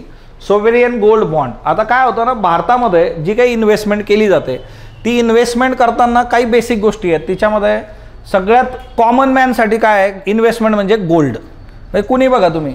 कॉमन मॅन जो आहे तो कशात इन्व्हेस्टमेंट करतो? गोल्डमध्ये सोनं घेतलं जातं बघा. त्याचे वेगवेगळे हे असतात की उद्या जे आहे शिक्षणासाठी होईल लग्नासाठी होईल वगैरे वगैरे. पण कॉमन मॅनची पसंती गोल्ड आहे. आता भारतात एवढं गोल्ड आहेच नाही की जेवढं कॉमन मॅन खरेदी करू शकेल. मग आपण काय करतो? आयात करतो. आयात केल्यामुळे आपलं जे करंट अकाउंट आहे ते काय होतं? मायनसमध्ये जातं. यालाच आपण काय म्हणतो? करंट अकाउंट डेफिसियंट जो आहे तिच्यातला एक मेजर कारण आहे की सोनं आयात करणं. आणि मग त्याच्यामुळे सरकारने याच्यावर सोल्युशन काढलं की तुम्हाला सोनंच घ्यायचं आहे सोन्यातच इन्व्हेस्टमेंट करायची. बँकेत जा. जेवढं सोनं घ्यायचं आहे त्या दिवसाचा जो रेट असेल तिच्याने खरेदी करा. पण तिथं सोनं नसणार आहे. एक कागद असेल तिच्यावर लिहिलं जाईल की किती पाहिजे तुम्हाला? हा ना? तर तिच्यामध्ये जे आहे सागरमधला पाच किलो देऊन टाका. ओके? तर ते सागरच्या नावावर पाच किलो सोनं जे आहे रिलीज करतील. काउन पेपर जे आहे. सोनं नसेल तिथं फिजिकल ओके? तो पैसे देईल तो बॉन्ड त्याच्याकडे आला. आणि तिच्यामध्ये तुम्हाला जे आहे व्याजदर वगैरे आणि त्या सगळ्या गोष्टी. ज्या दिवशी वाटलं त्याला चार दिवसांनी वाटलं नको. नाही पाहिजे मला. त्या दिवशी जायचं ते द्यायचा कागद पैसे घ्यायचे आपण आता याचे फायदे तोटे अशा बऱ्याच गोष्टी आहेत. ओके? तुम्ही पाच किलो सोनं घेतलं सागर लग्नात गेला तर सागरला गळ्यात चेन वगैरे हातात चेन घालता येणार नाही. बरोबर. कारण ते कागद आहे. कागद थोडी दाखवू शकतो आपण आमच्याकडं पाच किलो सोनं. पण जर ते फिजिकली असलं तिथं तर तुम्ही घालून फिरू शकता मिरवू शकता. पण तिच्यात असं होऊ शकतं की एखाद्यानं बघितलं अरे किती सोनं आहे. उचलून गाडीत टाकून घेऊन गेले. नाही ना काढून घेतलं सोनं सोडून दिलं तिकडं राजस्थानमध्ये. असं होऊ शकतं. किंवा चोरी होऊ शकते. म्हणजे फायदे तोटे दोघी नाही याच्यात. तर सोवेरियन गोल्ड बॉन्ड आता ॲक्च्युली हे खूप पॉप्युलर नाही झालं कारण फील येत नाही याच्यामध्ये. सगळ्यात बेसिक गोष्ट. सोनं घेतल्याचा फील पाहिजे ना तिथं. ओके सो ही एक गोष्ट आहे. किंवा तो ट्रस्ट आणि दुसरी गोष्ट बँकांनी पण याला खूप चांगलं प्रमोट नव्हतं केलं. का? बँकेला खूप कमी मार्जिन होतं याच्यामध्ये. असा पण तो मुद्दा होता. Okay so sovereign gold bond लक्षात आलं तुम्हाला की आपलं करंट अकाउंट डेफिशियंट वाढायला नको. त्याच्याकरता तुम्हाला जर एवढी सोनं घ्यायची इच्छा आहे तर तुम्ही ऑन पेपर घ्या. आणि ऑन पेपर डील करा. इन्व्हेस्टमेंट म्हणून. ओके पण घालायचं असलं तर मग विषयच येत नाही. ते घ्यावंच लागेल दुकानात जाऊन. कुठून घ्यायचं बघा मग. आता इकडं जे आहे पुढचा जो आहे बघा. यू पी आयचे जे व्यवहार असतात बघा तर पहिला व्यवहार चार तास विलंबाने होणार. म्हणजे चार तास लागतील. ओके आता कसं असतं बघा की केंद्र सरकारने काय केलेलं आहे की दोन हजार रुपयाहून अधिक रकमेचा जो पहिला ऑनलाईन व्यवहार असेल त्याला चार तास लागतील. कारण जर एखाद्याने चुकून तुमच्या अकाउंटवरून म्हणजे तुम्हाला फसवण्यासाठी केलेलं असेल तर त्या केसमध्ये ते डील नाही झालं पाहिजे याच्याकरता. सो दोन हजारच्या पुढचा जर यू पी आय व्यवहार असेल तर त्याला चार तास विलंबाने तो डील होईल बघा. ओके हे U P I U P I एवढं जे आलेलं आहे बघा तर हे यू पी आय काय असतं? Unified payment interface multiple banks account जे असतात ते सिंगल मोबाईल ॲप्लिकेशननी कनेक्टेड असतात तिच्यामध्ये. म्हणजे तुम्ही कुठल्याही बँकेला कुठूनही पेमेंट करू शकता. मग तुमची bank H D F C आहे तुम्हाला आय सी आय सी आयला पेमेंट करायचं एस बी आयला करायचं कुठेही पेमेंट करू शकता तुम्ही. सो ते डील होतं बघा याच्यामध्ये. आणि गोष्टी ज्या आहेत त्या साध्या सोप्या होऊन जातात. महिला बचत गटांना ड्रोन दिले जाणार आहे बघा. पंधरा हजार महिला स्वयंसहायकार जे आहेत त्यांना ड्रोन पुरवले जाणार आहेत. आणि हिच्यामधून जे आहे लाभार्थी जे आहेत त्यांना जवळपास ऐंशी टक्के लाभार्थी जे आहेत म्हणजे आठ लाख रुपयांचं त्यांना अर्थसहाय्य पण दिलं जाईल. मूळ महिलांसाठी किसान ड्रोन एक योजना आणली होती आपण. बचत गटांना ड्रोन जे आहे तर ते डील करायची आहे. आता या ड्रोनच्या बाबतीमध्ये एक गोष्ट अशी आहे की जे ड्रोन आहेत तर ते ड्रोनसाठी स्किल पण पाहिजे. सो ते स्किल पण तुम्हाला दिलं जाईल बघा. सो सरकार त्याच्यावर पण काम करतं आहे आणि ड्रोनचं जसं जे घेतले जाऊ शकत नाही त्याच्यामुळे जे आहे बघा प्रशिक्षण आणि ड्रोन शेतामध्ये कुठं वापरले जाऊ शकतात? शेतावर फवारणी करण्यासाठी. ओके अदरवाईज शेतात फवारणी करणं हे खूप कष्टाचं काम आहे. ते पंप टाका आता बऱ्याच गोष्टी बदलल्यात तिच्यामध्ये तरी पण हे सोपं आहे एकदम. हिमाचल प्रदेशमध्ये सगळ्यात जास्त बेरोजगारी आहे तेहतीस पॉईंट नऊ टक्के. आणि राजस्थान तीस पॉईंट दोन टक्के जे आहे बघा. ओके सो पंधरा ते एकोणतीस वयोगटातले सगळ्यात जास्त बेरोजगारी जी जुलै ते सप्टेंबरमध्ये बघितली गेली तर ती हिमाचल प्रदेशमध्ये बघितलेली आहे. ओके सो नेक्स्ट म्हणजे जे आहे सगळ्यात कमी बेरोजगारी कुठं आहे? गुजरात. कारण ते नोकरीच्या चक्करमध्ये जास्त पडत नाही बघा. ओके ते त्यांचा त्यांचा जो आहे व्यवसाय वगैरे है ना? बाकीच्या गोष्टी डील करून घेतात. तर डोक्यात क्लिअर आहे एकदम. सेवन पॉईंट वन पर्सेंट जे आहे सगळ्यात कमी इकडं. आय आय टीमध्ये प्लेसमेंट जे आहे तर त्या थर्टी पर्सेंटनी कमी झालेल्या आहेत. आय आय टी जे आहे तिच्यातल्या प्लेसमेंट्स यावर्षी जे आहे आय आय टीमध्ये मोठ्या प्रमाणावर कंपन्याच गेल्या नाही. मग आपण म्हणतो कोट्याला जाऊ तिथं अभ्यास करू आय आय टीत जाऊ. तिथून पण जर नोकरी नाही भेटली तर आणि भेटली तर आणि कमी पगाराची भेटली तर मग काय होतं? फ्रस्ट्रेशन. ओके सो असं होऊ शकतं. सो आय आय टीच्या बाबतीमध्ये हा इश्यू यावर्षी जाणवला बघा. वेड इन इंडिया आता बघा है ना? महान अनंत अंबानी यांनी जे आहे जामनगरमध्ये प्री वेडिंग केलं बघा. आता ते पाहिजे त्या शहरात जाऊन करू शकले असते. बरोबर? ही सगळी जी जनता आली होती ती कुठेही आली असती. सो त्या केसमध्ये कसं आहे की आपले पंतप्रधान म्हटले होते की तुम्ही काय करा उत्तराखंडसारखं राज्य चांगलं आहे. तिथं येऊन तुम्ही जे आहे है ना? लग्न वगैरे तिथं करा. जे श्रीमंत लोक आहे ज्यांना जे आहे बाहेर जाऊन लग्न करायची हाऊस आहे काय म्हटलं आता त्याला? डेस्टिनेशन वेडिंग तर आपल्याकडं भरपूर चांगले चांगले डेस्टिनेशन आहेत तिथं जाऊन तुम्ही लग्न करू शकता. आणि ते तुम्ही केले पाहिजे. आता जिथं फायदा कोणाचा होणार आहे? भारतातल्या वेंडरचा फायदा होईल भारतातले फुलं लागतील तिथं. आणि तुम्ही इटलीला जाऊन लग्न केलं तर इटलीतले फुलं लागतील. सो भारतातली फुलं लागली पाहिजे. झेंडू कुठं विकणार आपण आपला? सो त्यांनी सांगितलं की तुम्ही असं असं करा. तर ही कन्सेप्ट आहे वेड इन इंडिया ओके सो तुम्ही सर्वांनी पण लक्ष ठेवा. ओके ज्यांचं झालं आहे त्यांनी नाही हां? ज्यांचं झालं नाही त्यांनी. ओके नेक्स्ट वन आता मधल्या काळामध्ये जे आहे केंद्र सरकारने उसाच्या रसापासून इथेनॉल जे आहे त्याची निर्मिती करण्यासंबंधीचा मुद्दा समोर आणला. की तुम्ही करून करू नाही शकत. बंदीच आणली डायरेक्टली पण आता आपल्याकडचे जे कारखाने आहेत त्या कारखान्यांनी जे आहे इथेनॉल निर्मितीसाठी इन्व्हेस्टमेंट केलेली आहे. मोठ्या प्रमाणावर त्यांनी लोन घेऊन ठेवलेले आहेत. आणि असं करत असताना जे आहे हे शक्य नाही आहे की हे सगळं बंद करायचं. म्हणून त्या केसमध्ये आपण त्यांना जे आहे केंद्र सरकारबरोबर पत्रव्यवहार वगैरे झाले होते कारण इन्व्हेस्टमेंट बरीच झालेली आहे मशिनरी आणलेली आहे लोन घेतलेलं आहे. कंपन्यांबरोबर इथेनॉलचे करार पण झालेले आहे असं सगळं होतं. म्हणून मग नंतर ते म्हटले की नाही पण ठीक आहे तुम्ही थोड्या प्रमाणात इथेनॉल बनवू शकता. सो हा सगळा इश्यू होता इथेनॉलचा. आता तुम्हाला याच्यासाठी इथेनॉल ब्लेंडेड पेट्रोल जे आहे ते महत्त्वाचं आहे बघा. इथेनॉल ब्लेंडेड पेट्रोल हा प्रोग्राम माहिती आहे का तुम्हाला? किती आपल्याला इथेनॉल डील करायचं आहे बरं गाड्यांमध्ये? है ना? सो ते एक लक्षात ठेवायचं. महाराष्ट्रामध्ये दोनशे चौवेचाळीस लिटर कोटी लिटर इथेनॉलचं उत्पादन दोन हजार तेवीसमध्ये झालेलं आहे. ओके सो एवढं आपण केलेलं आहे. अठरा कोटी लिटरची वाढ झालेली याच्यामध्ये. म्हणजे दिवसेंदिवस वाढ करत चाललो आपण इथेनॉलच्या बाबतीमध्ये जे आहे बघा. त्याच्यानंतर नेक्स्ट म्हणजे आहे पुढचा जो मुद्दा आहे बघा याच्यामध्ये तो म्हणजे काय? की इनक्रेड युनिकॉर्न स्टार्टअप स्टार्टअप जे आहे तर स्टार्टअपसाठी आपण फेमस आहे. त्यातल्या त्यात जे आहे भारतात मोठ्या प्रमाणात स्टार्टअप जे आहे समोर येत आहेत. आणि सगळ्यात जास्त स्टार्टअप कुठल्या राज्यामध्ये डील होतात बरं? महाराष्ट्र जे आहे. आता युनिकॉर्न स्टॅटस स्टार्टअप काय असतं? युनिकॉर्न नावाचं ते हे पण असतं ना कार्टून घोडा. लहान मुलांमध्ये पॉप्युलर आहे ते? हां घोड्याच्या नाकावर शिंग. बरोबर? आता हे युनिकॉर्न जे आहे हिच्यामध्ये काय सिनॅरिओ आहे? आता बघा इनक्रेड नावाचं स्टार्टअप आहे. हे भारतातलं दोन हजार तेवीसमधलं दुसरं युनिकॉर्न स्टार्टअप मग पहिलं कुठलं आहे? तर झेप्टो आहे बघा. झेप्टो बघितलं असेल ना तुम्ही ॲड वगैरे याची काय करतं झेप्टो? पार्सल. कसले पार्सल? हा ना? पाच मिनटात तुमच्या दारी. ना ना शासन येऊ न येऊ आम्ही येणार. युनिकॉर्न स्टार्टअप झालं बघा. सो हे युनिकॉर्न स्टार्टअप इनक्रेड दुसरं आहे. आता हे जे स्टार्टअप आहे युनिकॉर्न टर्म जी आहे बघा तर ही काय सांगते की एक बिलियनपेक्षा तुमची व्हॅल्यू जास्त पाहिजे. एक डॉलर वन बिलियन डॉलर जे आहे. एवढी व्हॅल्यू झाली तर तुम्हाला काय स्टेटस मिळतं? युनिकॉर्न स्टेटस मिळतं. ओके आणि तशी इनक्रेड दोन नंबरचं स्टार्टअप आहे दोन हजार तेवीसमधलं पहिलं होतं झेप्टो ओके सो हे लक्षात ठेवा. भारताची कृषी निर्यात असुरक्षित झालेली आहे असा एक अहवाल आला होता. भारतातून जी काही निर्यात होते तिच्यामध्ये मॅक्झिमम कशा समावेश आहे? तर हिच्यामध्ये बासमती तांदूळ बिगर बासमती तांदूळ हे दोघं बंद करून टाकले आपण निर्यात. साखर मसाले आणि पेंट ह्या गोष्टी आहेत. आणि हेच आपण जे आहे प्रॉपरली डील करत नाही त्याच्यामुळे जे आहे आपला लॉस होतो आहे असा एक अहवाल होता. ओके त्रिशक्ती कुठली? भारतीय रेल्वेमध्ये वंदे भारत नमो भारत आणि अमृत भारत. हा ना वंदे भारत तर आपण बघतो आता तिच्यामध्ये कलर पण आणलेत बघा. हा ना बऱ्याचशा पंचवीस सोयी सुविधा तुम्हाला दिल्या आहेत. है ना थंडी वाजू नये म्हणून तुमच्यासाठी जे शेकोटी पेटवणार आहेत तिच्यात जम्मू काश्मीरला. काय काय पाहिजे तुम्हाला आयुष्यात अजून? नमो भारत जे आहे पहिला झेंडा दाखवला ते बघितलं आपण. अमृत भारत. या तीनही रेल्वे एका दिवशी एक्सप्लेन केल्या होत्या. मी जर तुम्हाला आठवत असतील तर. ओके त्याच्यानंतर नेक्स्ट म्हणजे आहे खाद्यपदार्थ जे आहे बघा प्रक्रिया झालेले खाद्यपदार्थ. म्हणजे प्रक्रिया झाले म्हणजे काय? वेफर्स बटाट्याचे वेफर्स प्रक्रियायुक्त खाद्यपदार्थ. याला मागणी वाढलेली आहे.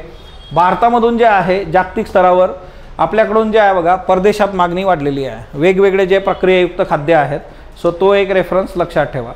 त्याच्यानंतर जे आहे आपल्याकडं रेशनिंगमध्ये प्लॅस्टिकचे तांदूळ आले म्हणून लोकांनी फेकून दिले. आता प्लॅस्टिकचे नव्हते ते काय होते? फोर्टिफाईड तांदूळ. फोर्टिफाईड म्हणजे काय? त्याला जे आहे त्याचं न्यूट्रिशन इनरिच केलेलं आहे आपण. त्यालाच आपण काय म्हणतो? फोर्टिफाईड तांदूळ आता हे बघा की आपण याचा एक रेफरन्स बघितला जी एस थ्रीच्या लेक्चरमध्ये आठवतो तुम्हाला? किती कणं असतात बरं? किती दाण्यांमध्ये? प्रपोर्शन कसं आहे? वन बाय हंड्रेड शंभर मागे एक दाणा फोर्टिफाईडचा बरोबर आहे का? ओके फोर्टिफाईड जे आहे तर लोकांना याच्याबद्दल सांगणं पण गरजेचं आहे. अदरवाईज ते काय करतात? काढून फेकून देतात बघ. दुसरा एक याच्यामध्ये महत्त्वाचा मुद्दा जो आहे तो म्हणजे भारताने चीनचा एक विक्रम मोडीत काढला बघा. तीन हजार सत्याहत्तर पालकांनी जे आहे चार मिनटं गोष्ट सांगण्याचा विश्वविक्रम भारतात केलेला आहे. ओके? गोष्ट सांगत होते चार मिनटं. ते पाल्ले ऐकत होतं नव्हतं माहीत नाही पण हे चार मिनटं गोष्ट सांगत होते. आणि त्याच्यामुळे हे सगळं गेलेलं आहे गिनीज बुकमध्ये तर अशा गोष्टी होत असतात. आणि हा महान प्रोग्राम जो आहे तो पुण्यात पार पडला होता बघा. ओके? कांद्याची महाबँक जी आहे. दमलेले बाबाची कहाणी इथंच आहे. है ना? तिकडं काय संबंध नाही. हां? बरंच काय काय केलेलं आहे आपण. पण हे एक आहे गिनीज बुकमधला एक रेफरन्स घेतला होता. ओके शक्यतो असे प्रश्न नाही आहेत बघा. कांद्याची महाबँक आपण उभी करणार आहे बघा राज्यामध्ये पहिल्यांदाच. आणि ज्येष्ठ अणुशास्त्रज्ञ डॉक्टर अनिल काकोडकर याच्यासाठी हेल्प करतात आपल्याला. कांद्याची महाबँक जी आहे ती स्थापन करण्यात येणार आहे बघा. न्यूक्लिअर तंत्रज्ञान इरॅडिकेशन जे आहे ते केलं जाईल तिच्यामध्ये आणि कांद्याची बँक जी आहे ती उभी राहील. ओके पोल्ट्री उद्योगाच्या बाबतीमध्ये जे आहे आता बघा दूध अंड्याचे रेफरन्स एवढे आलेले आहेत. तिकडं पुतीनला अंडी महाग झालेली आहेत. इकडं जे आहेत मधल्या काळात आपण बघितली. पोल्ट्री उद्योग जो आहे तर पोल्ट्री उद्योग जे आहे याच्यावर आपण चांगलं काम करणं गरजेचं आहे. आता पोल्ट्री उद्योगाच्या बाबतीमध्ये त्यांनी जे आहे की अंडी आणि बॉयलर उत्पादनाला आठ ते दहा टक्क्यांनी वाढ होते आणि शेतीमालाच्या उत्पादनामध्ये दरवर्षी सरासरी दोन टक्क्यांनी वाढ होते. मग तुम्ही काय केलं पाहिजे? शेती सोडून कोंबड्या पाडल्या पाहिजे. असं नाही करायचं. शेती बरोबर कोंबड्या पाडल्या पाहिजे. ओके? सगळं सोडून कोंबड्या असं नाही. तर हे एक महत्त्वाचं आहे. बघा भारत जो आहे तो अंडी आणि बॉयलरच्या मासाचा प्रमुख निर्यातदार देश आहे. त्यातल्या त्यात जे आहे बघा ते आजकाल जे आहे रानवाले जे आहे ते पेटलेले आहेत पुण्यामध्ये. हा ना? ज्या काय असतील नसतील कोंबड्या ते त्यांना लागतात. निर्यात झाल्यानंतर जे काही उरलं आहे ते. हा ना ते त्यांना लागतात बघा. चिकन रान मटन रान. हा ना? आदी मानव. आता बघा सगळ्यात महत्त्वाचं जुनी पेन्शन योजना नवी पेन्शन योजना. याच्यावर पण प्रश्न आपल्याला विचारला जाऊ शकतो. महाराष्ट्राने याच्यावर सोल्युशन पण काढलं आहे ते महाराष्ट्र मंत्रिमंडळात तो एक रेफरन्स आपण रिसेंटली बघितला होता. आता ओल्ड पेन्शन स्कीम जे आहे बघा याच्यामध्ये जे आहे तुम्हाला लाईफ लाँग इन्कम मिळतं. आणि तुमची जी लास्ट सॅलरी असते लास्ट ड्रॉन सॅलरी तुमच्या पगाराचा शेवटचा पगार जो आहे तिच्यामध्ये जर तुम्हाला एक लाख रुपये पगार होता तर पन्नास हजार रुपये तुम्हाला जे आहे जोपर्यंत हयात आहात तोपर्यंत मिळतील. मस्त आहे की नाही? हां. आता सरकारने काय केलं? न्यू पेन्शन योजना आणली त्याच्या जागी आणि सरकार काय म्हटलं की असं नाही होणार. तुम्ही काही पैसे कॉन्ट्रीब्यूट करा तुमच्या सॅलरीमधून ते आम्ही इन्व्हेस्ट करू आणि ते इन्व्हेस्टमेंटमधून जो काही रिटर्न येईल तो तुम्हाला देऊ. मग तो दहा हजार असू शकतो दोन असू शकतो. मार्केट क्रॅश झालं तर काही भेटणार पण नाही तुम्हाला. मग ते जे आहे की त्याचा इश्यू झाला. ऑन रिटायरमेंट सिक्स्टी पर्सेंट तुम्हाला मिळणार आहे टॅक्स फ्री असेल फोर्टी पर्सेंट तुमचं इन्व्हेस्ट केलं जाईल असा सगळा तो मुद्दा आहे. याच्यामध्ये फिफ्टी पर्सेंट लास्ट ड्रॉन सॅलरीचं तुम्हाला मिळतं. गव्हर्नमेंट याच्यामध्ये एक्सपेंडिचर बिअर करतं बघा. सो महाराष्ट्राचा फंडा मी तुम्हाला सांगितला होता तो रिसेंट याच्यात बघितला होता आपण. ही जी सिरीज आहे याच्यामध्ये सुरुवातीला आपण सगळं जानेवारी ते डिसेंबर दोन हजार तेवीस करू. जे प्रिलिम्स पॉईंट ऑफ व्ह्यूने महत्त्वाचं आहे त्याच्यानंतर जानेवारी ते मार्च करू. ते एप्रिलच्या फर्स्ट वीकमध्ये वगैरे डील करू आपण. सो हा याच्यामध्ये कन्सर्न होता. आता राजस्थान छत्तीसगड झारखंड पंजाब आणि हिमाचल प्रदेश यांनी ओल्ड पेन्शन स्कीम लागू केलेली आहे. ओल्ड पेन्शन स्कीम लागू करण्याचा फंडा एवढाच आहे की ओल्ड पेन्शन स्कीममध्ये काय होणार आहे? तर ते सरकारी तिजोरीवर ताण येणार आहे. सरकारकडे एवढे पैसे नाही असं त्यांचं म्हणणं आहे. त्याच्यानंतर आता बघा I P C C R P C evidence act याच्यामध्ये जे बदल आपण केलेत त्या बदलांचा जर विचार केला तर याच्यामध्ये बनावट चलन पसरवणं हे दहशतवादी कृत्य आहे. दहशतवादी कृत्य टेररिस्ट ॲक्ट जे आहे तिच्यामध्ये सुधारणा केलेली आहे. जर तुम्ही काउंटरफेट करन्सी वापरत असाल पसरवत असाल तर ते काय होईल? दहशतवादी कृत्य. म्हणजे जे आहे ना ते मधल्या काळामध्ये आलं होतं ना फर्जी ते काय आहे? शाहिद कपूरनी केलेलं दहशतवादी कृत्य आहे. आता फर्जी बघितला असेल तर कळेल तुम्हाला. अदरवाईज जे आहे एवढं लक्षात ठेवा. बनावट नोटा वापरल्या बनावट नोटा प्रसरवल्या तर दहशतवादी कृत्य होणार आहे. ओके त्याच्यानंतर जे आहे दहशतवादी कृत्य जर केलं तुम्ही तर त्या केसमध्ये काय होईल तुम्हाला? मृत्यूदंड किंवा आजन्म कारावासाची शिक्षा. आजन्म कारावासाची शिक्षा म्हणजे किती वर्षाची शिक्षा? चाळीस? का पडे हो भाई? असं काय ना? आजन्म म्हणजे आजन्मच असते पण एखाद्याला सूट मिळू शकते. पण कमीत कमी किती वर्ष त्याला राहावं लागेल? ओके? हे कोर्टानेच क्लिअर केलं. अदरवाईज जो तो आपापल्या पद्धतीने सांगतो बघा. त्यात काही लोक असे सांगायचे लहानपणी आमच्यातले रात्र आणि दिवस असे दोन दिवस मोजतेत म्हटला ते.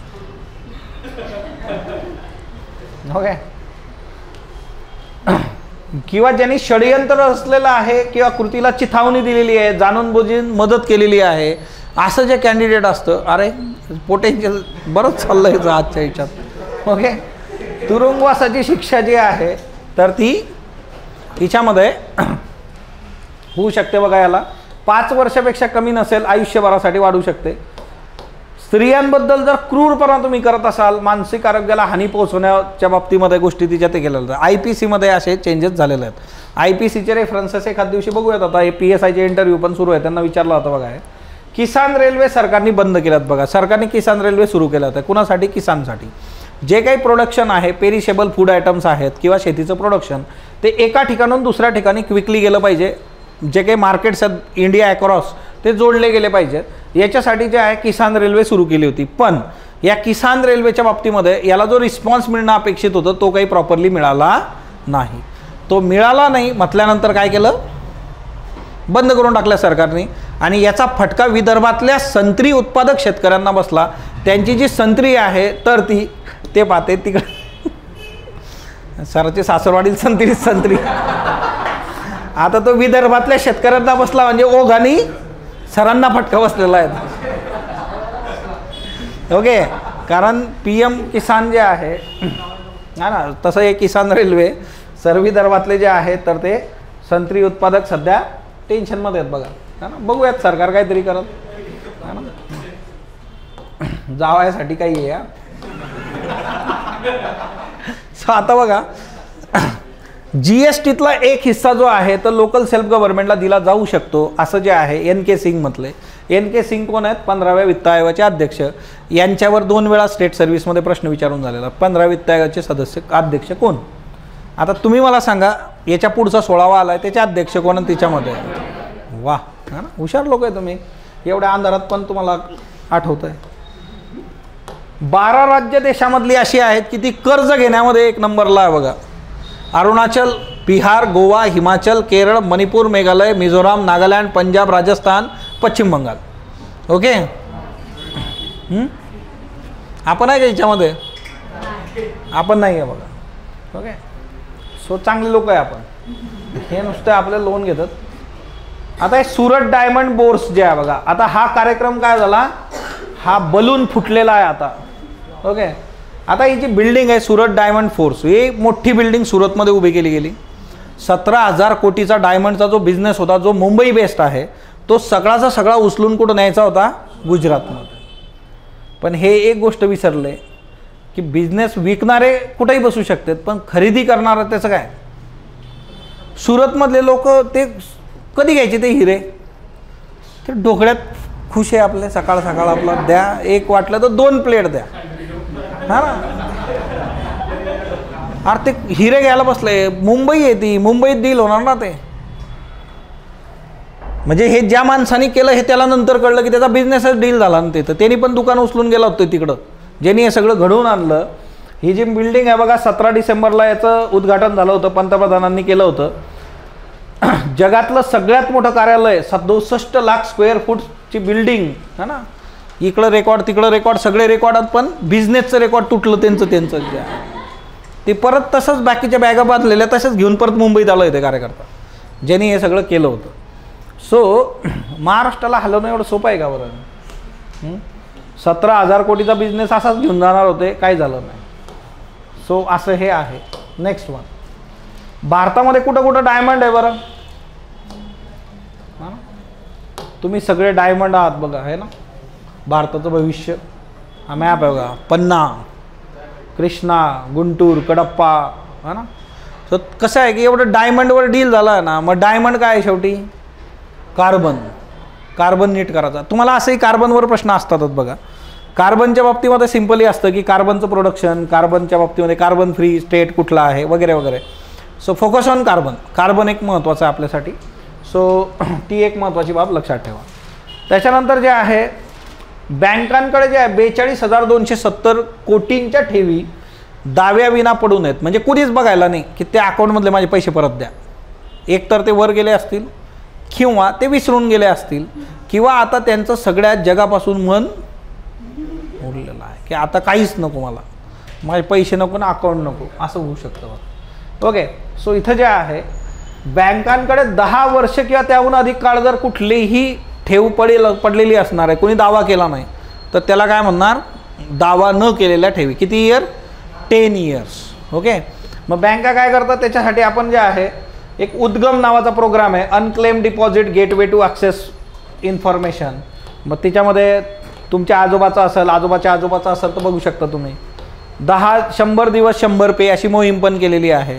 आणि नाईस डील झालं तर मग हे दुसरीकडे वेलफेअरसाठी डील करू शकतात ओके सो टेन इयरचा फंडा लक्षात ठेवायचा. देन जम्मू काश्मीरमध्ये काय सापडलं आपल्याला?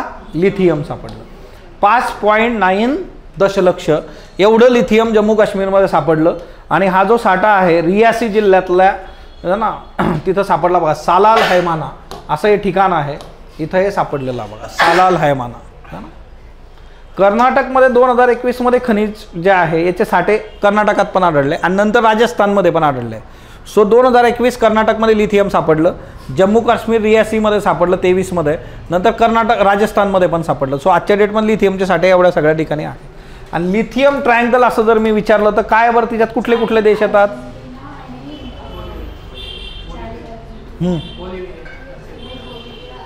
दिमाग की बत्ती जलाओ है ना?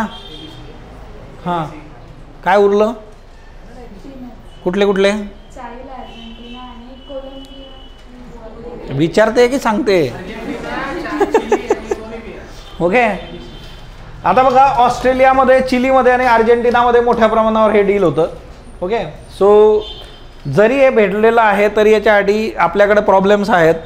याच्यासाठी भरपूर पाणी लागतं बाहेर काढायला नाही तर कार्बन उत्सर्जन मोठ्या प्रमाणावर आहे. हे डील होऊ शकत नाही आजच्या डेटमध्ये राजस्थानमध्ये ग्रामीण लोकांना उपजीविका कर्ज योजना आहे बघा.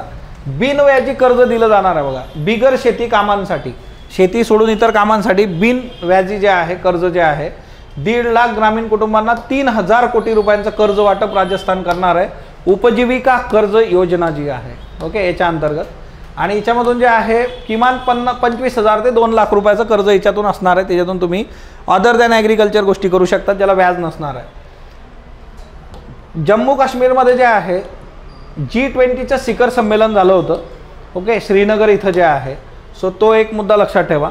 आणि दोन हजार एकोणीसमध्ये जम्मू काश्मीरला विशेष दर्जा दिल्यानंतर पहिल्यांदाच असं काहीतरी घडलं आहे आता लडाख पण खूप न्यूजमध्ये आहे. लडाखवाल्यांचं म्हणणं आहे की आम्हाला तुम्ही काय करा? सिक्स शेड्यूलमध्ये टाका. दुसरी गोष्ट आम्हाला विधानसभा पाहिजे. आम्हाला तुम्ही स्टेटचा दर्जा द्या. हा ना? म्हणजे जे जम्मू काश्मीरचं चालू होतं आधी ते कोण करावं लागला होता? लडाख बरं केंद्राने जेव्हापासून ते युनायटेड युनायटेड आपल्या टेरिटरी जन्माला घातली यू टी जी जन्माला घातली आहे बघा युनियन टेरिटरी तेव्हापासून तिथं जे आहे राष्ट्रपती शासनच चालू म्हणजे तिथं लोक निवडणुका झालेल्या नाही आहे म्हणून त्यांनी म्हटलं की आम्हाला लोकशाही पण द्या तुम्ही. है ना? आपलं जे आहे फुनसुक वांगडू ते तिकडं जे आहे बसलेलं आहेत बघा. सोनम वांगचुक है ना? ते बसलेले आहेत. पण तिच्याने जे आहे केंद्र सरकार जे आहे नाही डील करणार. सहाव्या शेड्यूलचा तर विषय त्यांनी त्यांनी क्लिअर केलं होतं जेव्हा शिष्टमंडळ केलं होतं. सहाव्या शेड्यूलमध्ये आज लद्दाखला टाकलं तर उद्या चार लोक उभे आहेत त्याच्यासाठी. आंध्राने पण मागच म्हटलं होतं आम्हाला हे द्या ते द्या स्पेशल कॅटेगरी स्टेटसचा दर्जा द्या. ओके नेक्स्ट वन ॲपलची मिनी आयफोन सिटी बंगळुरूमध्ये तयार करण्यात येणार आहे बघा.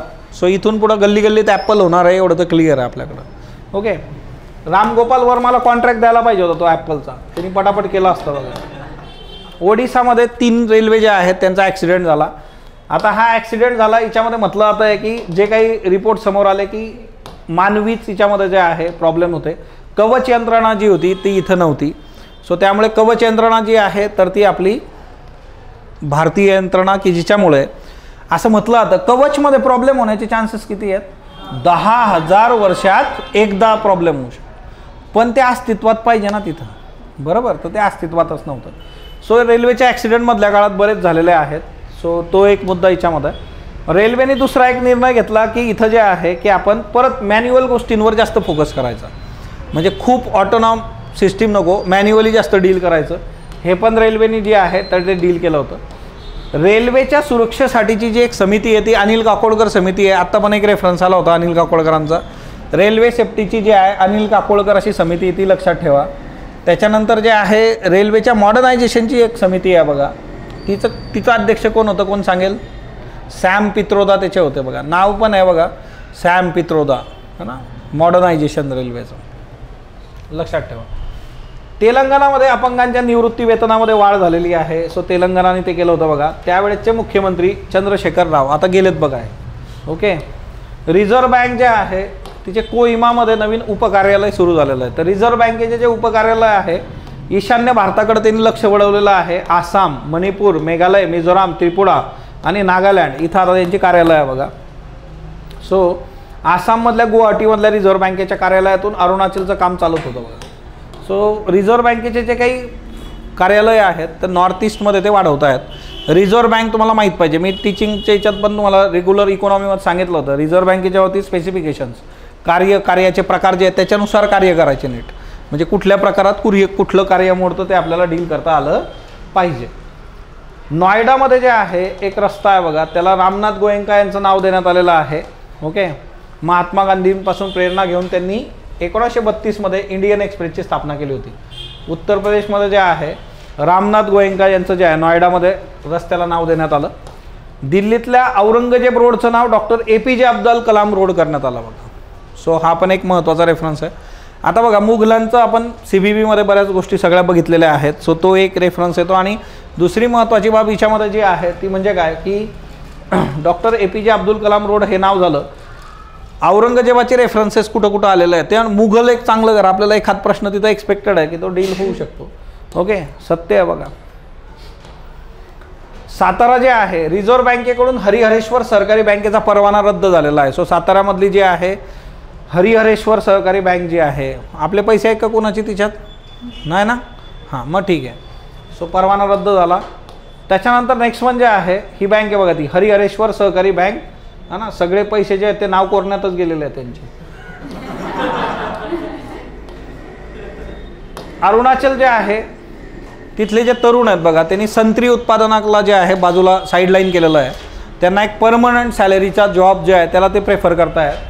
अरुणाचलमधला पश्चिम सियांग हा जो जिल्हा आहे हा संत्री उत्पादनासाठी ओळखला जातो. नारंगी वाटी याला म्हटलं जायचं. सो पण ते आता बाजूला सरकत आहे कारण अनिश्चितता तिच्यामध्ये आहे. ती अनिश्चितता असल्यामुळे. ओके सो तो एक मुद्दा याच्यामध्ये आहे. त्याच्यानंतर नेक्स्ट वन लडाखमध्ये सगळ्यात मोठा जो आहे रस्त्याचं जे आहे बांधकाम आणि त्याच्याबरोबरच जे आहे बोगदा वगैरे जे आहे फायर जेटचा बेस जो आहे तर तो काय? आता बघा बी आर ओ खूप महत्त्वाचं आहे. बी आर ओचा एक व्हिडिओ आहे आपल्या चॅनलवर तो बघून घ्या. की बॉर्डर रोड ऑर्गनायझेशन याच्या नावातच आहे बॉर्डर रोड बॉर्डरवरचे रोड त्याचं जे आहे डेव्हलपमेंट आणि त्याच्याशी रिलेटेड बाबी डील करायच्या. बॉर्डर रोड ऑर्गनायझेशन महत्त्वाचं आहे. सो ते एक प्रॉपरली डील करा बघा. त्याच्यानंतर नेक्स्ट वन जे आहे महिला अभियंते जे आहेत तर त्या हा रस्ता बनवत आहेत बघा इथं. सगळ्या महिला आहेत तिच्यामध्ये. बनेल त्यावेळेस मग त्याचं उद्घाटन होईल तेव्हा जास्त प्रश्न येण्याचे चान्सेस आहेत. भारतातला सगळ्यात मोठा शॉपिंग मॉल एक नोव्हेंबरपासून सुरू झालेला आहे. जिओ वर्ल्ड प्लाझा जो आहे. ओके सो हा मुंबईमधल्या वांद्रे कुर्ला कॉम्प्लेक्समध्ये आहे. कोणी भेट दिली का याला? काय सागर? गेला का? कसं आहे? आमच्या ठिकाणी आणलं नाही. काय चांगलं आहे? पुढच्या वेळेस गेलं ना? ओके ऊसतोड खर्च जे आहे बघा डॉक्टर बाबासाहेब आंबेडकर कारखाना जो आहे ऊसतोड खर्चाच्या कपातीमध्ये राज्यात एक नंबरवर आहे बघा. ओके? डॉक्टर बाबासाहेब आंबेडकर कारखाना ऊसतोड खर्च कपात तिच्यामध्ये पहिल्या क्रमांकावर त्याच्यानंतर जे आहे आशा स्वयंसेविकांना जे आहे आपण मानधन वाढवून दिलेलं आहे. आशांच्या बाबतीमध्ये आशांचा रेफरन्स जो आहे ना तो बजेटमध्ये बघितला होता आपण. आपलं जे केंद्र सरकारचं बजेट होतं तुम्हाला जर आठवत असेल तिच्यात. सात हजार रुपये मानधन वाढ केलेली आहे बघा. गट प्रवर्तकांना सहा हजार दोनशे. आणि आजची जी सकाळची न्यूज होती त्याच्यात पोलीस पाटलांचं पेमेंट किती झालं? पंधरा हजार. आधी किती होतं बरं पोलीस पाटलांना? तिच्यावर पण कमिटी बसवावी लागेल. प्रत्येकाने आठ दहा पेमेंट जमा झाले. कुणी म्हटलं साडेसहा कुणी बारा कुणी दहा. अरे बरेच आलेले आहेत बघा. सो आशा ज्या आहेत बघा तर आशांवर रुटीन प्रश्न प्रिलिम्स असू देत मेन्स असू दे विचारलेले आहेत. आशाचं गणित कसं आहे की आशा ज्या आहे तिचं किमान आठवीपर्यंतचं शिक्षण पूर्ण झालेलं असणं अपेक्षित असतं. जर आठवीपर्यंतचं नसेल तर मग त्या केसमध्ये कॉम्प्रोमाइज केलं जाऊ शकतं. ती त्या गावातलीच पाहिजे. म्हणजे लग्न होऊन आलेली पाहिजे. तुम्ही तिला ट्रेन करणार आणि ती लग्न होऊन दुसरीकडे चालली गेली तर मग परवडणार नाही. सो जे आहे की ती त्या गावातच राहील तर ते बघितलं. ह्युमन रिसोर्स आहे ना. तुम्ही स्किल वगैरे देणार आणि ते चाललं गेलं तर मग परत कुणाला शोधायचं? असा तो आहे. म्हणून त्या कंडिशन्स आहेत तिथं. विवाहित असणं किंवा त्या गावातच राहणार बाबा त्यांना हे केलं जातं. आता दहावी शिक्षण असावं अशी अपेक्षा आहे. आदिवासी क्षेत्रात आठवी आहे. पण याला जे आहे फ्लेक्झिबिलिटी असते. त्याच्यानंतर विवाहित असणं वीस ते पंचेचाळीस वयोगटातली असणं अपेक्षित असतं बघा. आणि तिच्यामधून जे आहे ज्यांचे अर्ज येतात मग तीन उमेदवारांचे अर्ज काढतात ग्रामसभेला सुचवतात मग एकाची निवड वगैरे असं सगळं आहे. तेवीस दिवसांचं प्रशिक्षण यांना असतं. यू पी एस सी असू देत राज्यसेवा असू देत आशा असू त्यांना कंबाईन असू देत सगळ्यात दूर आशा वर्कर्सवर प्रश्न आहेत विचारलेले. ओके त्याच्यानंतर परदेशी उच्च शिक्षण घेण्यासाठी जी काही स्कॉलरशिप आहे बघा त्या स्कॉलरशिपच्या बाबतीमध्ये अनुसूचित जाती जमाती ओबीसी मराठा समाज या सगळ्यांना जे आहे सेम कंडिशन लागणार आहेत. त्याच्यासाठी महाराष्ट्र शासनाने निर्णय घेतलेला आहे की सगळे कंडिशन सेम असतील. आठ लाख उत्पन्न जे आहे त्याच्या आत असेल तर तुम्हाला लाभ याचा घेता येईल बघा. कोवळे जे मासे आहे त्याच्या मासेमारीवर बंदी आलेली महाराष्ट्रामध्ये. कारण जर तुम्ही कोवळे मासे मारलेत तर मग काय होतं? ओव्हरऑल प्रोडक्शन हॅम्पर होतं बघा त्यांचं.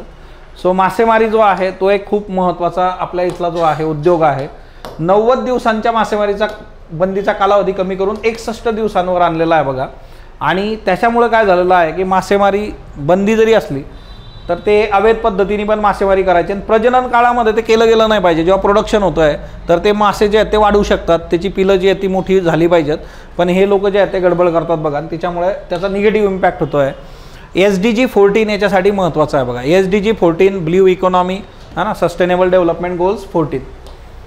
त्याच्यानंतर जे आहे आता याच्यामध्ये तुम्हाला त्यांनी आकारमान वगैरे दिलेलं आहे ते तुम्ही बघू शकता. किंवा कासवांचा पण इश्यू आहे बघा. आता आपण याच्या बाबतीत दुसरा एक मुद्दा तो बघितला होता की जे बाहेरून तुम्ही जर फॉरेनमधून जर एखादं ब्रीड आणलेलं असेल तर त्या ब्रीडच्या बाबतीमध्ये काय आहे?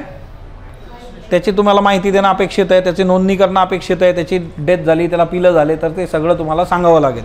ओके? ॲमवेचे स्कीम वगैरे घेतली का तुमच्यापैकी कुणी? आजूबाजूला असेल ना तुमच्या? ॲमवे ॲमवेमधून पण प्रोडक्ट विका याला आणा त्याला आणा आणि तिच्यामधून जे आहे बरेचसे जे पैसे आहेत बघा तर ते डील केले जातात. ॲम्बवेकडून जे आहे ती चेन सिस्टीम असते. जवळपास चार हजार कोटी रुपयांची लुबडणूक झाली आहे असं ईडीने म्हटलेलं आहे बघा.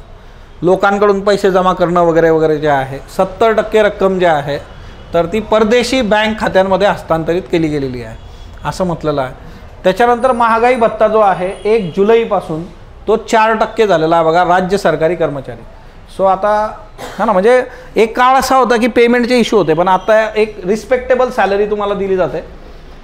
त्याच्यानंतर कोको कोला जे आहे ही कंपनी आता चहाच्या मार्केटमध्ये आलेली आहे. बघा ओके आणि विशेष म्हणजे ऑनेस्टी विकतात ते प्रामाणिक चहा.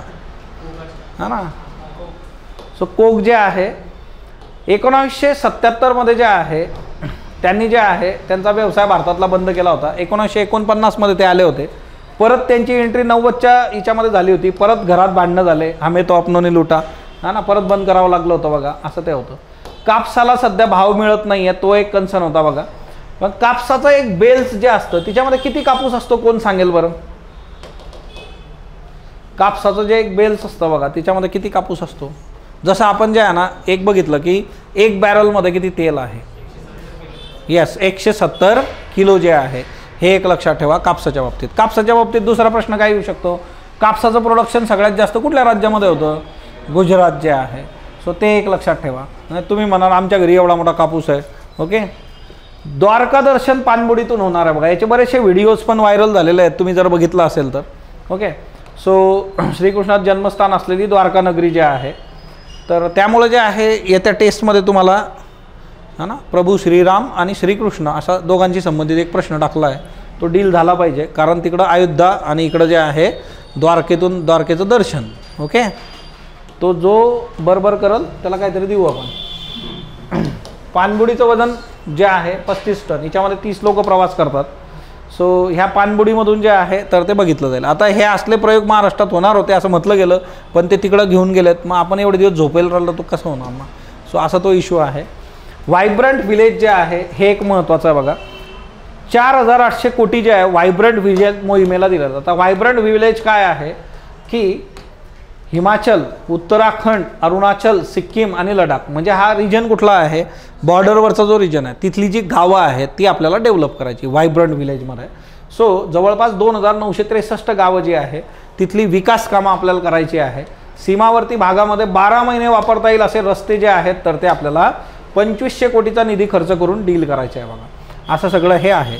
सो जानेवारी टू डिसेंबर तिच्यातल्या महत्त्वाच्या इकॉनॉमीच्या घडामोडी आपण बघितल्या. आता याच्यामध्ये कुठल्याही स्कीम्स नाही आहेत स्कीम्स किंवा जी आय टॅग एकूण एक कॅटेगरी आपण बघत जाऊ.